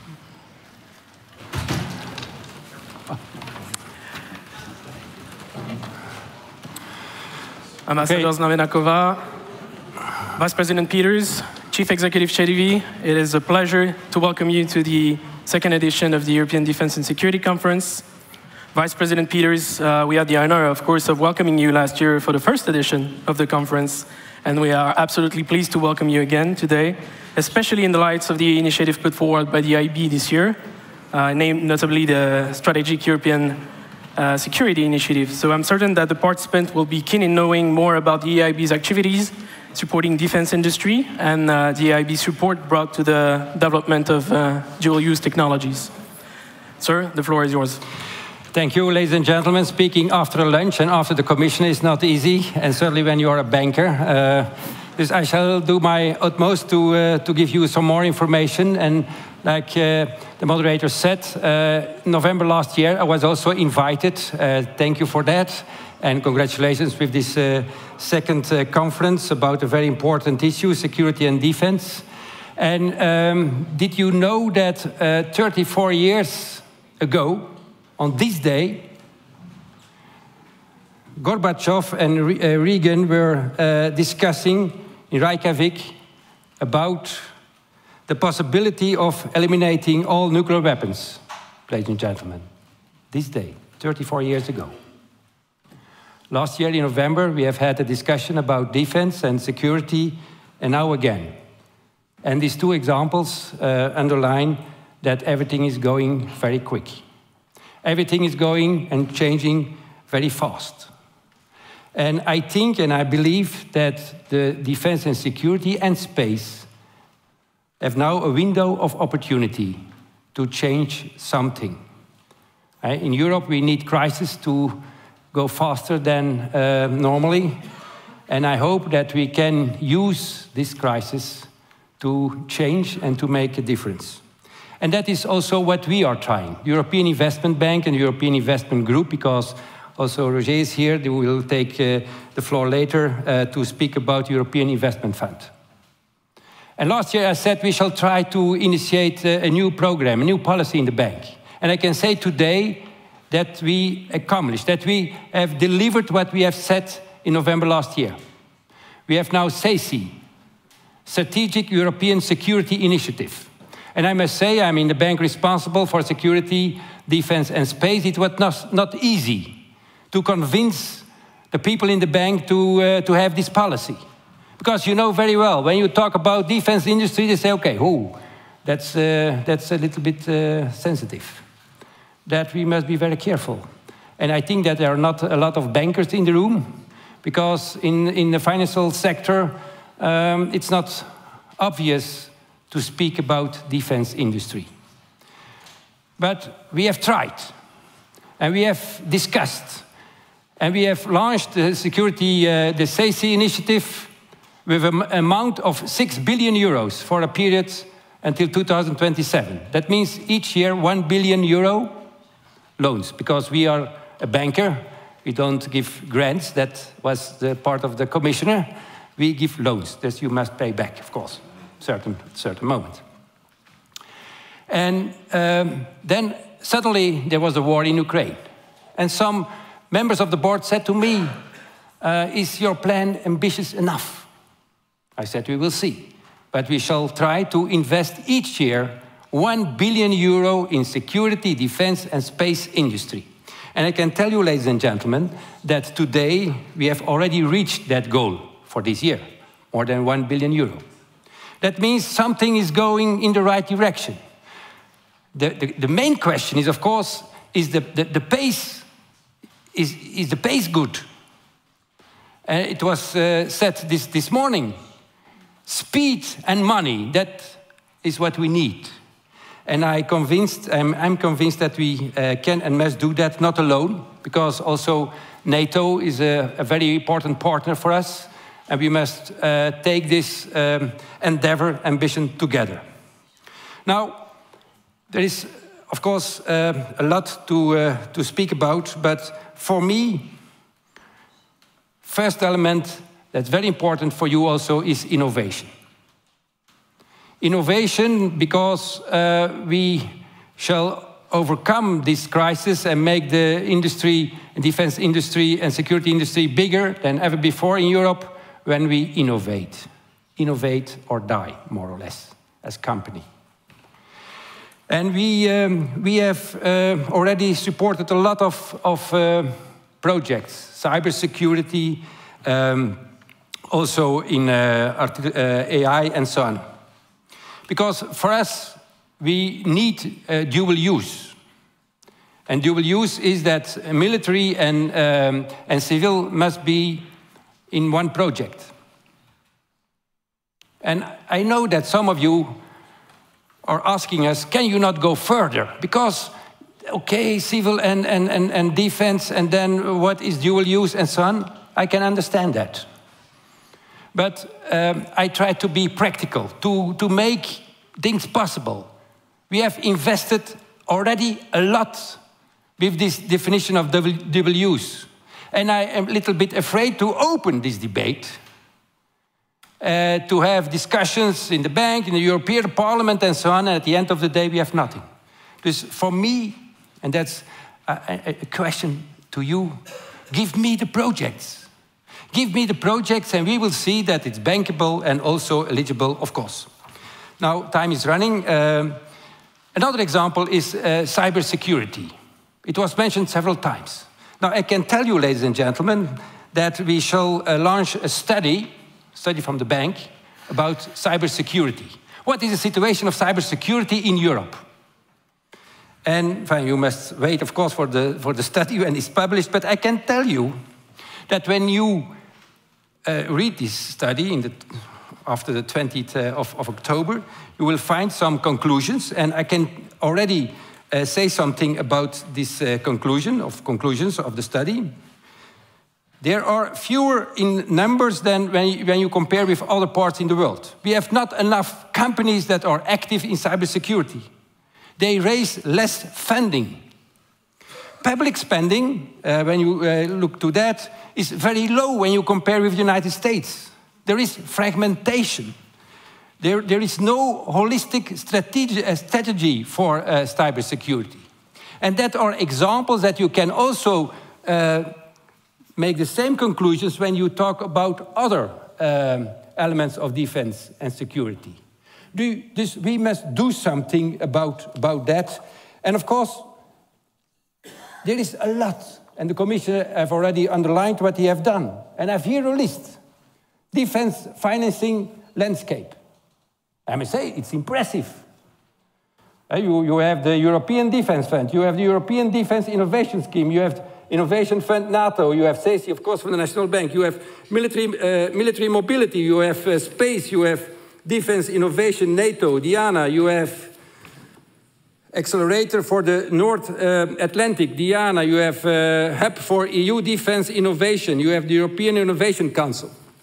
10 initiatives recently taken. This, the question is, ladies and gentlemen, when we have a third conference about space, security, and defense next year, I hope, what will be the result?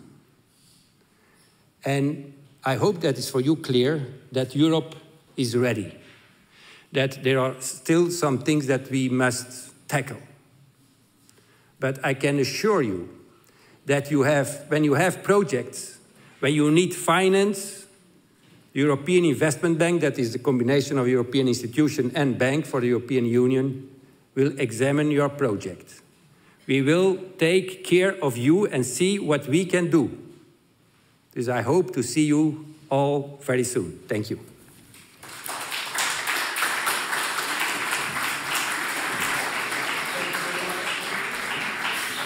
Thank you very much, uh, Vice President Peters. I hope, uh, well, the work you're undertaking at the EIB will uh, bear fruit. And, well, hopefully, indeed, we'll see you next year and see where we are in the European defense landscape. Um, well, no, Ambassador Znamenakova, it is an honor to welcome you to the second European Defense and Security Conference. Of course, as a representative of the Czech Republic, but also as the Czech EU Council presidency. Uh, it is even more so uh, since Czech Republic is a key member state in the European defense landscape. Ambassador, the floor is yours. Thank you very much. And uh, uh, let me state from the very beginning, I'm really glad I'm here and uh, can address this uh, distinguished uh, audience and even after uh, Commissioner Breton and European Investment Bank, that's really um, a pleasure. Uh, why I'm here today uh, and standing in front of you, that's uh, because the Czech Republic has, has got Uh, uh, its um, uh, six months presidency right now. we are in the middle right now, so um, fingers crossed for next three months. I wanted uh, uh, to flag and um, to underline some of uh, our priorities uh, for you to know uh, what uh, is already behind us, but uh, what is in front of us. But let me first state one overarching principle and overarching priority as I heard the, the interventions before, and that's the cooperation cooperation and synergies. Uh, cooperation and synergies um, among uh, the EU institutions, member states, uh, and industry, because uh, uh, this is really uh, inevitable, and of course, we all cannot make it without you, that's obvious. So um, let me just uh, tell you what happened uh, with our priorities after 24th uh, February, because it was a, a big bang, big bang for us we were preparing uh, for the presidency uh, two years, and uh, suddenly, after Russian invasion in Ukraine, um, we had to. Uh, let's say, reflect uh, and uh, rewrite and changed almost everything, but some um, elements stayed there. And let me flag that it was the stress on resilience, uh, of course, uh, cooperation and uh, EU capabilities, and of course, um, uh, hybrid, uh, countering hybrid uh, threats. Uh, if I uh, uh, go uh, through, um, uh, let's say, implementation of strategic compass uh, for us, it, it's it's very obvious task. And um, after the French presidency, we are trying our best to reach um, the objectives that were set in the compass. And let me say that the compass was finished um, one month after the Russian invasion, and uh, it was uh, another. Uh, let's say, uh, effort uh, and uh, show off that we can do it together and that we can agree on our joint and common approach. And as Commissioner said, after uh, what uh, what happened. Um, we cannot take our peace and security in Europe uh, for granted, and I, I, would think that this is another overarching priority or logo of our presidency. So, um, well, beside the compass. Um, uh, I would spare uh, a few sentences on uh, EU capabilities because uh, uh, there were uh, mentioned um, some initiatives, of course, from our side, huge support to European Defence Fund. Um, what uh, is uh, on our shoulders right now is uh, EDIRPA, Be um, because, I mean, again, from very obvious reason, we are all trying to help Ukraine and uh, we are running out of stocks. This is instrument that uh, uh, should uh, replenish uh, our stocks um, uh, and hopefully I really hope that the Czech presidency can finish uh, EDIRPA in, let's say, general approach. Then uh, research uh, and development uh, was mentioned. Again, uh, one of um, the things we as Czechs wanted to underline. Um, and here I'm coming to very important two keywords for us. that's resilience and countering hybrid threat. let me just um, uh, flag that um, uh, coincidentally, uh, right now in Prague, uh, in parallel, there is a, a big um, uh, Czech presidency conference uh, on countering hybrid malign activities and uh, uh, let's say also uh, kind of brainstorming how to boost the European resilience. Uh, on uh, uh, hybrid threats, um, let's say I would um, take one particular thing, and that's the countering against um, foreign interference, manipulation, information, let's say disinformation. And uh, this is uh, something we uh, want to really focus and we are. there are two council conclusions um, already done and we are um, having some, some more detailed work going on. Uh, let's say one uh, of uh, the last priorities I got um, on, on the list, and I should have started actually with, this one, is EU-NATO cooperation. let's say uh, we are working and we have been working very hard uh, to get um, uh, the third EU NATO declaration signed. Um, it could have happened in Prague last week, but hopefully in weeks to come it will happen in Brussels. So we are uh, on track uh, on this one, and uh, uh this is uh, probably again one of uh, the highlights. Uh, my colleagues also put into my notes uh, one uh, very important of area or, or field, um, and that's a space. Uh, and uh, again, uh, our full support to work Uh, on the EU space uh, strategy and uh, security and defense. Uh, which was already uh, discussed. Um, uh, and in this area, we are really emphasizing the use of existing capacities and especially the cooperation between the European Commission, member states, and our agencies, um, European Space Agency and EUSPA, uh, which uh, uh, has its headquarters in, in Prague. And probably my final remark um, is on the military support to Ukraine. Uh, this is a huge one and uh, very important. Uh, you know that um, so far we use for that European um, peace facility uh, and uh, uh, there will be hopefully uh, another another tranche um, uh, agreed uh, by Foreign Affairs Council next Monday.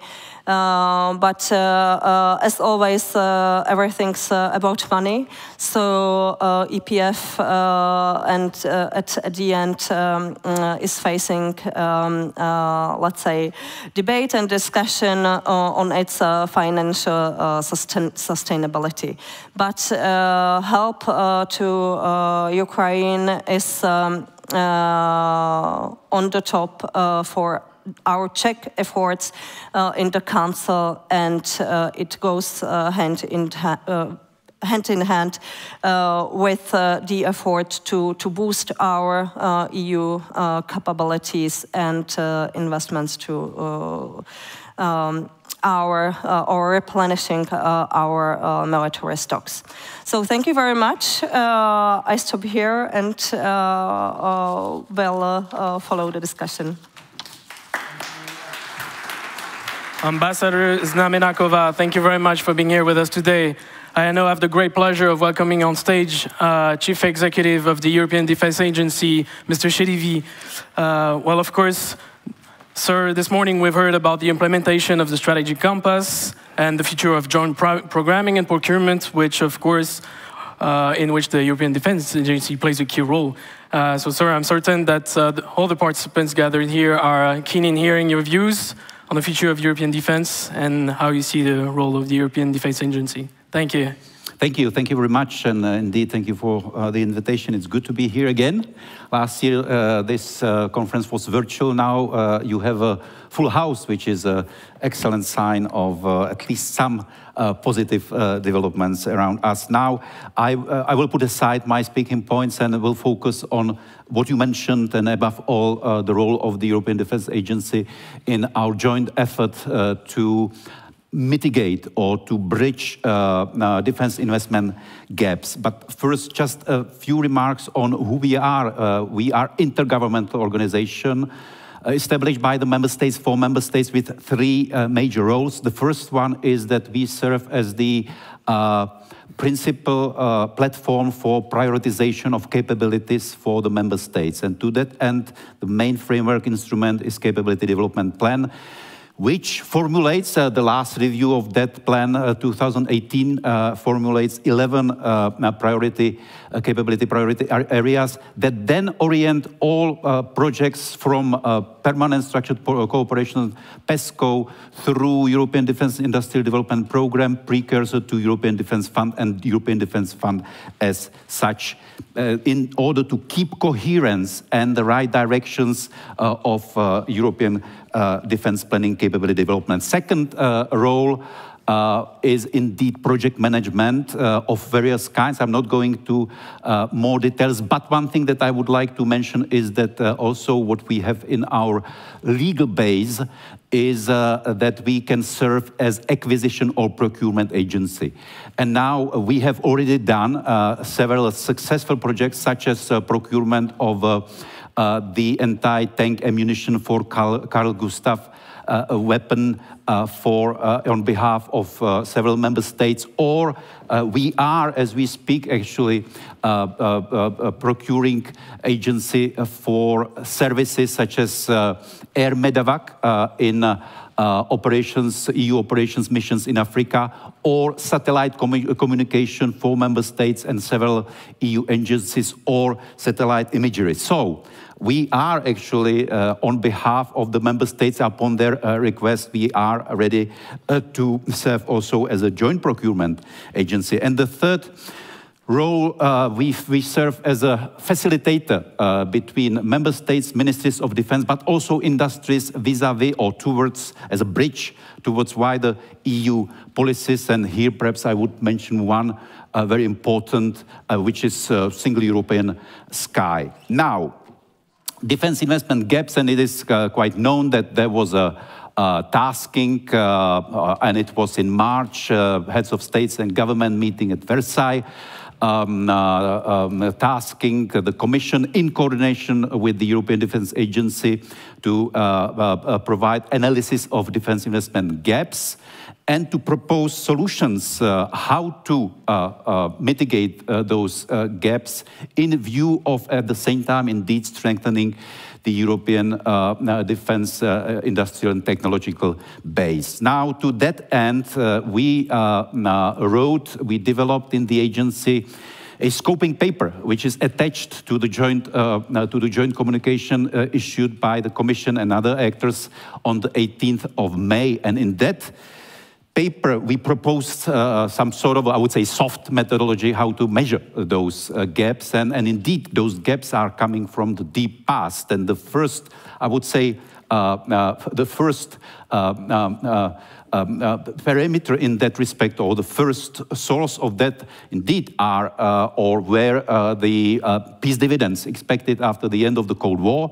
But then, indeed, uh, we have seen a, quite a sharp and deep uh, uh, drop down uh, as, as, as, the consequence, consequence of the 2008-9 global financial and economic crisis. And here I would like to emphasize that actually the EU member states got back onto the level of the uh, 2007 spending means right the year before uh, before the uh, before the uh, crisis started only around 2020 2021 uh, so you can imagine actually how deep uh, and that gap in investments defense investments and and quite long term actually uh, was, which means that a lot of uh, projects, a lot of capabilities, a lot of uh, programs were either cancelled or, or some, uh, somehow modified or postponed. And we are still coping uh, with, uh,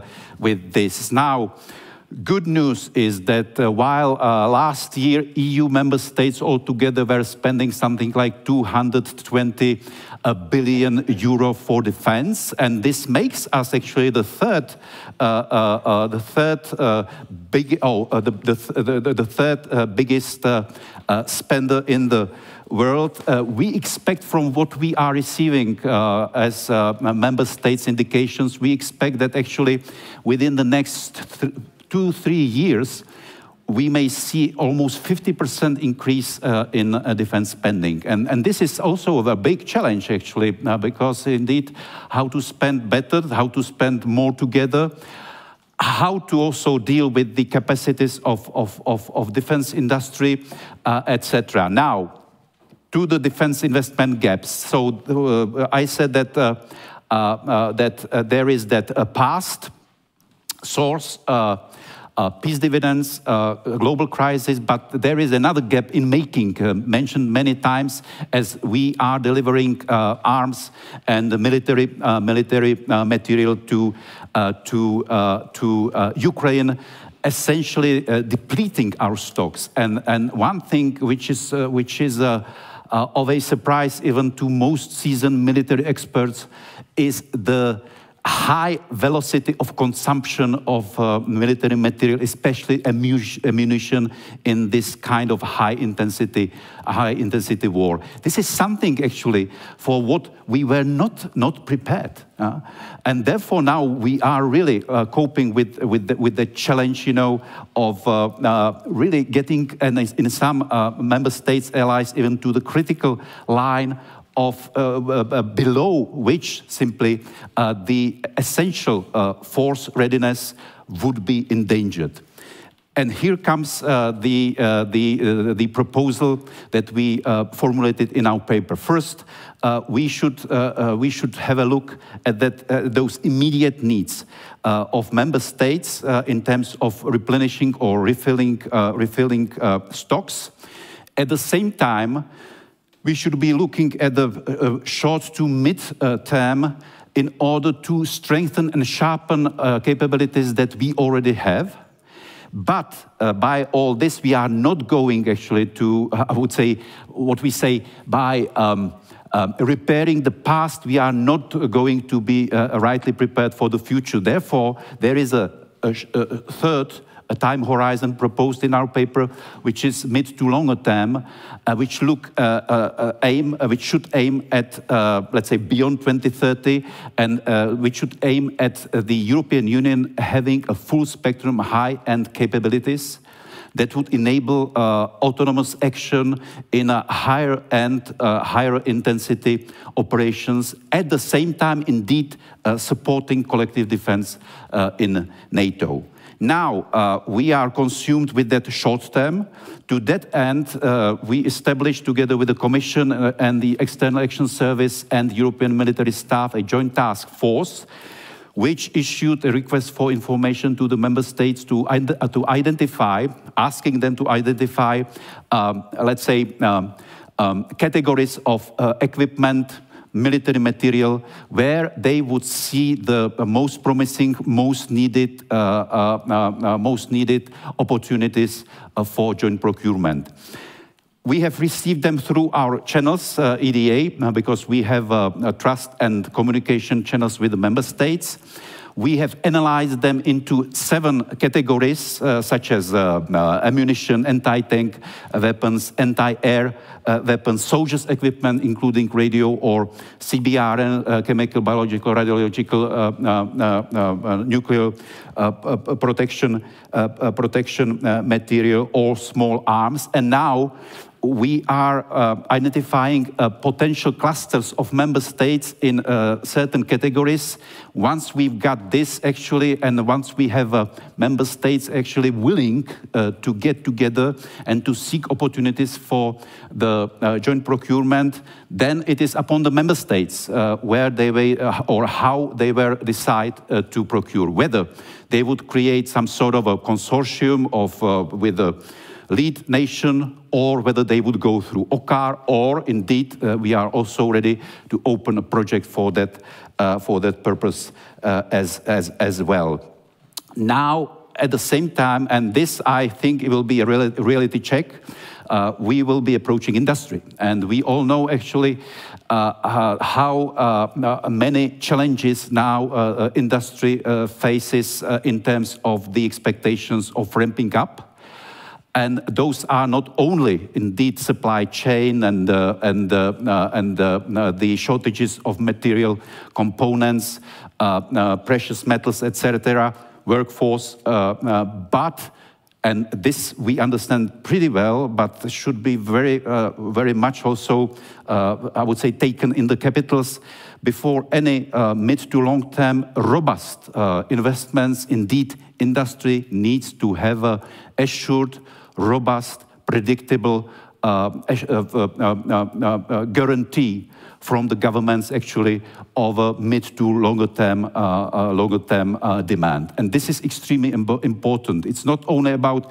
coordinating, organizing the industry, but it's, it's at the same time, and perhaps even more important, about coordinating and organizing the demand. And this is something that we are trying to uh, endeavor as Commissioner Breton uh, put it, and he uh, focused about above all on the mid to longer term prospect, but we should start now, and I believe that we should actually uh, be able to deliver um, as soon as possible. But what, what, does it mean as soon as possible? Actually, we speak about urgent, uh, urgent uh, requirements, but if we look at the timelines, even of a quite simple uh, procurement, it's it's matter of of many months. If we look at the timelines concerning the new instruments, we are speaking about one year, at least one and a half year, if we take into the account uh, the example of the establishment of the European Defence Fund. Nevertheless, in view of the urgent situation, in view of uh, the uh, really uh, growing demand on all sides, and in view of uh, the funds that are here and there, and incentives that the European uh, Union can offer, uh, I think that uh, it's, it's, it's now or never. Uh, it's now or never. And I believe that uh, through uh, this situation, which initially actually led to more fragmentation because indeed member states instinctively started to seek individual ways how to replenish their stocks. But I believe that over time, and especially in the mid to long term perspective, especially with the employment of the incentives and instruments that that European Union can uh, and is unique in actually uh, the ability uh, to, to, to generate. I believe that we will manage together with industry uh, work uh, towards, uh, towards more cooperation, more collaborative multinational projects, and therefore indeed mitigating not only defense investment gaps and capability gaps as such, but also one of the most I would say, uh, critical weakness uh, of Europe in terms of competitiveness, which is the defense industrial fragmentation. And with these remarks, thank you very much for your attention. Mr. Šedivý, Mr. Šedivý, thank you very much uh, for your overview of the role of the European Defence Agency in joint procurement and uh, especially how to spend more and better. Thank you so much for being here with us today. Ladies and gentlemen, stay tuned. The next session on key technologies and the role of R&D in strengthening armed forces will start right away. Thank you very much.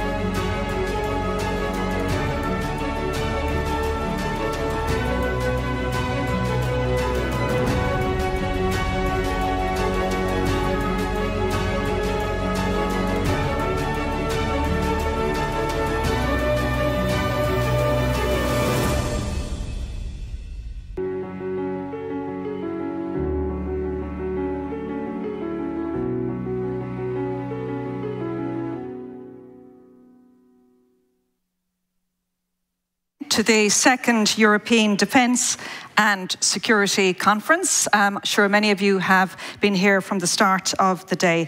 And welcome, of course, to those of you joining us online as well. It's great to have you with us.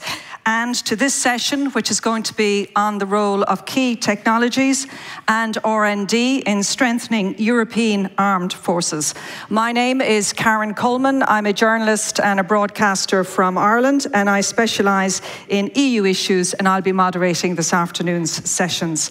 Just one or two housekeeping issues before we start. So for those of you watching us online, if you would like to submit a question when we get to, I'd say, quite limited time for your questions, can you please put them um, through the Slido platform? And in order to do that, if you go on to slido.com and then input the event code you've been sent, it is hashtag EU Defence Security Conf.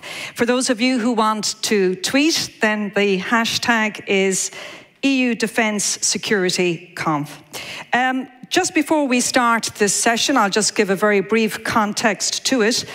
As we know, of course, new technologies are developing at an unprecedented pace, and some emerging and disruptive technologies are proving to be critical when it comes to supporting the European armed forces.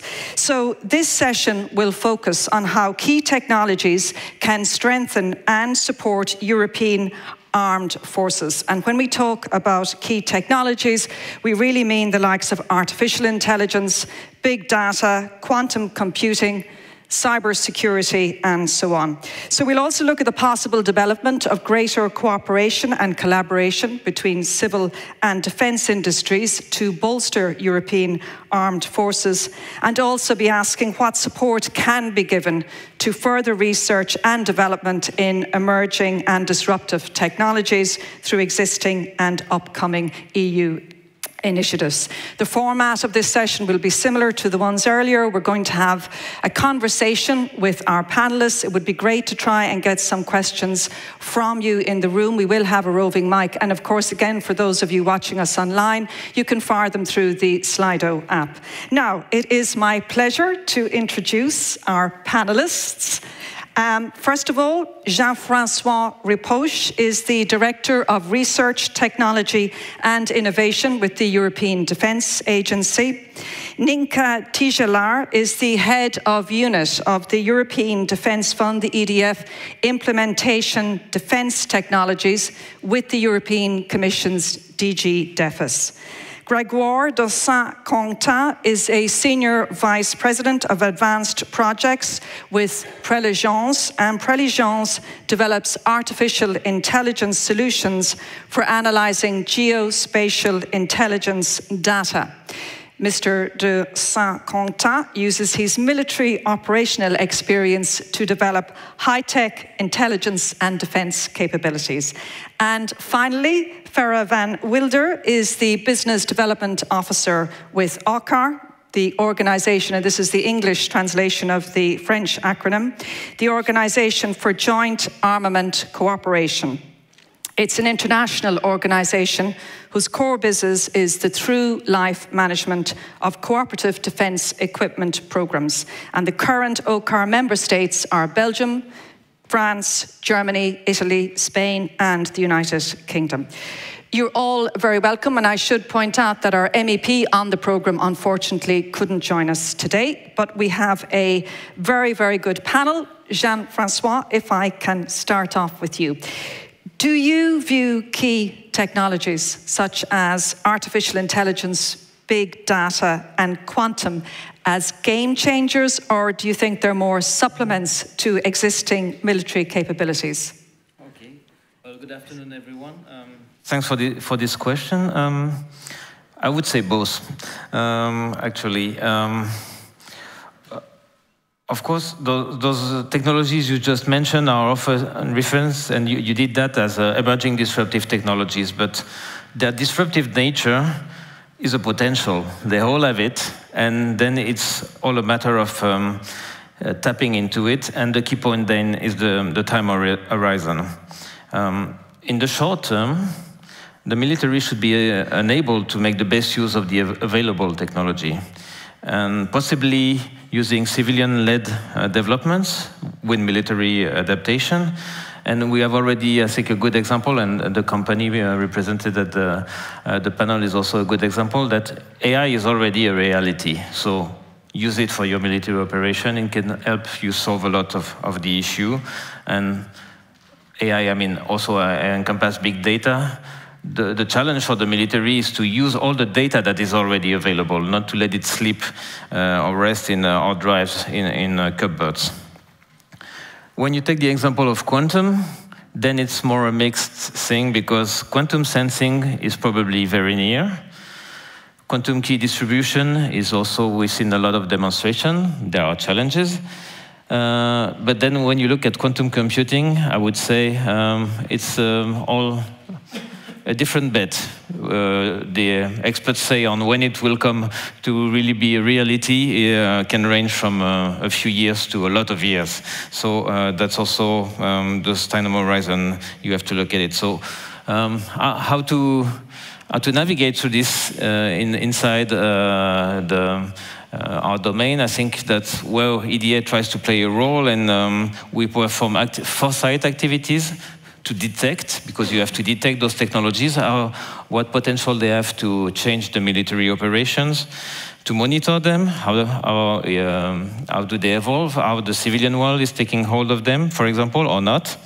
Because some of the EDTs are also um, non-civilian at all, like uh, hypersonic weapons.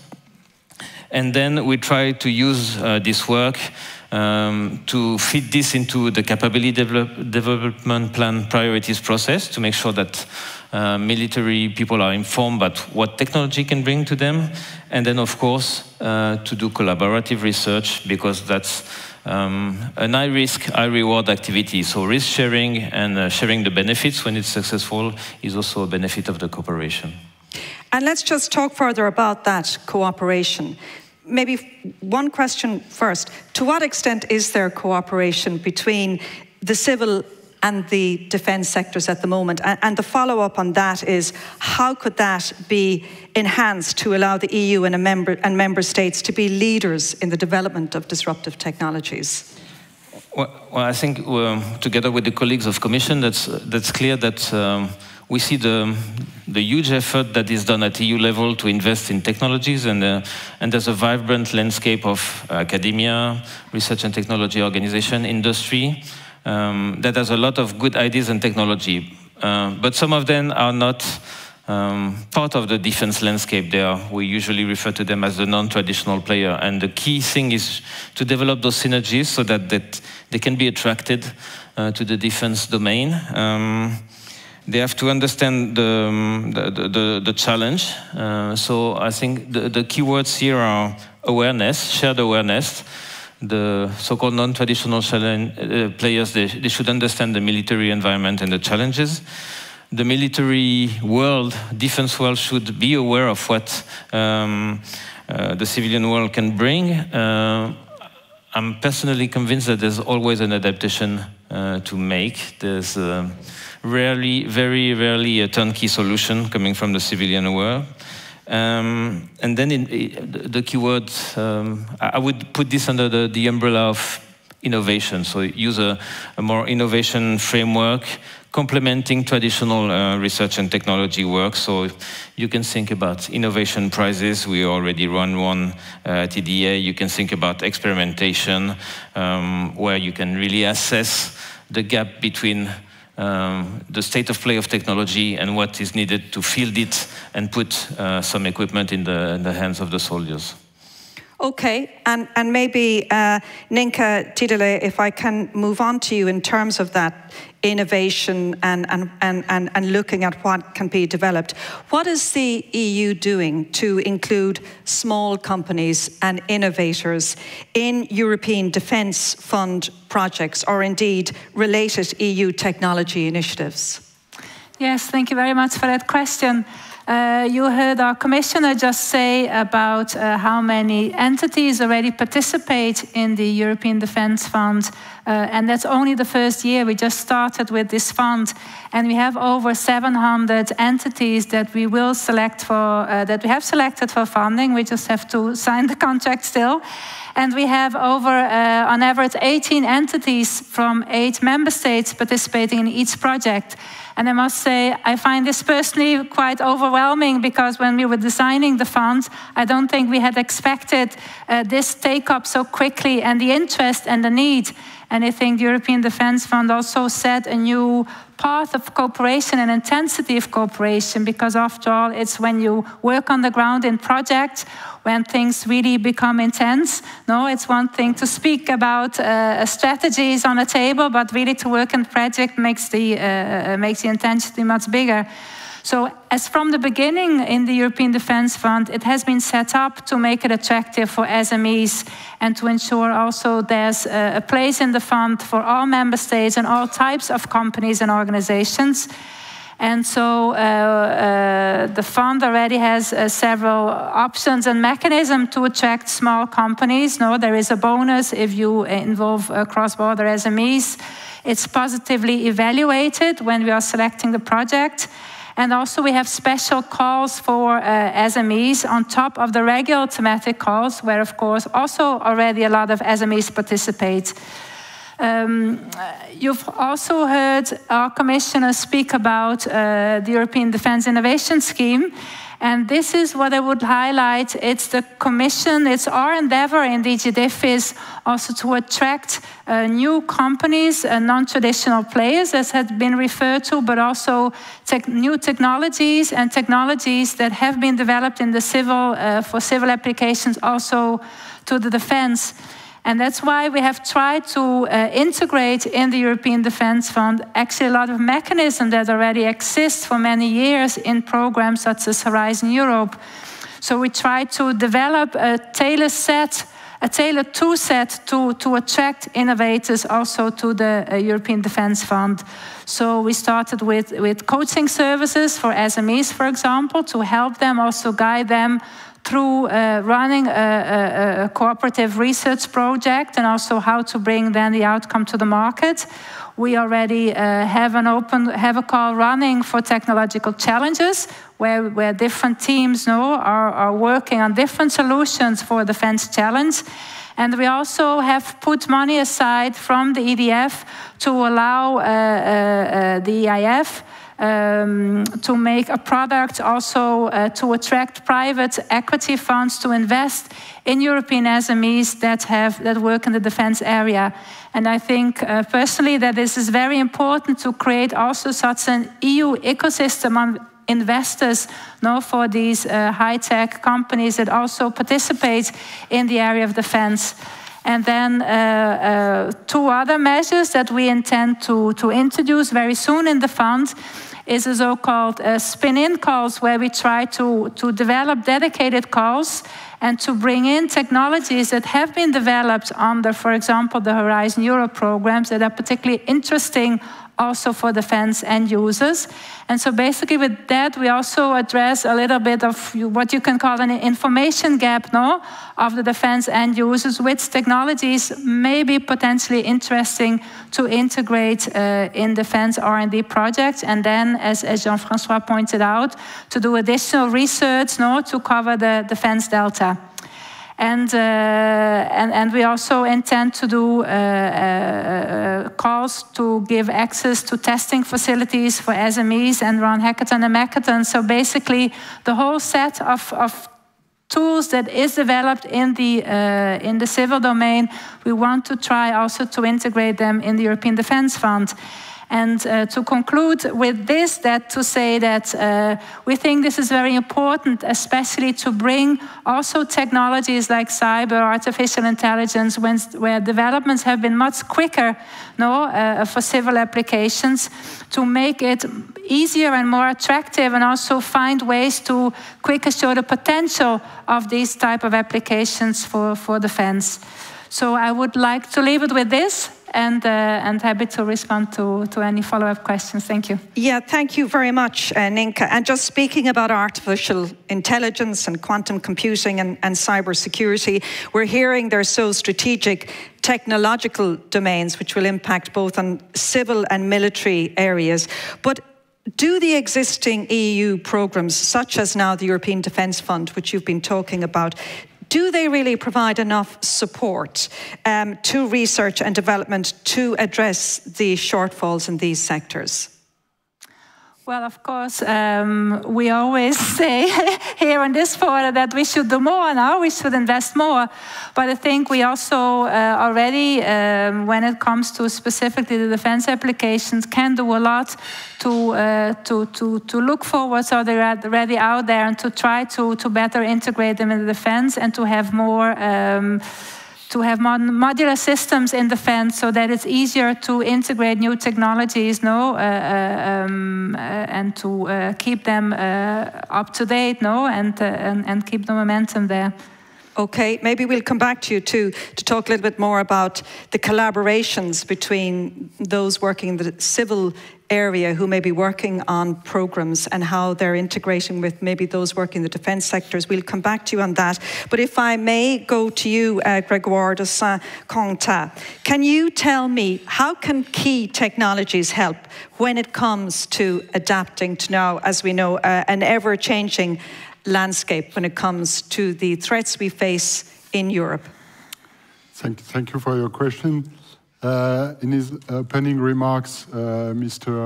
Uh, Chris Peters said uh, everything is going very fast. Mm.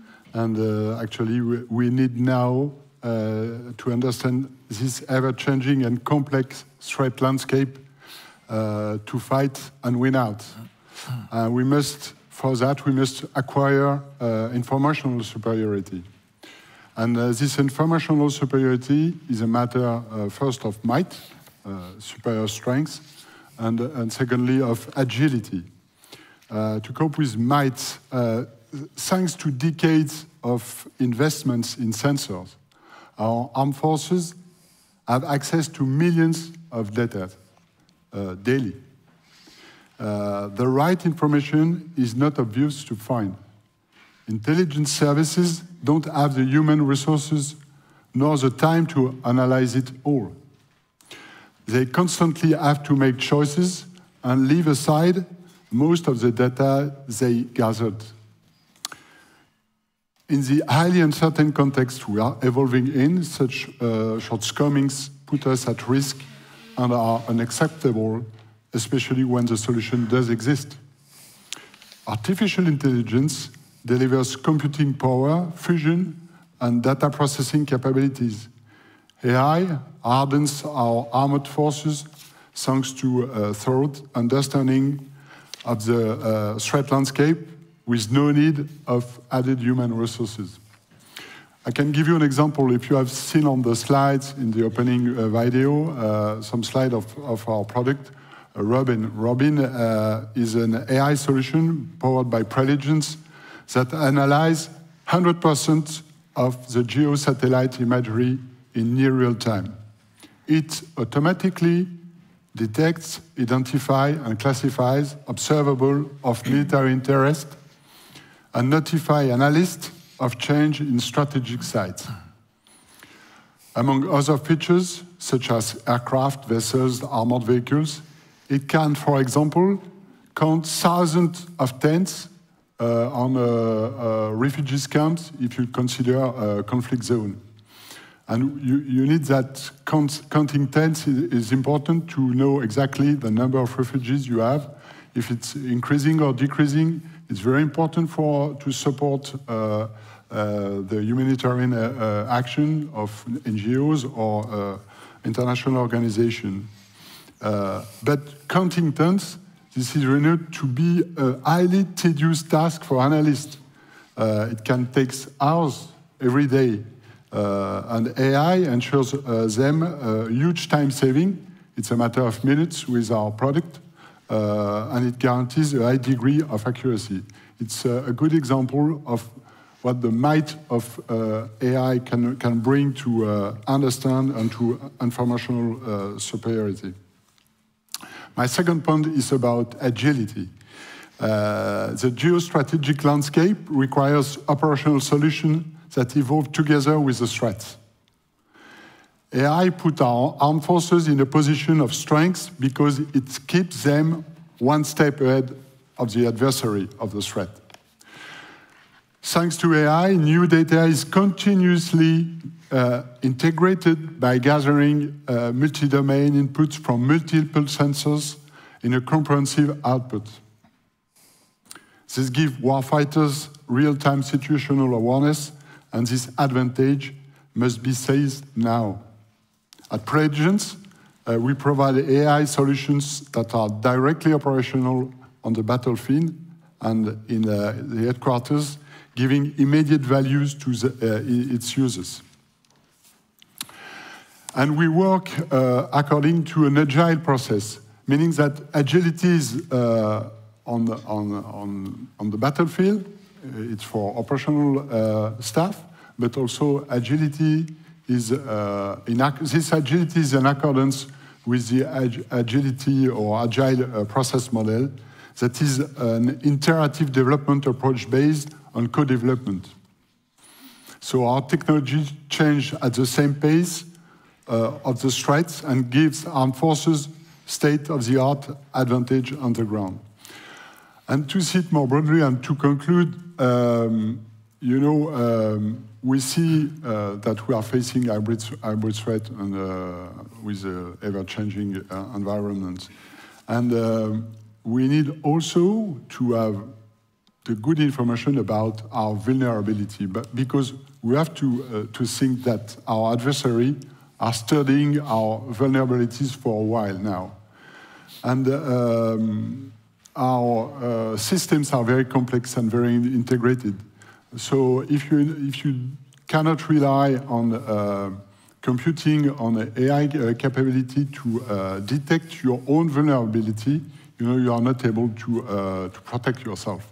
And if you want to protect Europe tomorrow, uh, we need also to have this uh, power of new technology to, to identify where our vulnerability are.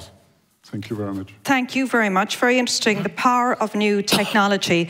That was really fascinating what you talked about this. Was it Robin? Is that what you uh, call your system of scanning this information, being able to yeah. tell how many refugees might yeah. be somewhere?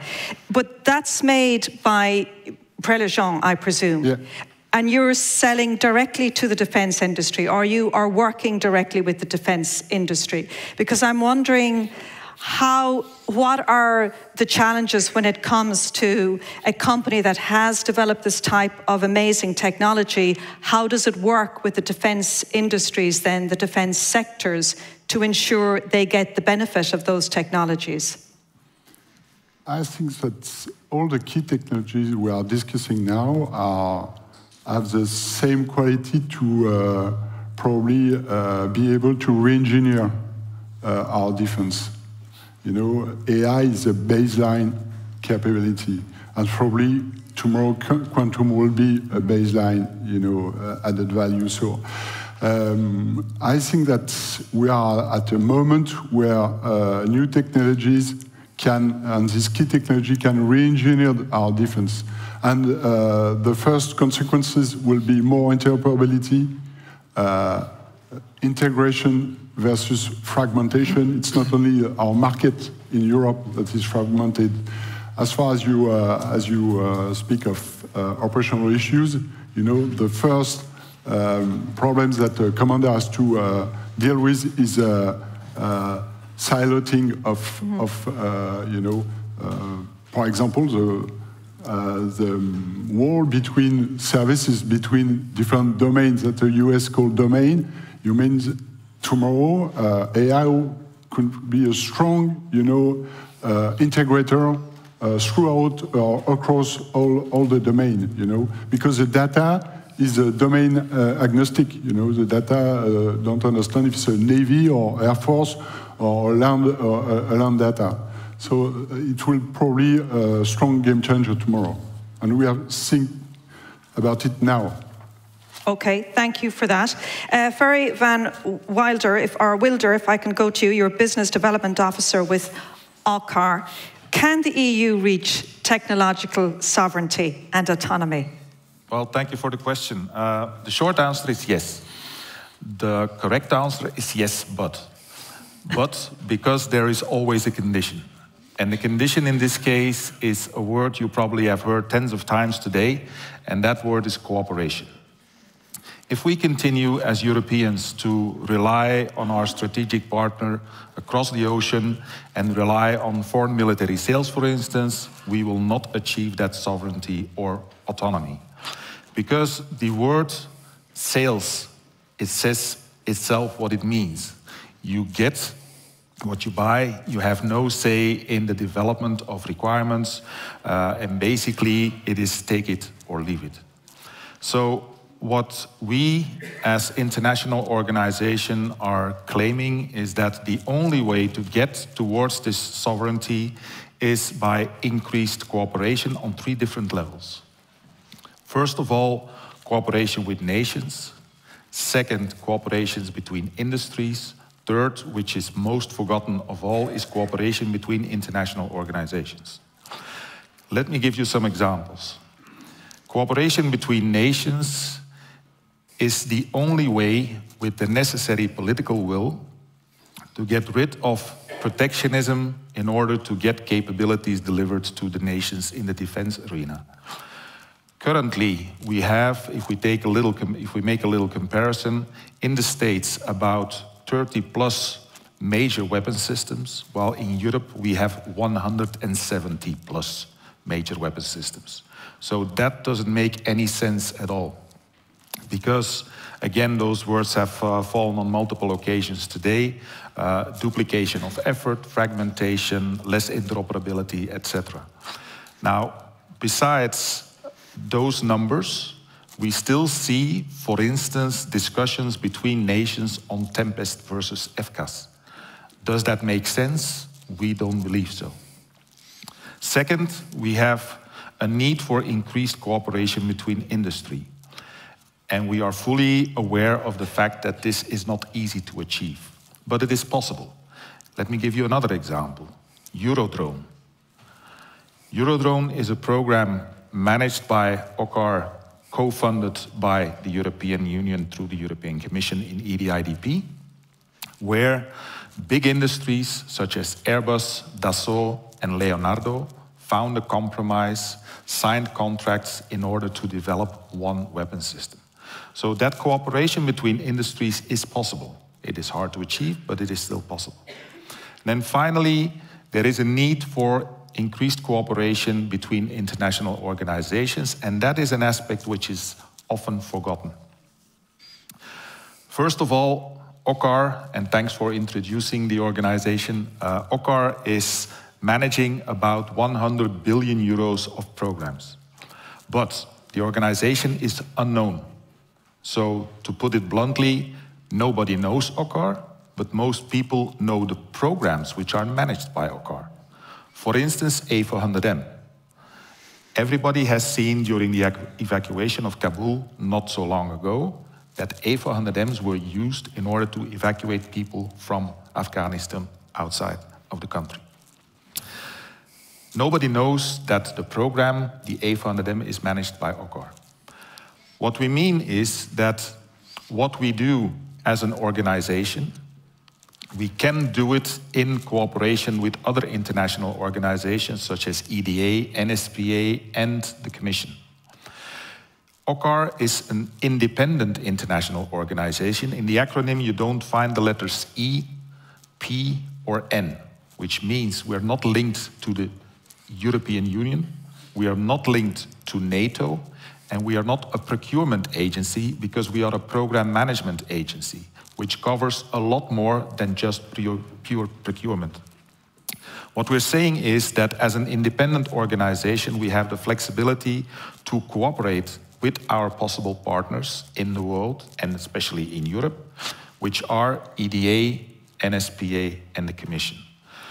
Just to give you one final example before I close, uh, is MMF. EDA, a couple of years ago, has defined a capability gap in air-to-air refueling. EDA said we need to do something about it. Well, the nations decided to buy a number of airframes, air-to-air refueling and also transport, air, uh, transport airframes, the MRTT based on the Airbus A330, which will be owned by NATO, but bought by OCCAR on behalf of NATO. So in the end, the cooperation is possible, but it is not used often enough. Can I just ask you one quick question? I mean, you talked about cooperation, national, industry, and international as well. Um, we know how sensitive it is in terms of defence capabilities of individual EU member states. They want to be able to control that area themselves. Hence, no doubt, you have all these different projects in different EU member states. How do you break through that? I mean, how do you get 27 member states, some of which, like my own country, are neutral, to pull together to say, we will build one defence system for all of the bloc and we won't be duplicating and we won't put our national interests ahead of, we'll say, the interests of the bloc? Well, fortunately for us, we don't have to work with 27 different nations. That's one thing.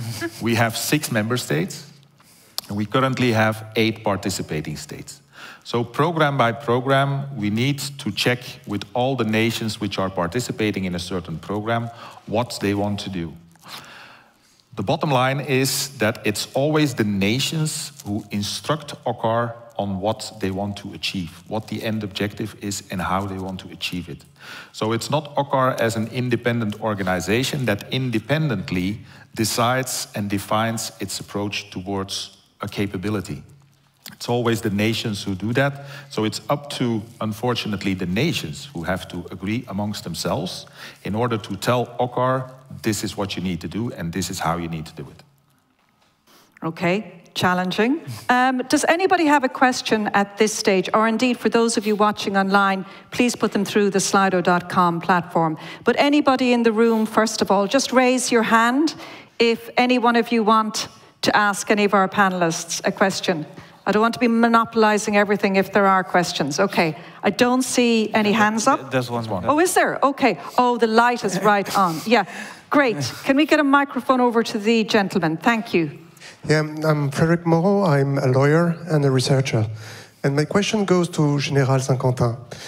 Have you integrated some uh, ethical reflections in, into uh, artificial intelligence development? Very good question. Thank you uh, for your uh, for this question. Yes, uh, the, the answer is yes. So we have we have uh, integrated this ethical issue. Uh, this has been discussed among the employees of, of, the company. We have a, a, kind of manifesto, which is online, so you can you can see it. And it's a it's a very interesting question. And this question is ever coming first uh, uh, when it comes to AI uh, issues for, for defense or, or intelligence. Um, you know, I am a former operational officer, so I have quite a good um, example to know how it, how it occurs in a, in a operational center. You know, we have process. Uh, for example, you have a, an intelligence process, and at each step of the process, you have uh, a step of validation, you know, a moment of validation. So uh, at each step, the, the man is in the loop. And our AI products are just providing not uh, a kind of bypass of this step of validation, but an assistance to uh, the guys that are collecting, orienting the, the sensors, and so and so. Uh, but not a, a, a bypass. So that our first, you know, um, responsibility is to help uh, the intelligence or analyst uh, to uh, do their job uh, correct, correctly, and, but not to bypass the validation process first. The second thing is to have a kind of technology ethic by design. Uh, meaning that to think about how our algorithms are working uh, from scratch.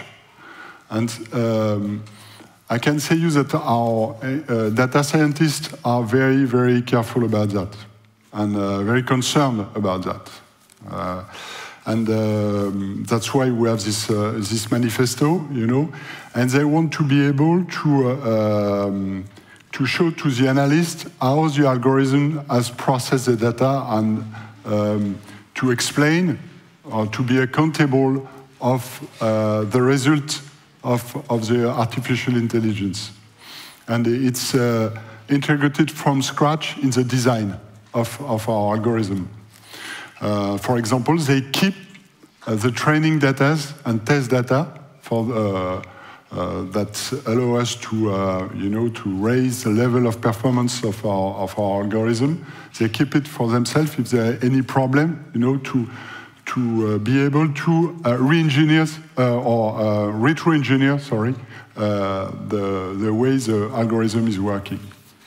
So it's not only, you know, purely uh, kind of, uh, of uh, only words in a manifesto, but it's, it's a way to work day by day to day. Okay. Okay, thank you for your question.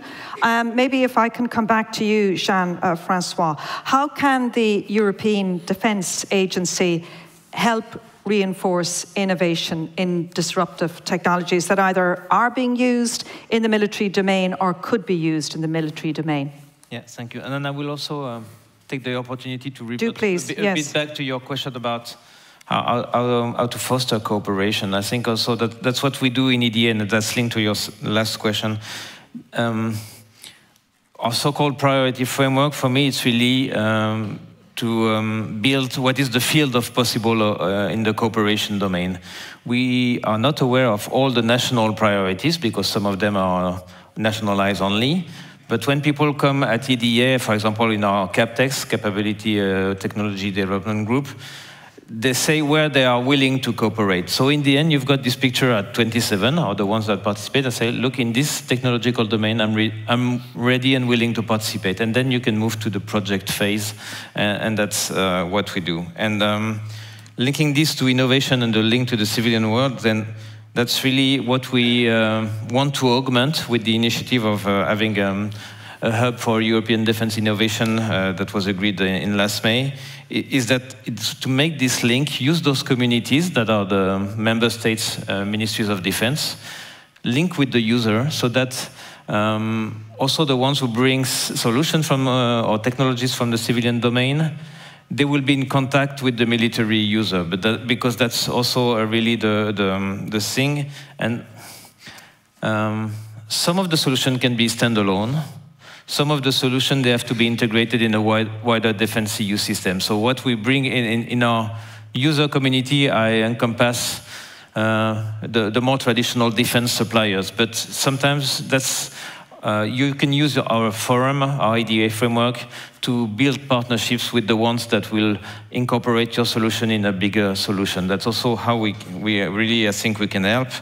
And, and really, our goal with the HEDI the, this hub is really to accelerate, to um, take less time to go from the detection of a good idea, of a good, a promising solution, from the time uh, to, for it to be in the hands of the soldier once again, because that's really, I think it was said, and um, um, I was in Sweden recently, and what was quoted to us uh, from uh, the, the Sweden, uh, Swedish uh, chart is that before we had no budget, but all the time, and now we have more budget and no time. So really, time is time is of the essence. So and uh, this innovation culture uh, spirit is also all about it. Um, where it's available, let's be more pragmatic and get closer to the to the field and faster to the field. Okay, faster to the field. Indeed, that that is a key message so far, isn't it? And I suppose if I can go back to you, Ninka, if we talk about disruptive technologies, particularly uh, for those that could be used in the military domain.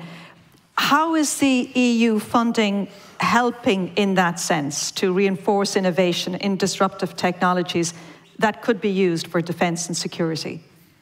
Yeah, well, in, in, in, the European Defence Fund, for example, we have allocated uh, up to 8% of the budget now for these type of, uh, of, uh, of, of, technologies.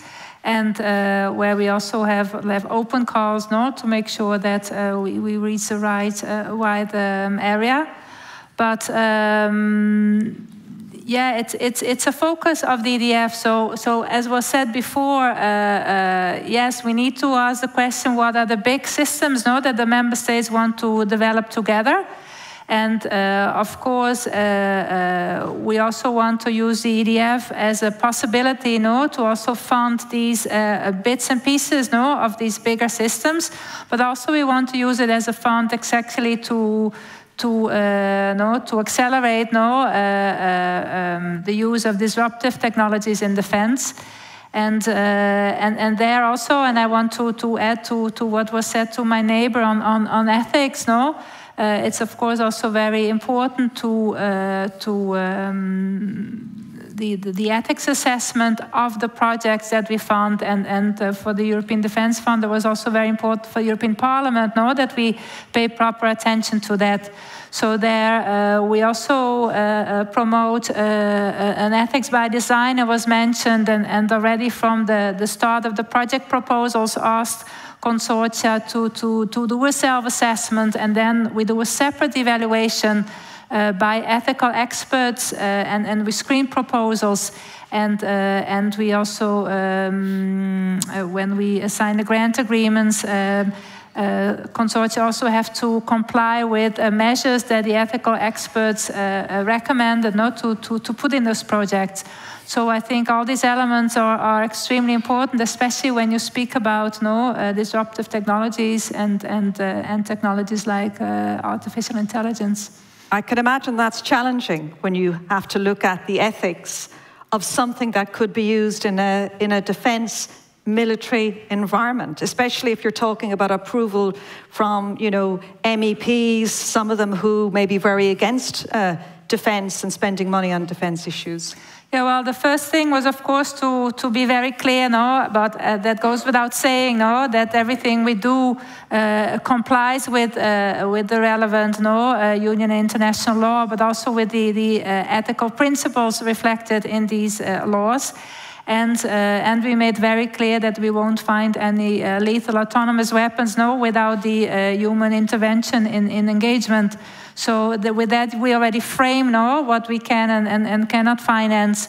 And then the ethical assessment uh, also looks at, at testing, no, uh, uh, animal testing, uh, no, uh, things like that. So it's an, uh, it's an aspect which is, of course, also in the civil domain assessed by our colleagues in Horizon, but it's particularly important also in the defense domain.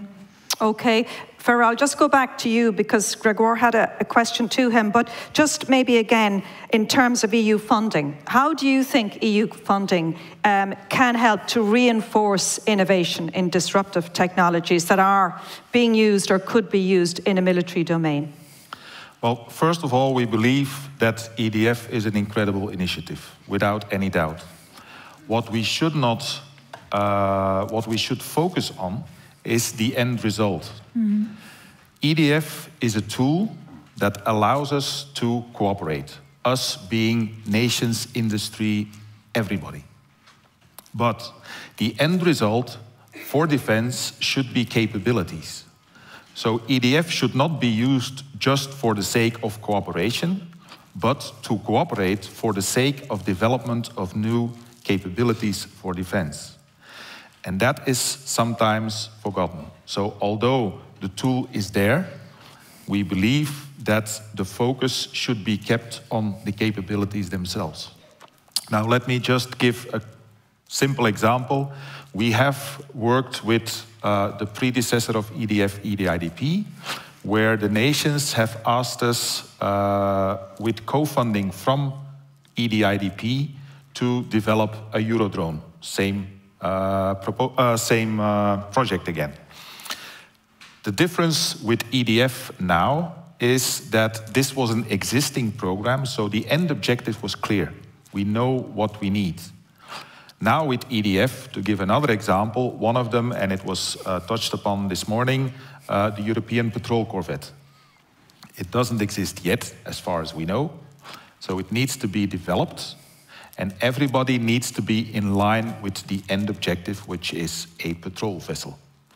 So The first start of that big initiative, which combines different nations from the Mediterranean uh, with Norway and Denmark, with industries from those nations and with different international organizations, that again proves that there is a possibility for EDF to create big things and to initiate big things, but the focus should be kept on the development of the capabilities themselves and not just cooperation for the sake of cooperation. The development and the capabilities themselves. Yes.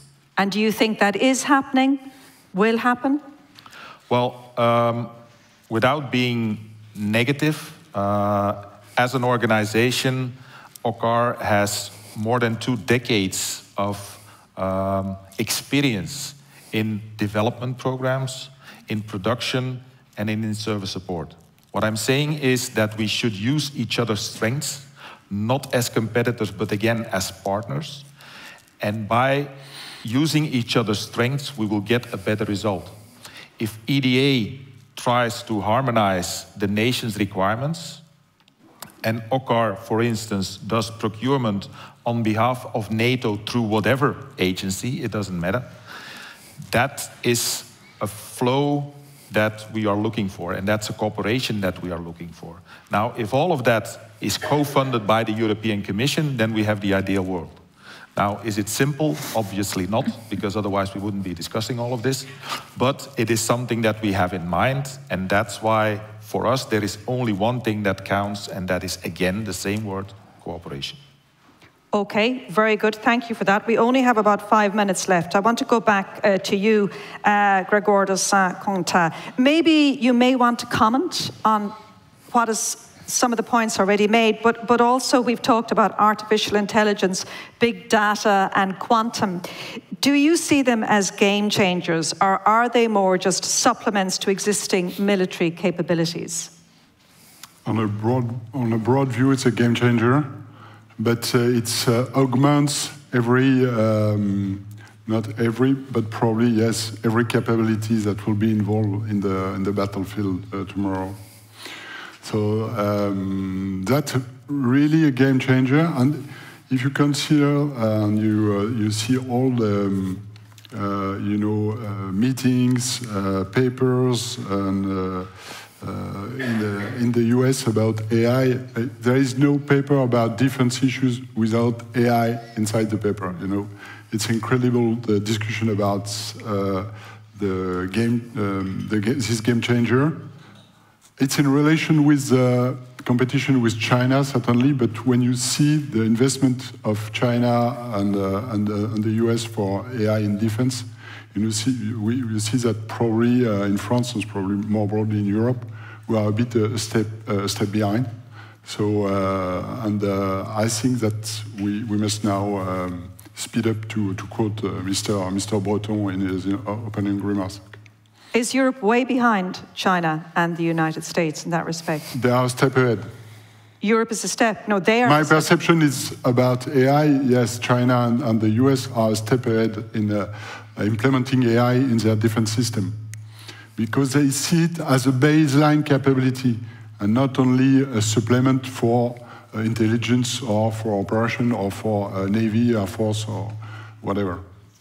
And can Europe gain ground in this? And what are the implications if yes, we can? Yes, certainly, because we have talented uh, data scientists and engineers.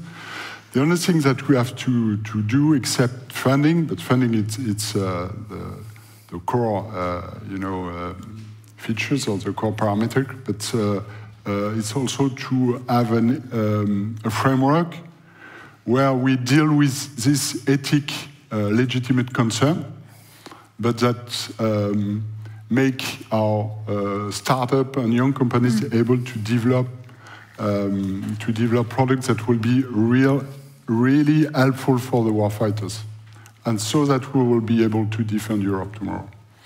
Okay, well, look, on that point, because we're running way behind, we will leave it, but I want to say a very big thanks to our four panelists. Ladies and gentlemen, if you could show your appreciation to our four panelists, Jean-Francois Ripoche, Linka Tegeler, Gregoire, and Barry.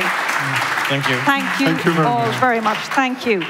Now, um, in the program, but everything is changing rapidly um, because you're free to go, so you can. Um, take and, and if you can give back your microphones. We're going to go straight on. We're not going to have the um, uh, break. If you want a cup of coffee then please by all means uh, you can take your coffee and you can just bring it back in. Um, now because what we're going to do is go straight on with the next segment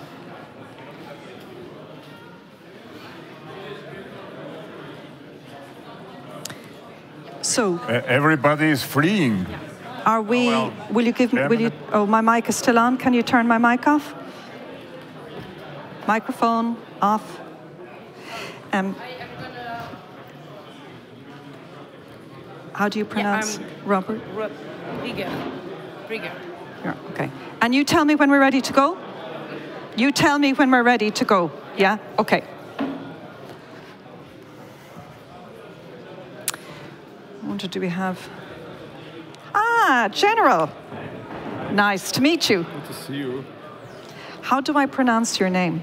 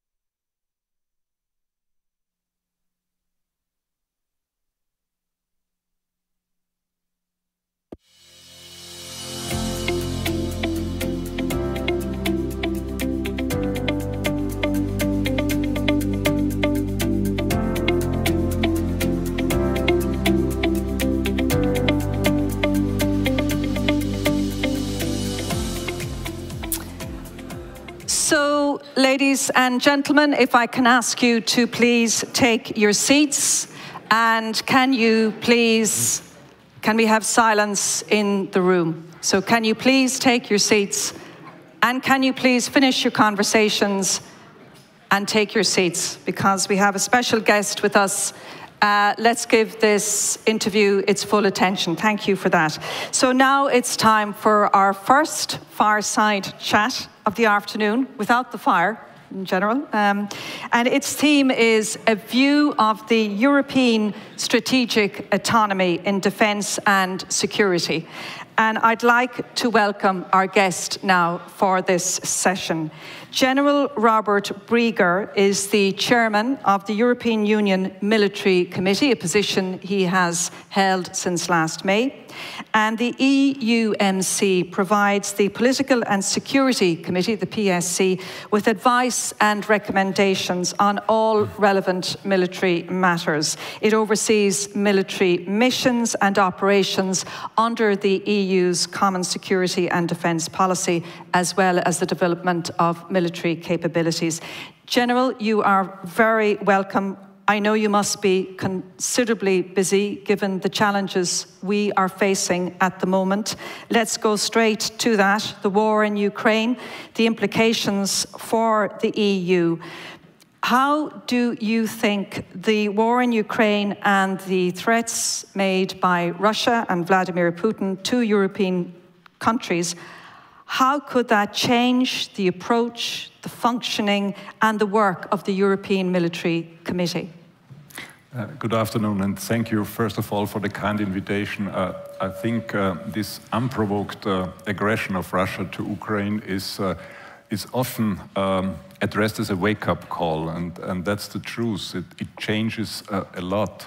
Um, the mindset of the European decision makers, they are part of a project of peace, economy, human rights, and all values we, we stand for. But now there, there is a challenge uh, which forces us uh, to reinforce our security and uh, to strengthen our ability to react.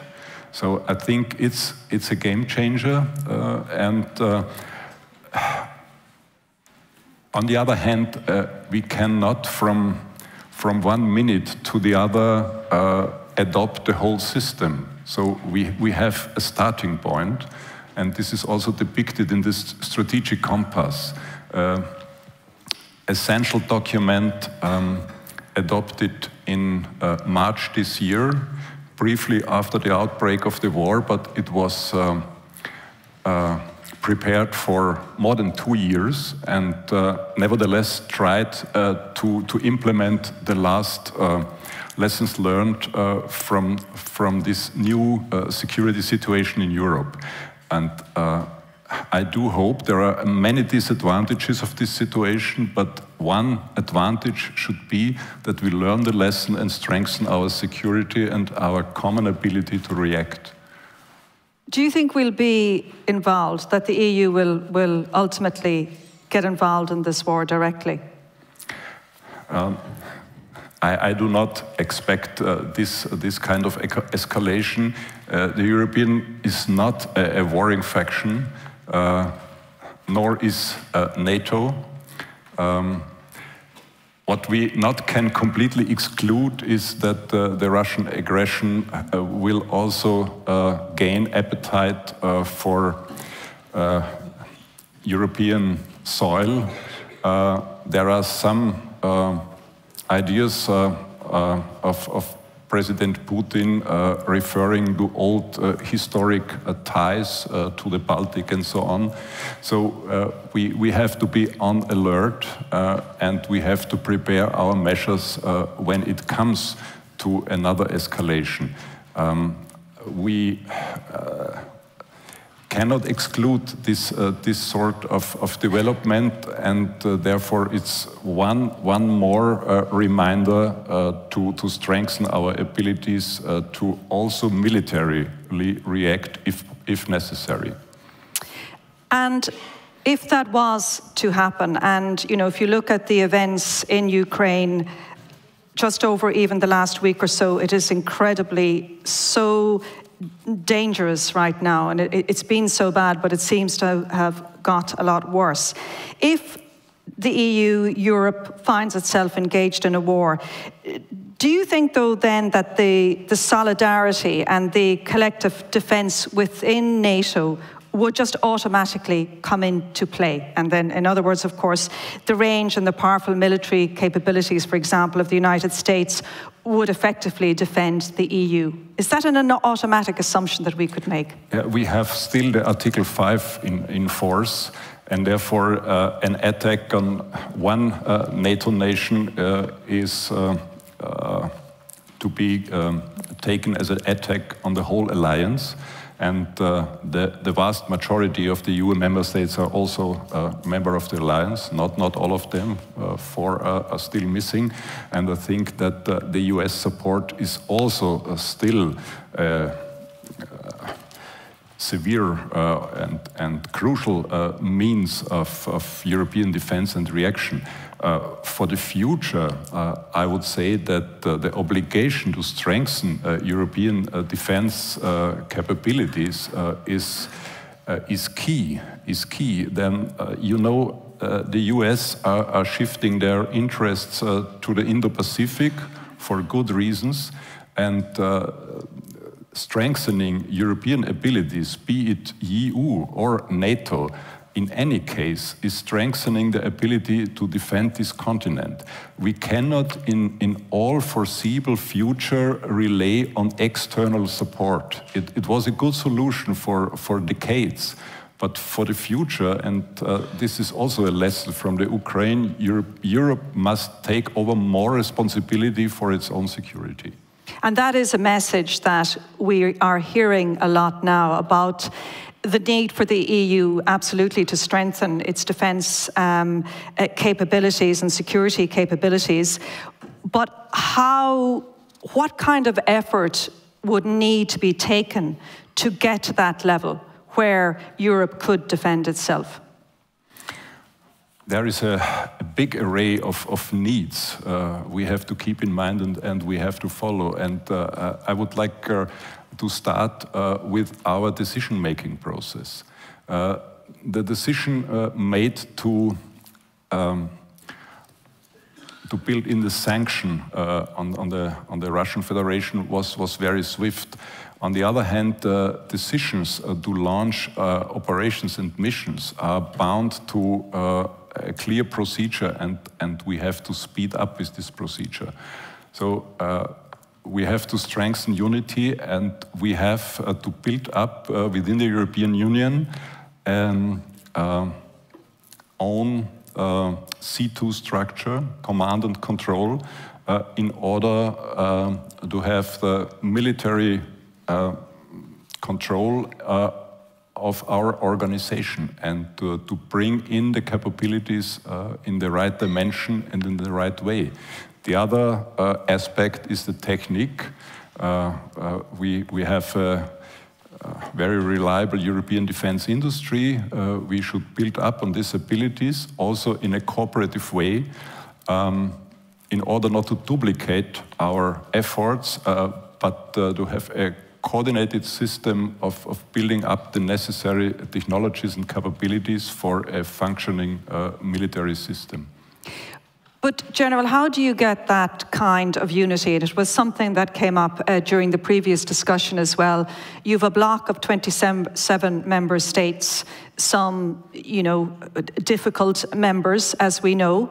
Um, and then you have um, neutral uh, countries as well. You have some um, political groups that do not want greater spending on defence. We know it's a very emotive issue and can be. How do you cut through all of that then? How do you get the kind of unity that you say is required to really create a robust defence system for, the, for Europe? Well, as you know, uh, I, I, have uh, a twofold function. I have to advise the, the political uh, level in the European Union, um, uh, the, the high rep and also the PSC. On the other hand, uh, I'm the primus inter pares uh, within the 27 uh, chiefs of defense. So my, my task is to strive for unity in efforts, to, to have uh, the same threat perception, the same ideas, and that's, uh, as you as you mentioned, it's not easy because you can imagine that, for instance, uh, in, in, Lisbon, there is another threat perception than in the Baltics. But we, what we have to strengthen is this idea of a common defense culture. We are all living under one roof. And living under one roof uh, means that in a spirit of solidarity, we have to help each other and we have to support each other. And uh, this, this is my message uh, to the decision makers. So, in my limited capacity, I, I try to foster the idea of, of common uh, defense and security. And uh, in, in, this, in this context, the, the war of the Ukraine is, is real again, is, is a reminder and uh, a lesson to, we have to learn and to identify uh, what, what to, do, what to, in, in, how far we, we should speed up with our efforts. So a, a, lot, a lot to do. And in that creating that culture of defence, of course, you're not just talking presumably about military capabilities. You're Absolutely. talking about cybersecurity and, and other areas as well. Can you give us an idea of, you know, what would be required to create that European culture of defence? this culture, uh, well, it, it, it starts uh, in the brain uh, of the decision makers and also in the, in the brain of the public. So the first need is to have the, uh, the best way of strategic communication. Why uh, are we doing what we, we are what we intend to do? And then uh, we, we have to make clear there is a broad range of, of threats in this uh, hybrid scenario. It's not only conventional, but we learn from the Ukraine that uh, uh, the tanks and, and airplanes are, are not the, the platforms of the past. We, we still need it in the future, but we need it in a more uh, technological environment. Uh, we need it in a more developed uh, uh function uh, with all the enablers uh, from, from cyber um, to, to CRS to, um, yes, quantum technology, whatever. And this is also a chance again for the European defense industry uh, to, to step up with these new fields of activities. Uh, the, the, first uh, um, and, and, foremost uh, task at the moment is to replenish the, the stocks we, we emptied for the support of the Ukraine. But the next step must be to look at the, at the, the war and the threat of the future and how can we cope with it. And do you think the implementation of the strategic compass, does that require adaptation in the light of the war in Ukraine? Well, strategic compass is a, a very, a, a, very flexible and future-oriented document. So I, I, don't think there is a, crucial need for adopting. But uh, we, will, uh, we will repeat with our uh, threat assumptions uh, every, every about two years, and then maybe there, there will be uh, steps of completion and, and also adoption. But in general, it's, it's a good document with a lot of tasks we have, we have to fulfill. And if we are so, so lucky to, to meet all these uh, requirements, then uh, we are in a, in, a quite, in a quite good position. Just one final question to you, General. Of course, we're talking always about defence capabilities, but what about changing cultures so that you know democracies flourish in places where you don't have people like Putin dominating and cre creating such havoc? How does that complement a defence culture?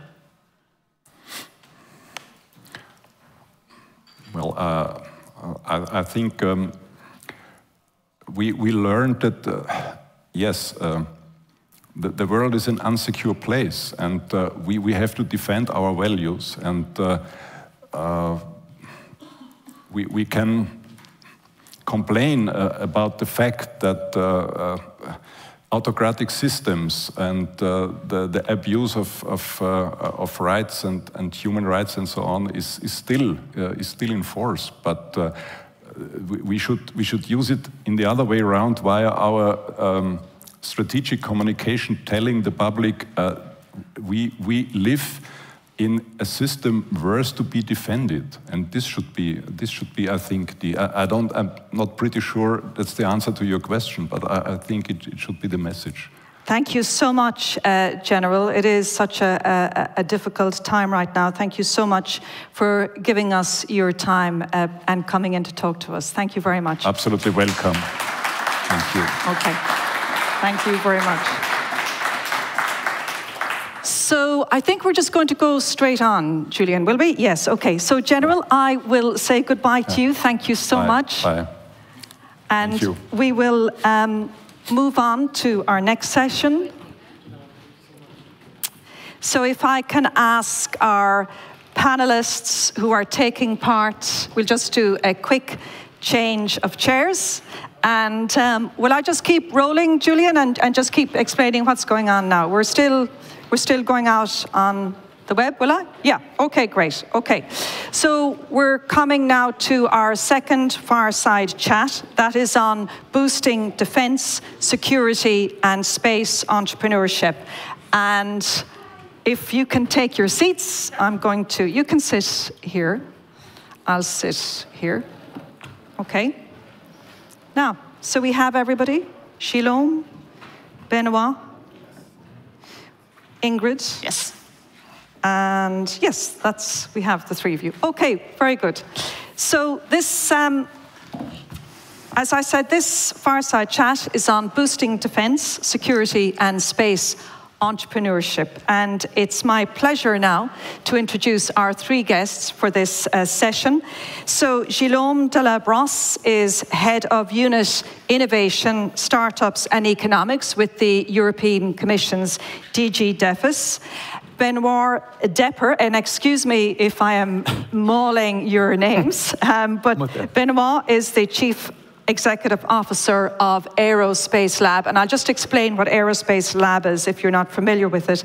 It specializes in satellite platforms and geospatial intelligence.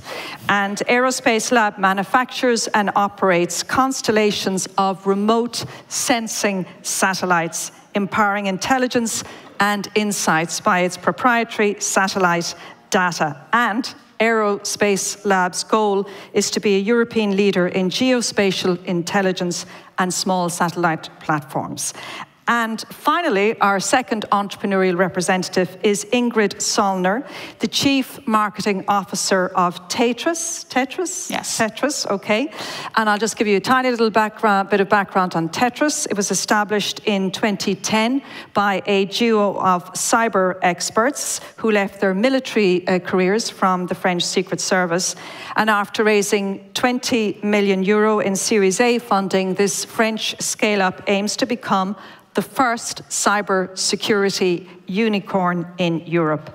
Now, so the focus of this discussion will be new entrepreneurial perspectives offered by players like our guests in the defence sector and in particular in the areas of cyber and space. We're going to find out more about the potential in Europe for emerging startups or mutations of existing companies around the innovative technological and industrial developments imposed by hybrid military strategies. We're also going to get the perspective, of course, from the European Commission, specifically in charge of supporting innovation and startups. And on that point, uh, Guillaume Delabrosse, am I, uh, uh, Guillaume, I, am I getting the correction? Uh? Guillaume. Guillaume, sure okay, Guillaume. Okay. Guillaume, the European Commission has established the Cassini initiative in the space domain, which seems to be bearing fruit. It's helping startups and SMEs to grow. How could this initiative be a blueprint for defence startups? Thank you very much. Um, I'm very happy to be uh, with you today. Indeed, we have uh, this Cassini initiative. I mean, the objective is very simple, is to uh, encourage entrepreneurship in space. Um, and actually, for uh, for good reasons. Uh, one is that uh, new, I mean, entrepreneurship in space and, and, new space players can can bring forward innovation, competitiveness, new solutions, new industrial processes as well. And that's why we, we stand uh, behind the emergence of this new space uh, ecosystem in, in providing a set of, of, um, of supportive measures like access to finance, uh, soft policies, matchmaking, etc., etc. Um, what I like to say that we will always need large corporates, that's clear. Uh, but on top of that, what we need is uh, those new space entrepreneurs. Um, and actually, um, we, what we see is uh, the, the, big, the big added value is that it brings a bit of a change of mindset, uh, a change of mindset when it comes to the big organizations like the Commission, uh, where we need to be like more service driven, uh, we need to be more um, faster, faster in the way we do procurement. Um, and actually, uh, what we see as well is bringing connections between different industry. You mentioned space, you mentioned cyber, you mentioned defense. What we see is that we can bring connections between different industry, and that's the beauty as well of, of um, Cassini and uh, new space entrepreneurship. Um, yesterday there was a panel on, or earlier today there was a panel on space strategy for security and defence the need to break silos between space and defence was mentioned. We've heard that in other contexts as well about greater collaboration and cooperation. In, in very practical terms, then, in your area, how can initiatives like yours foster and cross fertilisation and, and break down those silos? Well, uh, I think we have in the European Commission, DEFIS, we have two large programs. On one side, we have the EU, EU, Space Program. On the other side, we have the European Defence Funds. So what we are trying to do is really to bring, uh, to, to build connections between the two programs. In very concrete terms, it means in terms of programming. For instance, in the European Defence Fund, you have more and more a space window. So you have space-related topics as part of the uh, European Defence Fund. Now, when it comes to space, what we see is we can develop Pathfinder missions uh, in the field of quantum, in the field of in-orbit servicing through Horizon Europe. But when it comes to the defense layer, to the defense technologies, this is where we can build those defense technologies with the European Defense Fund. So this is a very concrete way to build synergies between uh, space and defense. Another area beyond the technological and, and, and capability aspect is the services. What we want to develop is the use of space uh, for security and defense, more and more, much more than we used to have in the past in breaking silos. You know, that we used to say that space was civilian programs under civilian control, that's true, but it does not exclude the fact that we can develop security-related services for defense use. So that's what we are. I mean, we are building on Galileo, of course. We have the Galileo PRS that will be used by the military. And actually, this is something that we can replicate for secure connectivity, for space domain awareness, uh, for Earth observation. So this is where we are trying to build those connections. Okay, thank you for that. We'll go to you, Benoit Deper, founder and CEO of Aerospace Lab.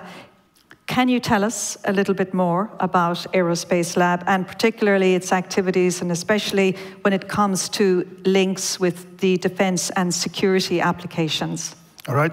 So thank you for the invitation, and, and I'm delighted to be able to explain a bit what we're, doing the last couple of years. So Aerospace Lab was founded uh, four and a half years ago.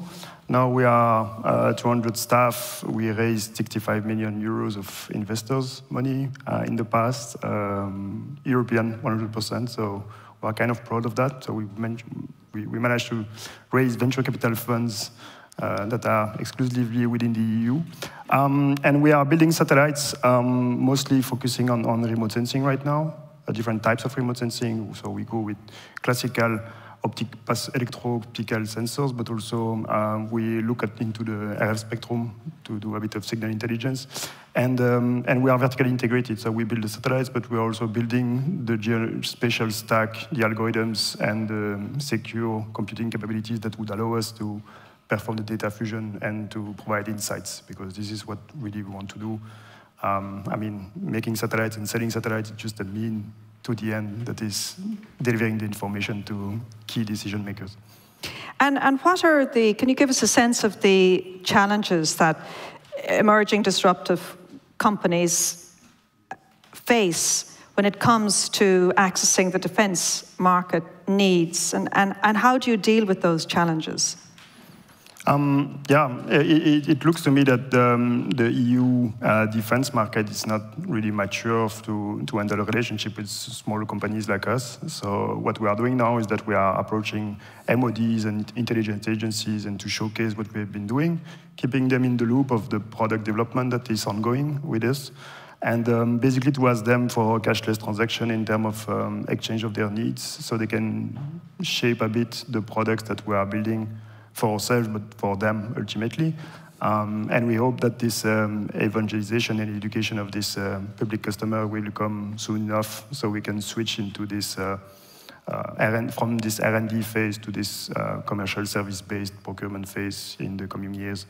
But if I heard you correctly, you said it, it, it is challenging as a small company, is it, to access the, the defense market? I believe that when you look at the raw numbers uh, compared to the US, um, the market is, is way smaller. And uh, we have heard earlier today that um, uh, it, one of the reasons might be that we, we are living in, in a false pretense of safety and security up to now and that the Ukraine war is a kind of a wake-up call. So we'd expect that more resources would be put into that. But the market is indeed way smaller, and, and there is a bit more um, of an old-fashioned way of dealing with primes and large defense groups that are strictly necessary for this because they have the long-term vision, stability, and um, they can be the architects of, of a system of systems that last for decades. But on top of that, we have seen also in the US that there is a synergy with smaller players that are more agile, and uh, the combination of both seems to be quite um, giving good returns of investment. So we are um, hopefully uh, waiting for, for the EU scene to transition into that mode as well. Okay, thank you. Ingrid, if I can go to you, very similar question um, to the first question for Benoit. Can you tell us a little bit about TEHTRIS um, and particularly your activities and your links with the defense, security and space domains? Okay, yes. I'm glad to meet everyone and thanks for the invitation. Um, TEHTRIS develops software that detects and blocks cyber attacks onto computers, servers, mobile phones, uh, networks, or cloud. Um, so basically, what we do is actually a defense activity in the way that we defend our clients against cyber attacks. Um, we are present in uh, about 120 countries in the world, uh, thanks to the um, software that we have implemented at, at our clients. Um, we are, uh, yeah, 260 people now, and uh, yeah, that's what we do. And uh, you defend your clients against um, cyber attacks. Exactly, yeah. Uh, is it within the, the, the, defense domain or are these principally outside the defense domain? It's across all domains. Uh, it can be the defense sector, but it's not a, a criteria. Actually, um, basically, all companies in the world have Microsoft or Windows or, uh, or Apple or, you know, all these uh, uh, OSs that we cover. Uh, so we can cover all domains of activities, and we do uh, act into the defense, but not only. I, I, can imagine that you're, I would have thought, a very popular um, company uh, offering this because now we know that cyber attacks are a very real issue. In my own country, in Ireland, we had a, a, very severe cyber attack in the health system about two years ago, and it created tremendous problems. And you want to become, TEHTRIS wants to become a European leader in cybersecurity and cyber defense. Fantastic ambition. Um, but what kind of hurdles do you think you'll face in achieving those goals, and particularly competition from outside mm -hmm. Europe and, and foreign entities? Yeah, well, uh, we are actually facing these hurdles. Uh, the main point is that on our market, which is detection and response platforms, so uh, software to detect and block cyber attacks, uh, all our competitors are American or Israeli or Americano-Israeli, uh, so all of them. So when we go to a call for tender, there's usually us and six or seven American companies. So the hurdles we are facing, obviously, is that well, they have much more financing that we do, so they can actually um, place very low prices because they do not search profitability. They have other marketing means than I do. They have sometimes also other, let's say, ethical practices that we do uh, than what we do uh, apply um, that could be, for example, inviting the boss for the weekend at a golf party, and then you know the result of the call for tender would change over, overnight. Um, things that we do not do. So yeah, we are facing, let's say, um, non-European hurdles. And, uh, and I very much rely to what uh, Commissaire Breton said when he said that the market was so fragmented. We are expanding to Europe. We're French, but we've opened uh, businesses and offices in Germany and Spain. And well, you can feel, and we all feel here today that we're all sharing English as a common language. But then, you know, when it comes to actually buying from the company of, of another country, it's another business. So yeah. Because it's coming from another country, is it?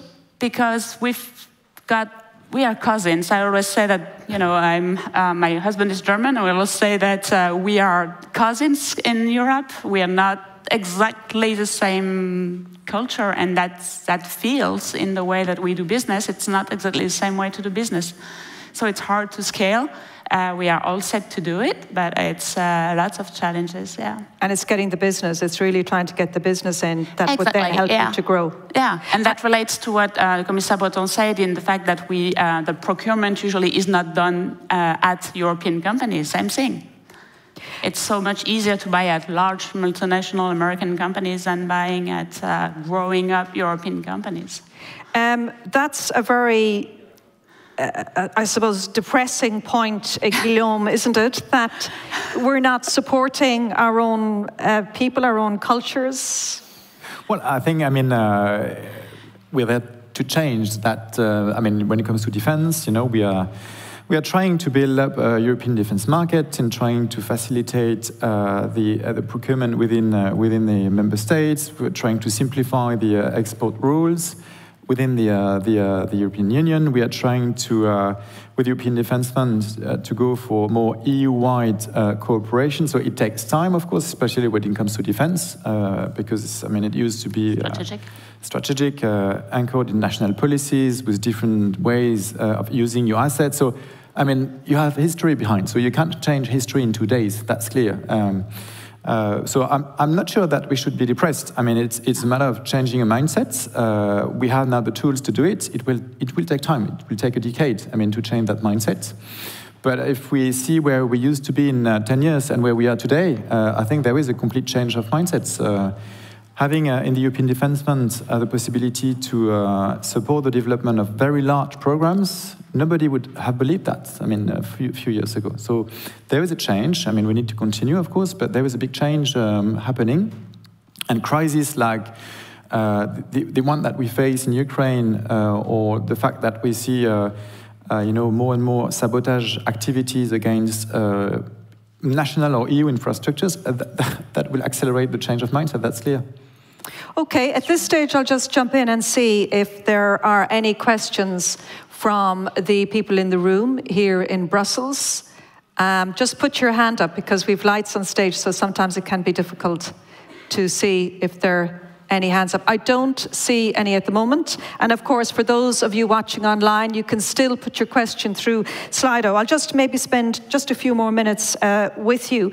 Um, if I can go back to you um, then, Benoit, uh, do you see now, when you see the landscape in in Europe with the war in Ukraine, and we heard, you know, from the words from the general uh, just a little bit earlier. Do you think there is going to be more collaboration now in terms of security and defence for businesses like yours? I mean, we, we, have, we have to. If we want to be relevant on the international scene, there is no choice. So um, the war in Ukraine is, uh, a bit of an opportunity and a wake-up call to maybe simplify a bit the um, political shenanigans uh, because uh, driving a boat with 27 captains is, is sometimes difficult. Um, and in time of crisis, um, simplification of the decision-making process um, is, is maybe more um, doable than in, in simpler times. So I believe that agility and, and moving forward, because it's not really a matter of, of absolute amount of money or budget, because uh, I believe that we are the richest and the largest population group in the world, so money can be found. Um, it's a matter of um, yeah, breaking down the cultural silos, as you were mentioning, but also um, having a bit more agility and speeding up the whole process. Okay, Ingrid, maybe some final words uh, from you in, in that sense. Yeah, sure. Well, we are going in the right direction. Obviously, I didn't want to sound too negative. Uh, there's a lot of uh, good things happening, and uh, we can really feel that uh, the European spirit is building up, and um, that, uh, let's say, the, the way uh, the business is doing cross borders is evolving as well.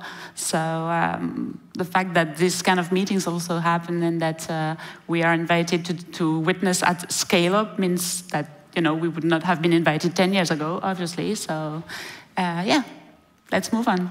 let's move on. Okay, on that uh, positive note, yes. we will leave it. But a big thank you to our three guests. Thank you so much thank for you. coming in and for sharing your views. Thank you very much.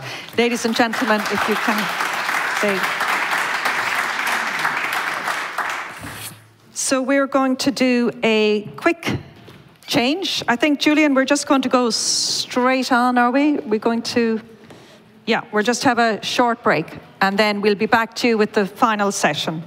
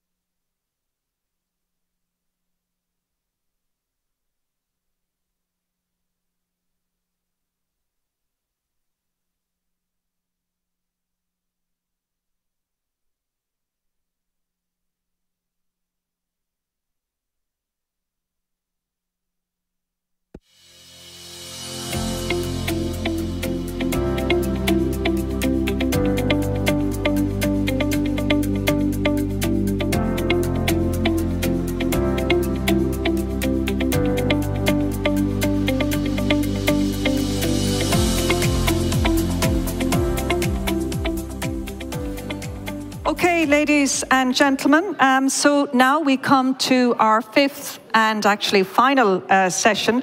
And this is on securing value chains and financing the European defence and security ecosystem. Welcome again to those of you watching online. You're very welcome. Don't forget to put your questions in through the Slido app as well if you would like uh, to pose a question to our panelists. And if I can ask those of you in the room here in Brussels to please take your seats.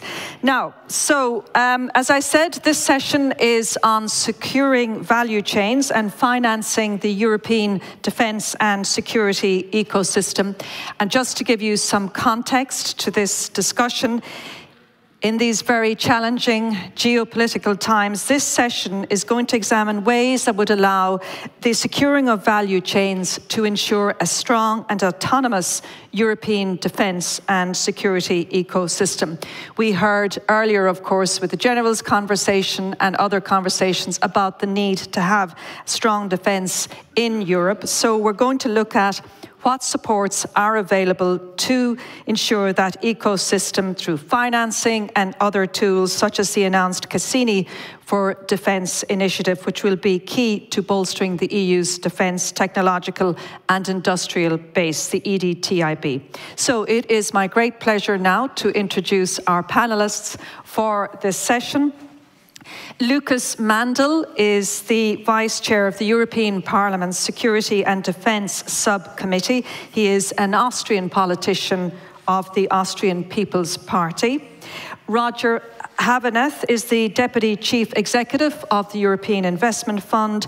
Sylvia Kainz-Huber is the head of unit of the European Defence Fund, EDF, implementation programming and SME support with the European Commission's DG DEFIS.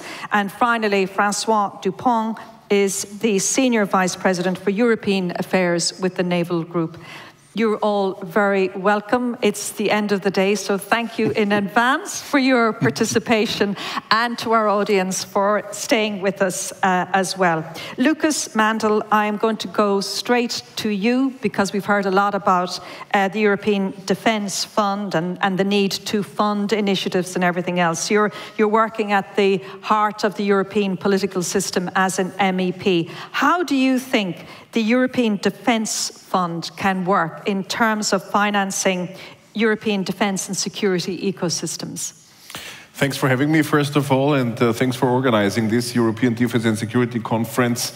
Uh, it's not that long ago that uh, people who dealt with security and defense were seen as some kind of nerds, hmm? maybe, as also here in this uh, Brussels political sphere. And uh, now we live in times uh, when uh, nearly everybody understands how important security is. Security is also a question of sustainability in our uh, living conditions, in uh, proper dwelling for Europeans for now and for the future. And I'm telling this because European Defence Fund is a very positive shift of paradigm. Uh, for the first time in history, Europe's put, Europe, European countries put together money uh, in the sense of uh, defense when it comes to innovation and research. And um, there are a lot of positive aspects about it, but uh, whether it will work or not will depend a lot on taxonomy and on the question whether we can include security and defense in uh, our understanding, our EU's understanding of sustainability within the taxonomy system. And this is not yet done. And this is still something we have to to work for and to run for uh, uh, in order to, to keep on emphasizing the importance of security. And it's not theoretical what I'm telling here, it's my practical experience that even the finance sector is reluctant to invest in that field, uh, even for companies who want to apply or who would be ready to apply for European Defence Fund money. Uh, they are reluctant uh, because uh, still uh, in the title we have something like defense or something like security or even military. And this is something we have to overcome because it's clear uh, that when it comes to sustainable conditions for European security must be part of taxonomy. You work in a chamber of over 700 different politicians from different political groups, left, right, centre. Do you see a change in terms of the thinking about military defence and security since the war in Ukraine started? Because there are many MEPs who would be anti putting money, as you've just been saying there, in terms of a wider culture, into anything to do with defence and security. I would say there is some change. Uh, it's not the big change, and it's by far not yet uh, a sustainable change, but uh, at least the ones who are more or less uh, against defense or who are, let's say, critical on military. I also don't want a militarized society, but what we defend here is a, a civil society via military means, which are obviously needed to defend civil society, free society, our democratic rule of law based societies. Uh, but uh, who, who, would be against this kind of defense is maybe not that present at the moment in the political sphere generally, not only in the European Parliament, everywhere. Uh, this is one part, and the other part is, I would say that, uh, let's say, there's more focus, more attention now, uh, more listening in when it comes to security and defense, and we should use uh, this uh, time positively for the security of the Europeans to. To take some political decisions, which are some of them long overdue, and which should be taken not only at European level but also in some member states. Okay, thank you for that. Roger Havenith, if I can go to you, Deputy Chief Executive of the European Investment Fund. Maybe first of all, can you tell us a little bit more about what role the EIF could play in financing the European defence and military security and defence ecosystem? Sure. Well, we are part of uh, the EIB group, so our mother is the EIB, but also the EU. EU represent to the Commission, which means that we are looking at political priorities. Our mission is to finance political priority areas. And certainly, if you look at them, we started out with competitiveness, innovation, social, sustainable funds, and climate action. But more and more, we see now important topics emerging on which there is a lot of uh, support and also a request to us to come in. And uh, we heard before AI, disruptive technologies, blockchain, but certainly also space and defense are amongst these top priorities. And so we see it as our role to see how we can contribute together with our partners. It's important to stress partners um, in this um, build up of ecosystems. And we have done it before in other areas of innovation. And we feel, and I've heard Cassini before, what we are doing currently in the area of space has a lot of connectivity also with defense, and we are now discussing precisely DG DEFIS and also other DGs at the Commission, how we can bring together finance, blend finance from different pots of money. There's InvestEU, there is uh, the money possibly from sectoral program of EDF, there's EIB group finance as well, and what's very important, I think, is not to stay only public, to crowd in private and private investors, if they um, wish to be attracted, you need to offer them something which really makes sense and makes sense from a financial perspective, but also in terms of due diligence and things you, you, you really give them comfort, a signal. And that's what we, we see as a possibility uh, that we would, thanks to this additional finance, bring it together, leverage the finance. I'm taking up here also what the Commission referred to, bring in also private money and make this available. So that's our role. Now, let me say also that um, when I look at this particular area, it's not that it's totally new to us. We have been investing in venture capital funds. We don't do it directly. We are not the experts in all these defense matters, but we are expert in selecting those funds which can make the difference and uh, pick the winner of tomorrow. Now, in Europe, unfortunately, we are not in the same situation yet as in the US. In the US, we have 15 or more funds which are purely targeting defense. They are scaled and they have network. So they have the whole ecosystem. What we have is funds currently which have in their investment program some part dealing with defense, but not necessarily focused on it. And we have been in the past investing in some 70 funds, particularly those who had dual use. But what we need to build up, I think, is this professionalization of fund managers targeting specifically defense. And that's where we see a role together with our partners to build up this ecosystem through the early stages, but also through the growth stages. And which comes first? It's an apple and cart situation. Does you know the entrepreneur, the initiative, does that have to start off first, and then you find a way to fund it, or do you create or find a way to create a fund and then it develops upon that? Yeah. I think what we have typically experienced in the past, you have, of course, very good entrepreneurs or you have very good research results, but there needs to be a signal that somebody is interested in providing the support and longer term support, and that this is a matter of political priority also, particularly in such sensitive areas. And that's what we have now the combination. That's the new element where we can bring finance to the table, but also the political signal, the ecosystem, but also possibly technical assistance, the whole, uh, let's say, uh, framework that you need in order to develop it, including also regulatory uh, measures and other support measures. So um, my answer would be, we expect that there is quite a lot already of very good technology, very good companies there. But if you want to grow them over time and build them into the next generation of future big industrialists, and we have very good companies, corporates, but if you want to have the next uh, unicorn in this field, then we need to have this clear signal and come to, to the table with the finance. Okay, um, very good. If I can go to you, uh, Silviu, then. How can the EU support um, these kind of startup uh, companies that might want to grow their businesses in the defence initiatives? I mean, you know, they're part of the value chain. What can be done to help them? Well, what we're trying now to do also um, with the fund, but also beyond the fund, is, is I think has also been subject to a discussion earlier today, is, is uh, the European um, uh, Defence Innovation Initiative, uh, which, as we call it, EUDIS. So it's, it's the Cassini for defence, but it's also a lot more in going beyond that. So what we're trying to do here, and, and again, one part of that system was now just already described, which is to set up this equity funding instrument, which we're trying to do for access to finance.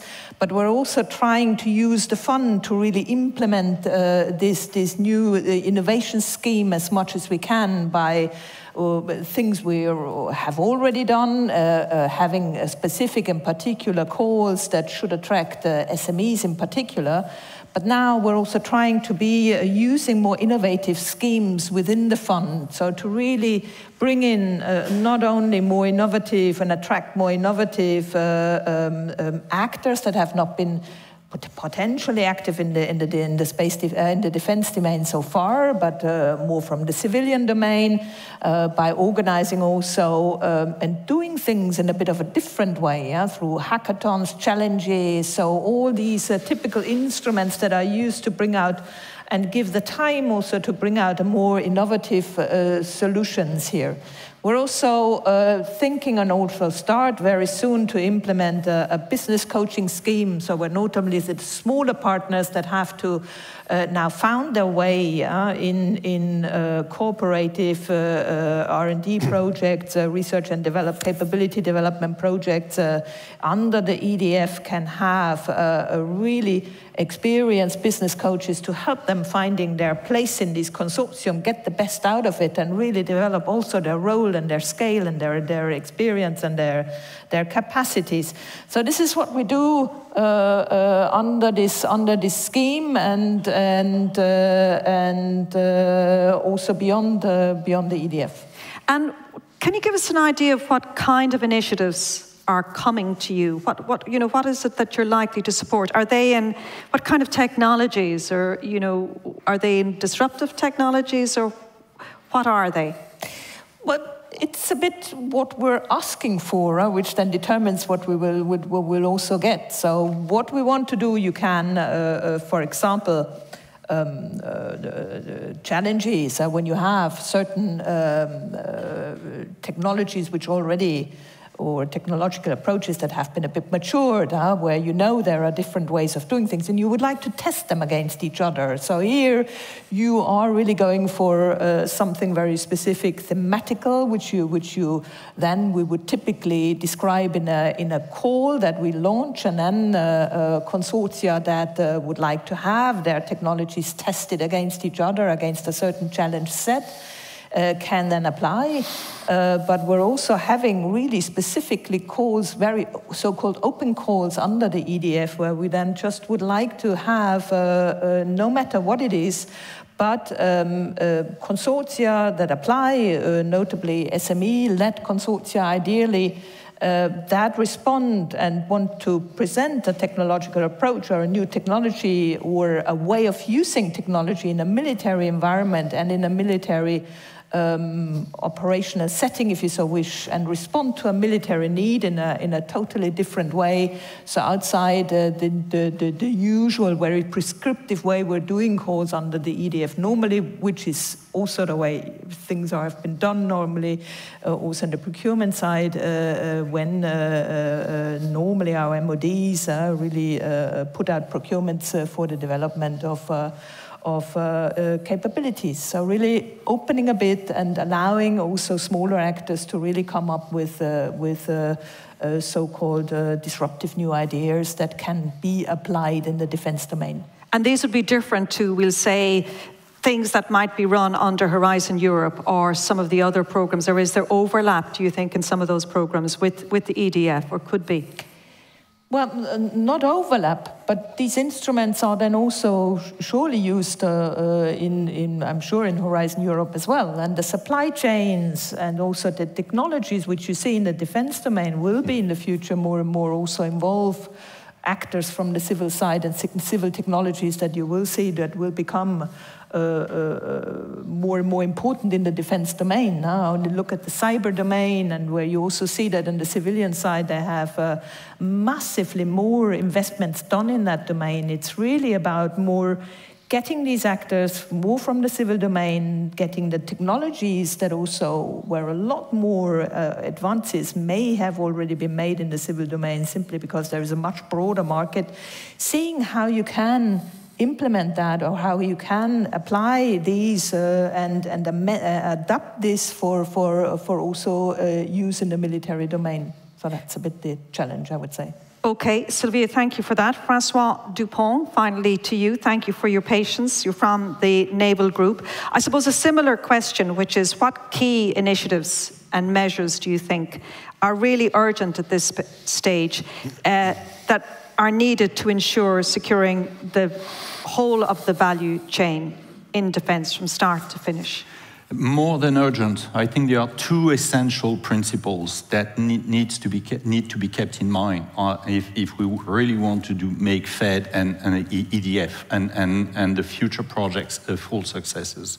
Um, the, the first one is, is that the financing that the Commission give to the companies uh, must be multipliers of efforts we already have in countries if, if the Commission finances a, a, Corvette project that I would have in France uh, and does that in lieu of the French government, there's no impact.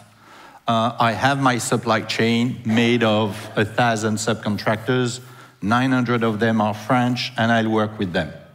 Uh, if we manage to make, like we are working at with my friends from Fincantieri and Navantia, on the MMPC project, which we also call EPC, uh, and, and generate a new class of ship.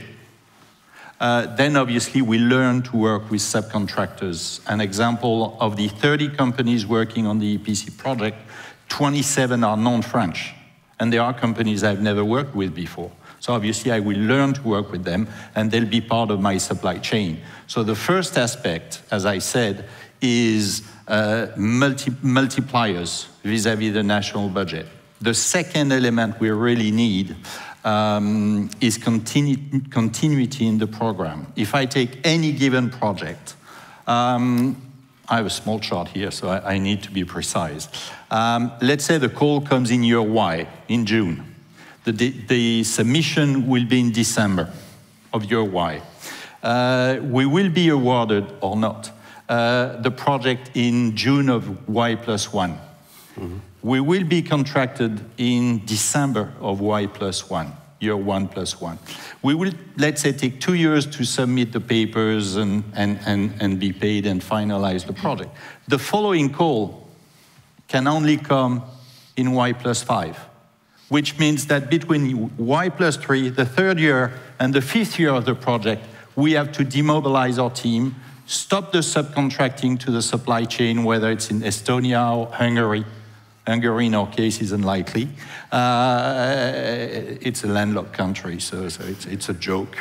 uh, and, and, and then we need continuity, especially since we have long-term projects. A jet fighter would be 50 years in service in an air force. A surface ship is from 30 to 45 years in service in a navy. Uh, clearly, short-term research development project like the EDF is today does not quite match our timeline. So if we have those two principles, and I think it's valid for all the industry present here today, it will be a success. Interesting. Okay, so what do you think then will be necessary to support the security and defence ecosystem in the framework of Cassini for defence? Uh, Cassini, I don't know. It's a space project. I, I, I, I, am just in defence. I'm in Navy. I'm in Navy matters. Okay, so let's let's well then let's specifically stay with the Navy then. Tell me about um, the ensuring raw materials, for example. This is no doubt a huge issue for your your area, your sector. Um, I think there are two two main domain where we're going to look at and where clearly Europe can help.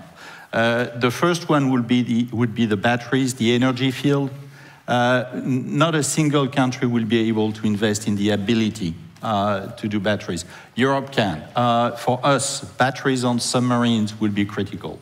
Uh, it's first domain. Second domain, it's not technically savvy, but it's the steel industry. Yeah. We consume steel like hell. A, a submarine is 3,000 tons. In the submarines, you've got 2,500 tons of steel, roughly speaking. A surface ship can be up to 50,000 tons, 40,000 tons of steel. Uh, in France, for example, the steel industry only manufactures some very specific steel. If we want the steel we use for ships, we need to go to Ukraine or Russia. Uh, so we need Europe to rebuild a heavy industry. To repeal the heavy industry, bring it back. To, to rebuild. Yeah, rebuild it, bring it back. Bring yeah. it back, yes. Plus, it brings a lot of jobs. Can I put that to uh, you, Lukas Mandl? Because, I mean, it's part of uh, President von der Leyen's whole issue as well is about you know ensuring we have supply chains particularly of course when it comes to technologies and software as well and, and, and chips we're going to have the chips act as well do you think that makes sense that you bring back old industries to ensure that all that critical supply of raw materials is within the EU and we're not going to China or, in this case, Ukraine for critical stuff such as steel? This is it, actually. We have to rebuild industry that will create jobs and it will mean something. It uh, will mean competitiveness for the future, for Europe, for the European Union and Europe in its entirety, because we are running into a direction uh, with the threat of becoming more or less the continent of consumption. Consuming, uh, you know, this old joke, it's only a joke, but there's uh, some truth in every joke that if there is something new on the planet, the Americans would have invented it, and the Asians are the ones who build it, and the Europeans are the ones who regulate it. Consumers. So uh, I don't want to go into that direction anymore. I want a Europe that is capable of its own innovation based on research and development, its own production, uh, creating jobs and being what? Competitive. And this is also to be seen under the framework and under the umbrella of the so-called strategic autonomy, which, uh, as far as I have heard, is supposed not to be called strategic autonomy anymore due to some misunderstandings. And this is not some euphemistic political language. It were really misunderstandings, in my view, because strategic autonomy was always meant and has to mean uh, strategic autonomies uh, under the NATO umbrella and the common defense system of the free world, but now it should be called uh, open strategic resilience due to the new strategic compass, but it's always the same. It's not only a military issue. Uh, strategic autonomy or open strategic resilience is meant to be uh, a complex that means Europe to be less dependent uh, on supply chains from wherever. And when we say wherever, you have just mentioned China, and uh, China already was before you have mentioned it, uh, the elephant in the room, I would say, because this is it. We have to understand how to achieve reciprocity with China. Uh, we all know China would be, due to the strategic compass of EU, a, a strategic partner, uh, an economic competitor, and a systemic rival. All the three things are true, I would say, so we have to keep in mind all the three things all the time. Uh, achieve reciprocity when it comes to exchange with China, and when uh, we will ever uh, agree on an investment agreement with China, we have to cancel 16 plus 1, this uh, initiative that's meant to divide Europe, as everybody from outside who wants to weaken Europe tries to divide us, as we know, due to disinformation, hybrid warfare, and so on. So, uh, first of all, our own uh, research, development, innovation, our own production, creating jobs, uh, investment in security, as we have talked about before, uh, and then also getting less dependent. Uh, I guess it's more serious to call it less dependent, but because we will never be zero dependent, but less dependent and more diversification of, of risk. This is also, let's say, what let's say our today's but, generation in but, politics but should just, have learned from the generation before when it comes to yeah but can i just ask you about the practicality of becoming completely we'll say autonomous in terms of our ability to be able to produce so many of these necessary goods? Because it was one of the big lessons i think during covid was the fact that we didn't have medicines or the, the supply of, of, of very essential medicines at times you know was fractured and, and that was a wake-up call for europe as well but you know, if, if you take uh, Francois' point, a suggestion you rebuild the steel industry, um, doesn't the price of everything then go through the roof? Because the reason why these things have been outsourced is because we can get them in cheaper.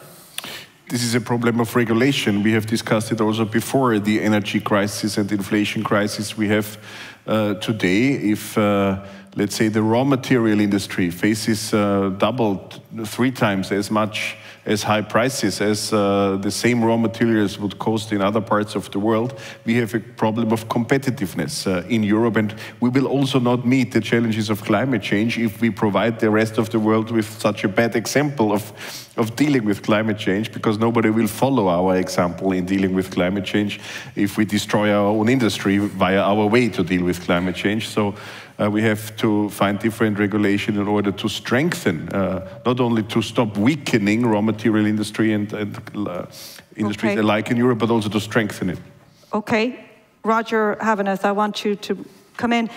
Whether you want to comment on what has been said so far? Yeah, I think um, I share the point about strategic autonomy. I would even see it well beyond defense. I mean, it's in general being able um, to have basically all the ingredients in the supply chain so that you can produce uh, high value uh, products. Now, I think we have this dimension of consumption, but I would say Europe has become the incubator for other continents. In that we have a good RTD base and very often very good re research results. The problem is that um, we put a lot of money in the highest risk phases grant money, very early stage money, ERC money, our money. But the problem is we don't have the tickets and the support to maintain these industries here and to help them to grow. And of course, it's not only a matter of, of regulation. You can't oblige um, a company to stay in Europe. You need to offer alternatives. And so what we see, and we have a lot of, of very good high growth companies. I have 9,000 in my portfolio. 40% of the exits are going to China and the US. That's not normal because we simply don't have the firepower here because it's fragmented. It's the other point that the commissioner said this morning.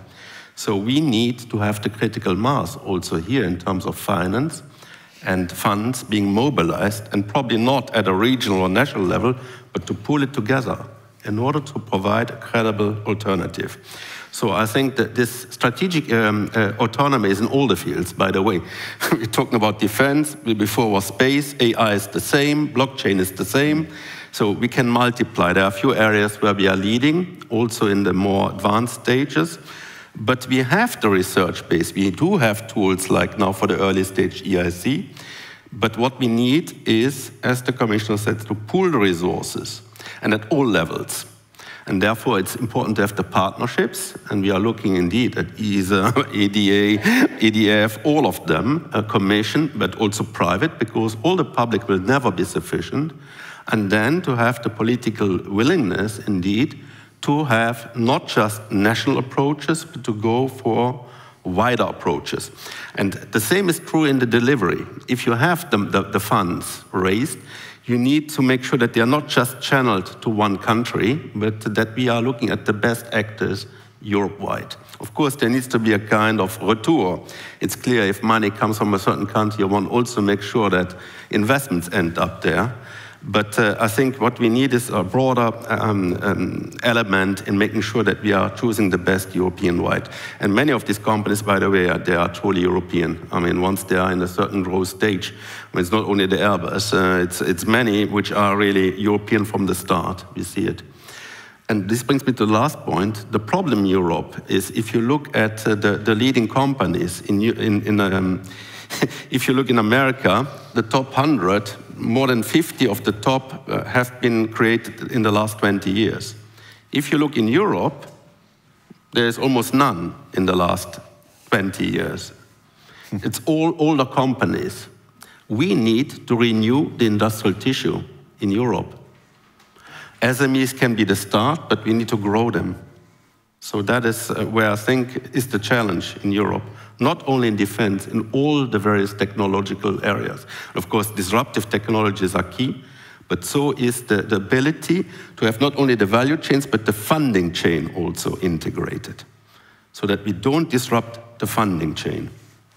Okay, and let's uh, talk about maybe bring it back to defense and Cassini. And I'm going to ask you to just explain what Cassini is, if you can, in a minute or two. But and then my question to you is what's envisaged or what's planned when it comes to supporting the security and defence ecosystem in, in the framework of Cassini? Okay. well, what is Cassini? Well, we, we, we're talking actually more about uh, what we say EUDIS, uh, so which is really the European Defence Innovation Scheme. But it's, it is, of course, we took inspiration from a very good scheme which we have, which is Cassini in, in space, which then really served also as a model and to get inspiration and to see what good it is, what we can take from it. So um, it's basically what I explained in my earlier uh, reply already. Yeah? So, what it is we're trying to do here, and that goes beyond what we have already done and what is enshrined also in the EDF regulation, uh, which is about trying also using the EDF to breaking up uh, supply chains, bringing in um, uh, new actors uh, uh, to work with uh, the large integrators or also incentivizing uh, groupings of the, I would say, the usual actors in the defense industry to work and reach out uh, to um, SMEs beyond their usual supply chain, as we have heard them. You have hundreds of them, but they're all well controlled and well known and and, and usually also very reliable partners, but they're also to reach out beyond uh, these uh, existing supply chains, collaborate with others across uh, country uh, and across uh, uh, also um, the, the, the, the, the usual supply channels you have. And for that, you get a bonus in the EDF if you do that. And so. Um, uh, beyond all this, which is enshrined now in the, EDF regulation already foreseen, this is what we're, uh, EUDIS is how now to really get in and what we can do to incentivize and also bring in as I said, more actors going beyond the, the, the, the, I would say, the usual defense club and industrial club, which we know how to um, attract. Also actors more from the civilian domain, which have no clue uh, how uh, actually to work with, uh, uh or in many cases, uh, notably smaller companies who are not used to work at all in this closed circle of, uh, of, of defense industry and defense companies, who are not familiar with the security requirements requirements, who don't know how to go about it and how to um, uh, find partners in the defense domain. And this is what we're trying to do with, with EUDIS now. We're not going to repeat what I said earlier, yeah. uh, so I already described a bit the yeah. different measures taken. Um, but beyond that, I would say when talking about uh, uh now supply chains, what we're trying to do going also a little bit beyond EDF for us, it's not only now the validity and, and, and, and uh, securing uh, supply chains in the defense domain in Europe, but we're also, for us, it's more really also what we see since February uh, how to make sure that we have actually a, the production capacity which we now need, uh, which is a real problem which we see Skills, people, in the face. And, yeah. Amongst others, for example, there is yeah. Cassini, yes, but what becomes then more important is a, a, bit on the supply side. It's, it's skills, yes, it's access to raw materials, it's access to finance. Um, we can, since the supply chains are not necessarily only uh, defense, only in the defense, uh, uh, uh but also stretching out to the civil domain, make use of many of the uh, of the uh, uh, civilian programs, I would say, and initiatives in the in the EU, huh? whether this is in the skills domain or whether this is a FDI uh, screening. But that all that is supply side initiatives. We're also trying now to um, to go more into into the um, demand side and see what we can do there. We heard before the industry uh, ecosystem is, is scattered, it's it's fragmented, and we always recognize that. And this is something we're trying to overcome also with the EDF by really uh, uh, Uh, uh, trying to, to, to um, uh, bring not only uh, more cooperation amongst the industrial actors across a border, but also amongst member states behind okay. them. And what we're trying to do now is, is really with EDIRPA to go further and say, here is the demand side, um, here again, we would try to overcome fragmentation, see that these uh, uh, increased uh, uh um, budgets that member states now put on the table and want to invest in the defense domain are now spent in a, in a coordinated manner. And this will then also give a good signal, by the way, to industry. Yeah? So this okay. gives transparency and they know uh, uh, what they can expect and where the demands are, and also not very short term, but midterm, and hopefully then also react in, in terms of uh, uh, orienting their production capacities around that. So that's the idea uh, now, which we're pursuing, going beyond, beyond uh, really looking on the supply chains. Okay, thank you for that. I want to go back to you, Francois Dupont, from the Naval Group. I'm going to throw a curveball at you um, because when you, you know, uh, with defense, um, sometimes we can forget about the Navy. I'm saying that as a, as a journalist. We, you know, defense, you'll think about missiles, you'll think about other security systems. You forget about the importance as well of the Navy in all of this. Is the war in Ukraine is it changing the workings of the Navy and your operations and the way you are doing things? Um, it's, it's not really a naval war. Uh, it's been at the beginning. I'm not a naval expert, by the way. So, uh, uh, uh unfortunately, the Austrian general is not either, neither um, for good reasons. Uh, it, the war is a, is a land battle. Uh, but we've seen uh, at the beginning of the war uh, the, the, the necessity, uh, the importance of, of modern navies. Uh, the way the Moskva was sunk, the way the Russians failed in the initial operations to take Odessa, uh, clearly, uh, the, the, the, modern war, the future war, will be comprehensive air, land, sea battle with comprehensive system. And, and if you're lacking one of them, you go nowhere. Mm. Well, so do you think then we'll say a Buy European Act, European Defence Act should be set up? Yes, without string attached. Without any strings attached? No. But and what yes, would be strings attached to it? Limitation on exports, for example. But clearly, uh, for Europeans, if we want to take into our own hands our security, which does not preclude from alliances and, and partners, uh, we need to buy our own equipment ourselves. Okay.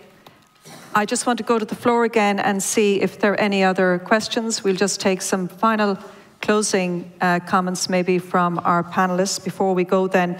Uh, Lukas Mandl, what do you think about uh, Buy European uh, and European Defence Act?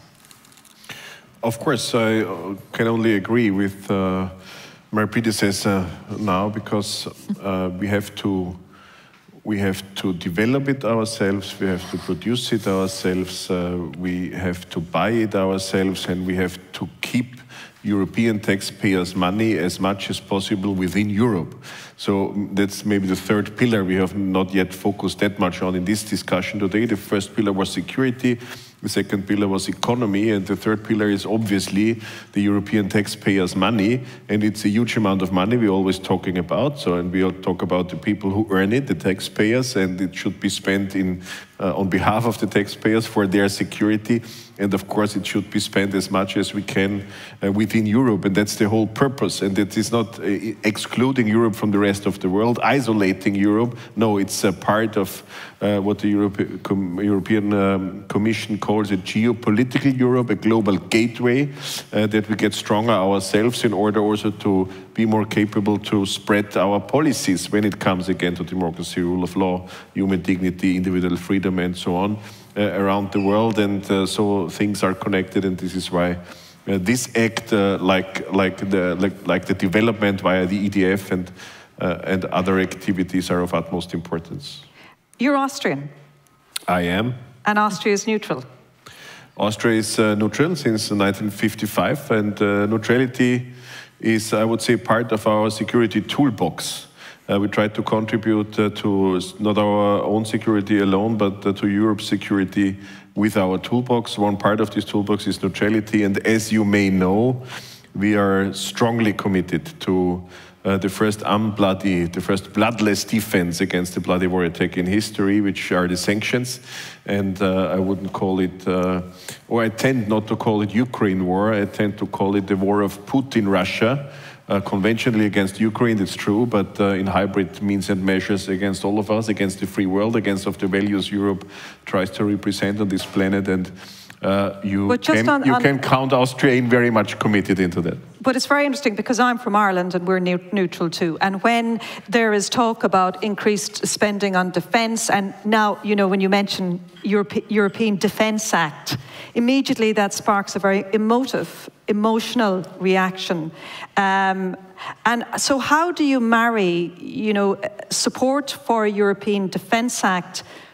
With neutrality or with people in, in non-neutral countries who still feel, you know, defense means fighting, it means wars, it, you know, and it doesn't mean peace. That's actually the very uh, best day you can ask me that, because tomorrow the Austrian parliament will pass uh, an increase of our defense budget. Uh, because, uh, like uh, all member states of the European Union and other European countries, also Austria is keen uh, to follow the line that's given by the new geopolitical uh, environment we have, by the swift of paradigms uh, due to the war waged by Putin Russia. So uh, we feel committed, we are committed, we act uh, committed uh, at least since our accession to EU in 1995. We had a referendum on that and we also voted for EU membership, uh, including the kind of solidarity also EU membership uh, means, and we, we remain neutral as part of our toolbox of many different tools in order to contribute to freedom and peace. Okay, Roger Havenith, some final views from you on that, whether you want to comment on the European Defence Act or another aspect of the conversation think that this is politically well covered. I see ourselves rather as uh, help in the implementation of the policies, not in the policy shaping. Um, I would say that um, our intention is clearly to um, make sure that we reach out to the market as quickly as possible now with the new uh, instruments, financial instruments that we're developing together with the European Commission so that we, we um, create awareness in the market, we find good funds, we help to support the companies um, at a moment where they, they, they, need it most. And that um, we see this as a pilot, hoping that indeed, if it is successful, we can scale it up and we can indeed work on the synergies that we see also in other areas. Space was mentioned before, but also many other areas where defense can benefit from there are many um, critical technologies um, which um, are being developed in various contexts. I think therefore it's important to, to blend, bring together the resources. I referred already to the fact that um, uh, in my view, we need to make sure also that we can follow through. So in terms of funding, um, and um, my view is uh, it's the beginning of a journey here, where we are using, uh, let's say, a different, slightly different tool set. In the past, um, this was procurement. It's very important. We have heard about the challenges here. And there were grants, but I think more and more will enter now the world of financial instruments as well, not to replace but to complement it. We have heard this morning or early afternoon about lending. EIB Group, they have also venture debt. It's another set of tools. And we are uh, more on the um, private equity venture capital side. But also, I think um, some guarantees uh, in due time um, can play a significant role in cushioning off and sharing risks uh, where, where they are. So we are looking at, um, therefore, let's say, innovative instruments that can leverage the taxpayers' money in that respect. Okay, and Sylvia, I won't ask you about the European Defence Act from, you may not want to uh, comment on that uh, question, but maybe just in general, what Roger has been saying and the support, you know, to ensure the development and supply of skills, workers, all the people that we will need in the future. Uh, uh, no, as I said, we have put forward a package, uh, which is always a, a, bit on, on how you can, uh, it's, it's not always just one measure, it always will be a bundle of measures that have to be addressed. Uh, we didn't talk about skills and we didn't yes. talk about, we touched on raw materials. So it's, it's, it's a whole package of measures which you have to take into account when you say supporting the supply chain, which, which we have in mind. Uh, the EDF is one tool in, the, in, the, in, this, in, this, in this I would say, uh, the basket of, uh, of, of, of, instruments which we can use. Uh, we will make use of many of our, of our generic commission programs now also to look on the skills side. We have the Raw Materials Act that will come that covers cross-border or cross-sector uh, uh, and addresses the gaps, the needs, and, and we will make sure that here also defense industries maybe even more strategic uh, uh, dependencies will be, will be taken into account.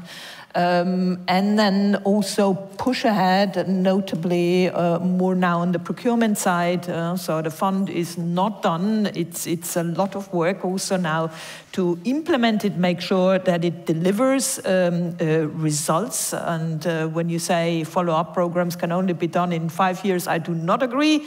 They come much faster, and but it's a real issue under the fund to ensure that uh, the, how to uh, uh, how do you say ensure continuity of funding of what we have started under the EDF. And here you're absolutely right. This is an issue that needs to be discussed.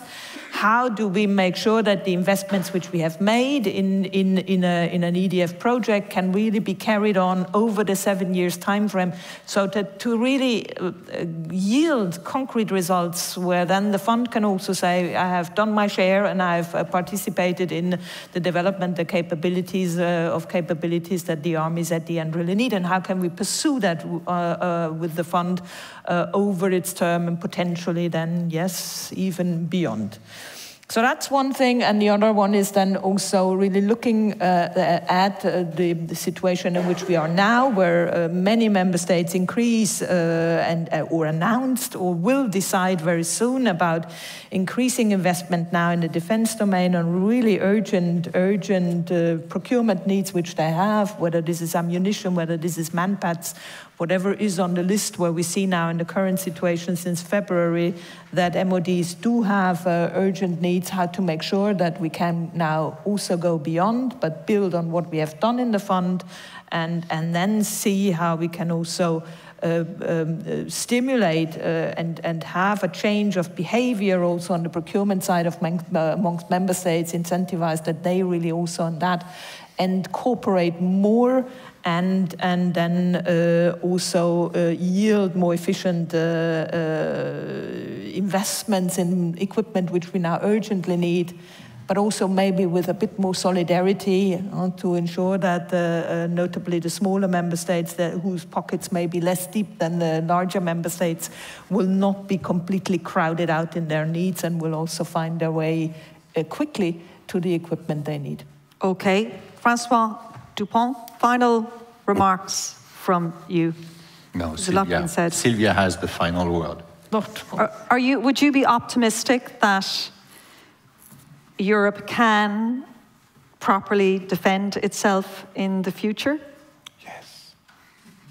My, my, my right hand on the side friend says yes, so uh, I, I, I, I trust we can, but I, I know we need.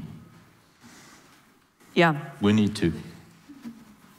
Sort of possibly optimistic, but No, it's you know. optimistic, but, but it's, it's not wishful thinking, it's, it's a need, it's a must. Yeah, okay. Well, on that point, I will close the discussion. A big thanks to our four panelists. Thank you so much for your time and your input and all the work in preparing for this. Thank you so much. I'm going to hand over to Julian, who will now formally close the conference. Thank you, Karen. Well, ladies and gentlemen, uh, on behalf of the European Defense and Security Conference and Business Bridge Europe, I would like to thank you warmly for uh, being here with us today. Uh, big thanks also to our partners, of course, without whom uh, this conference could not happen. Uh, thank you to our great speakers throughout the day. Um and well, see you next year. Thank you.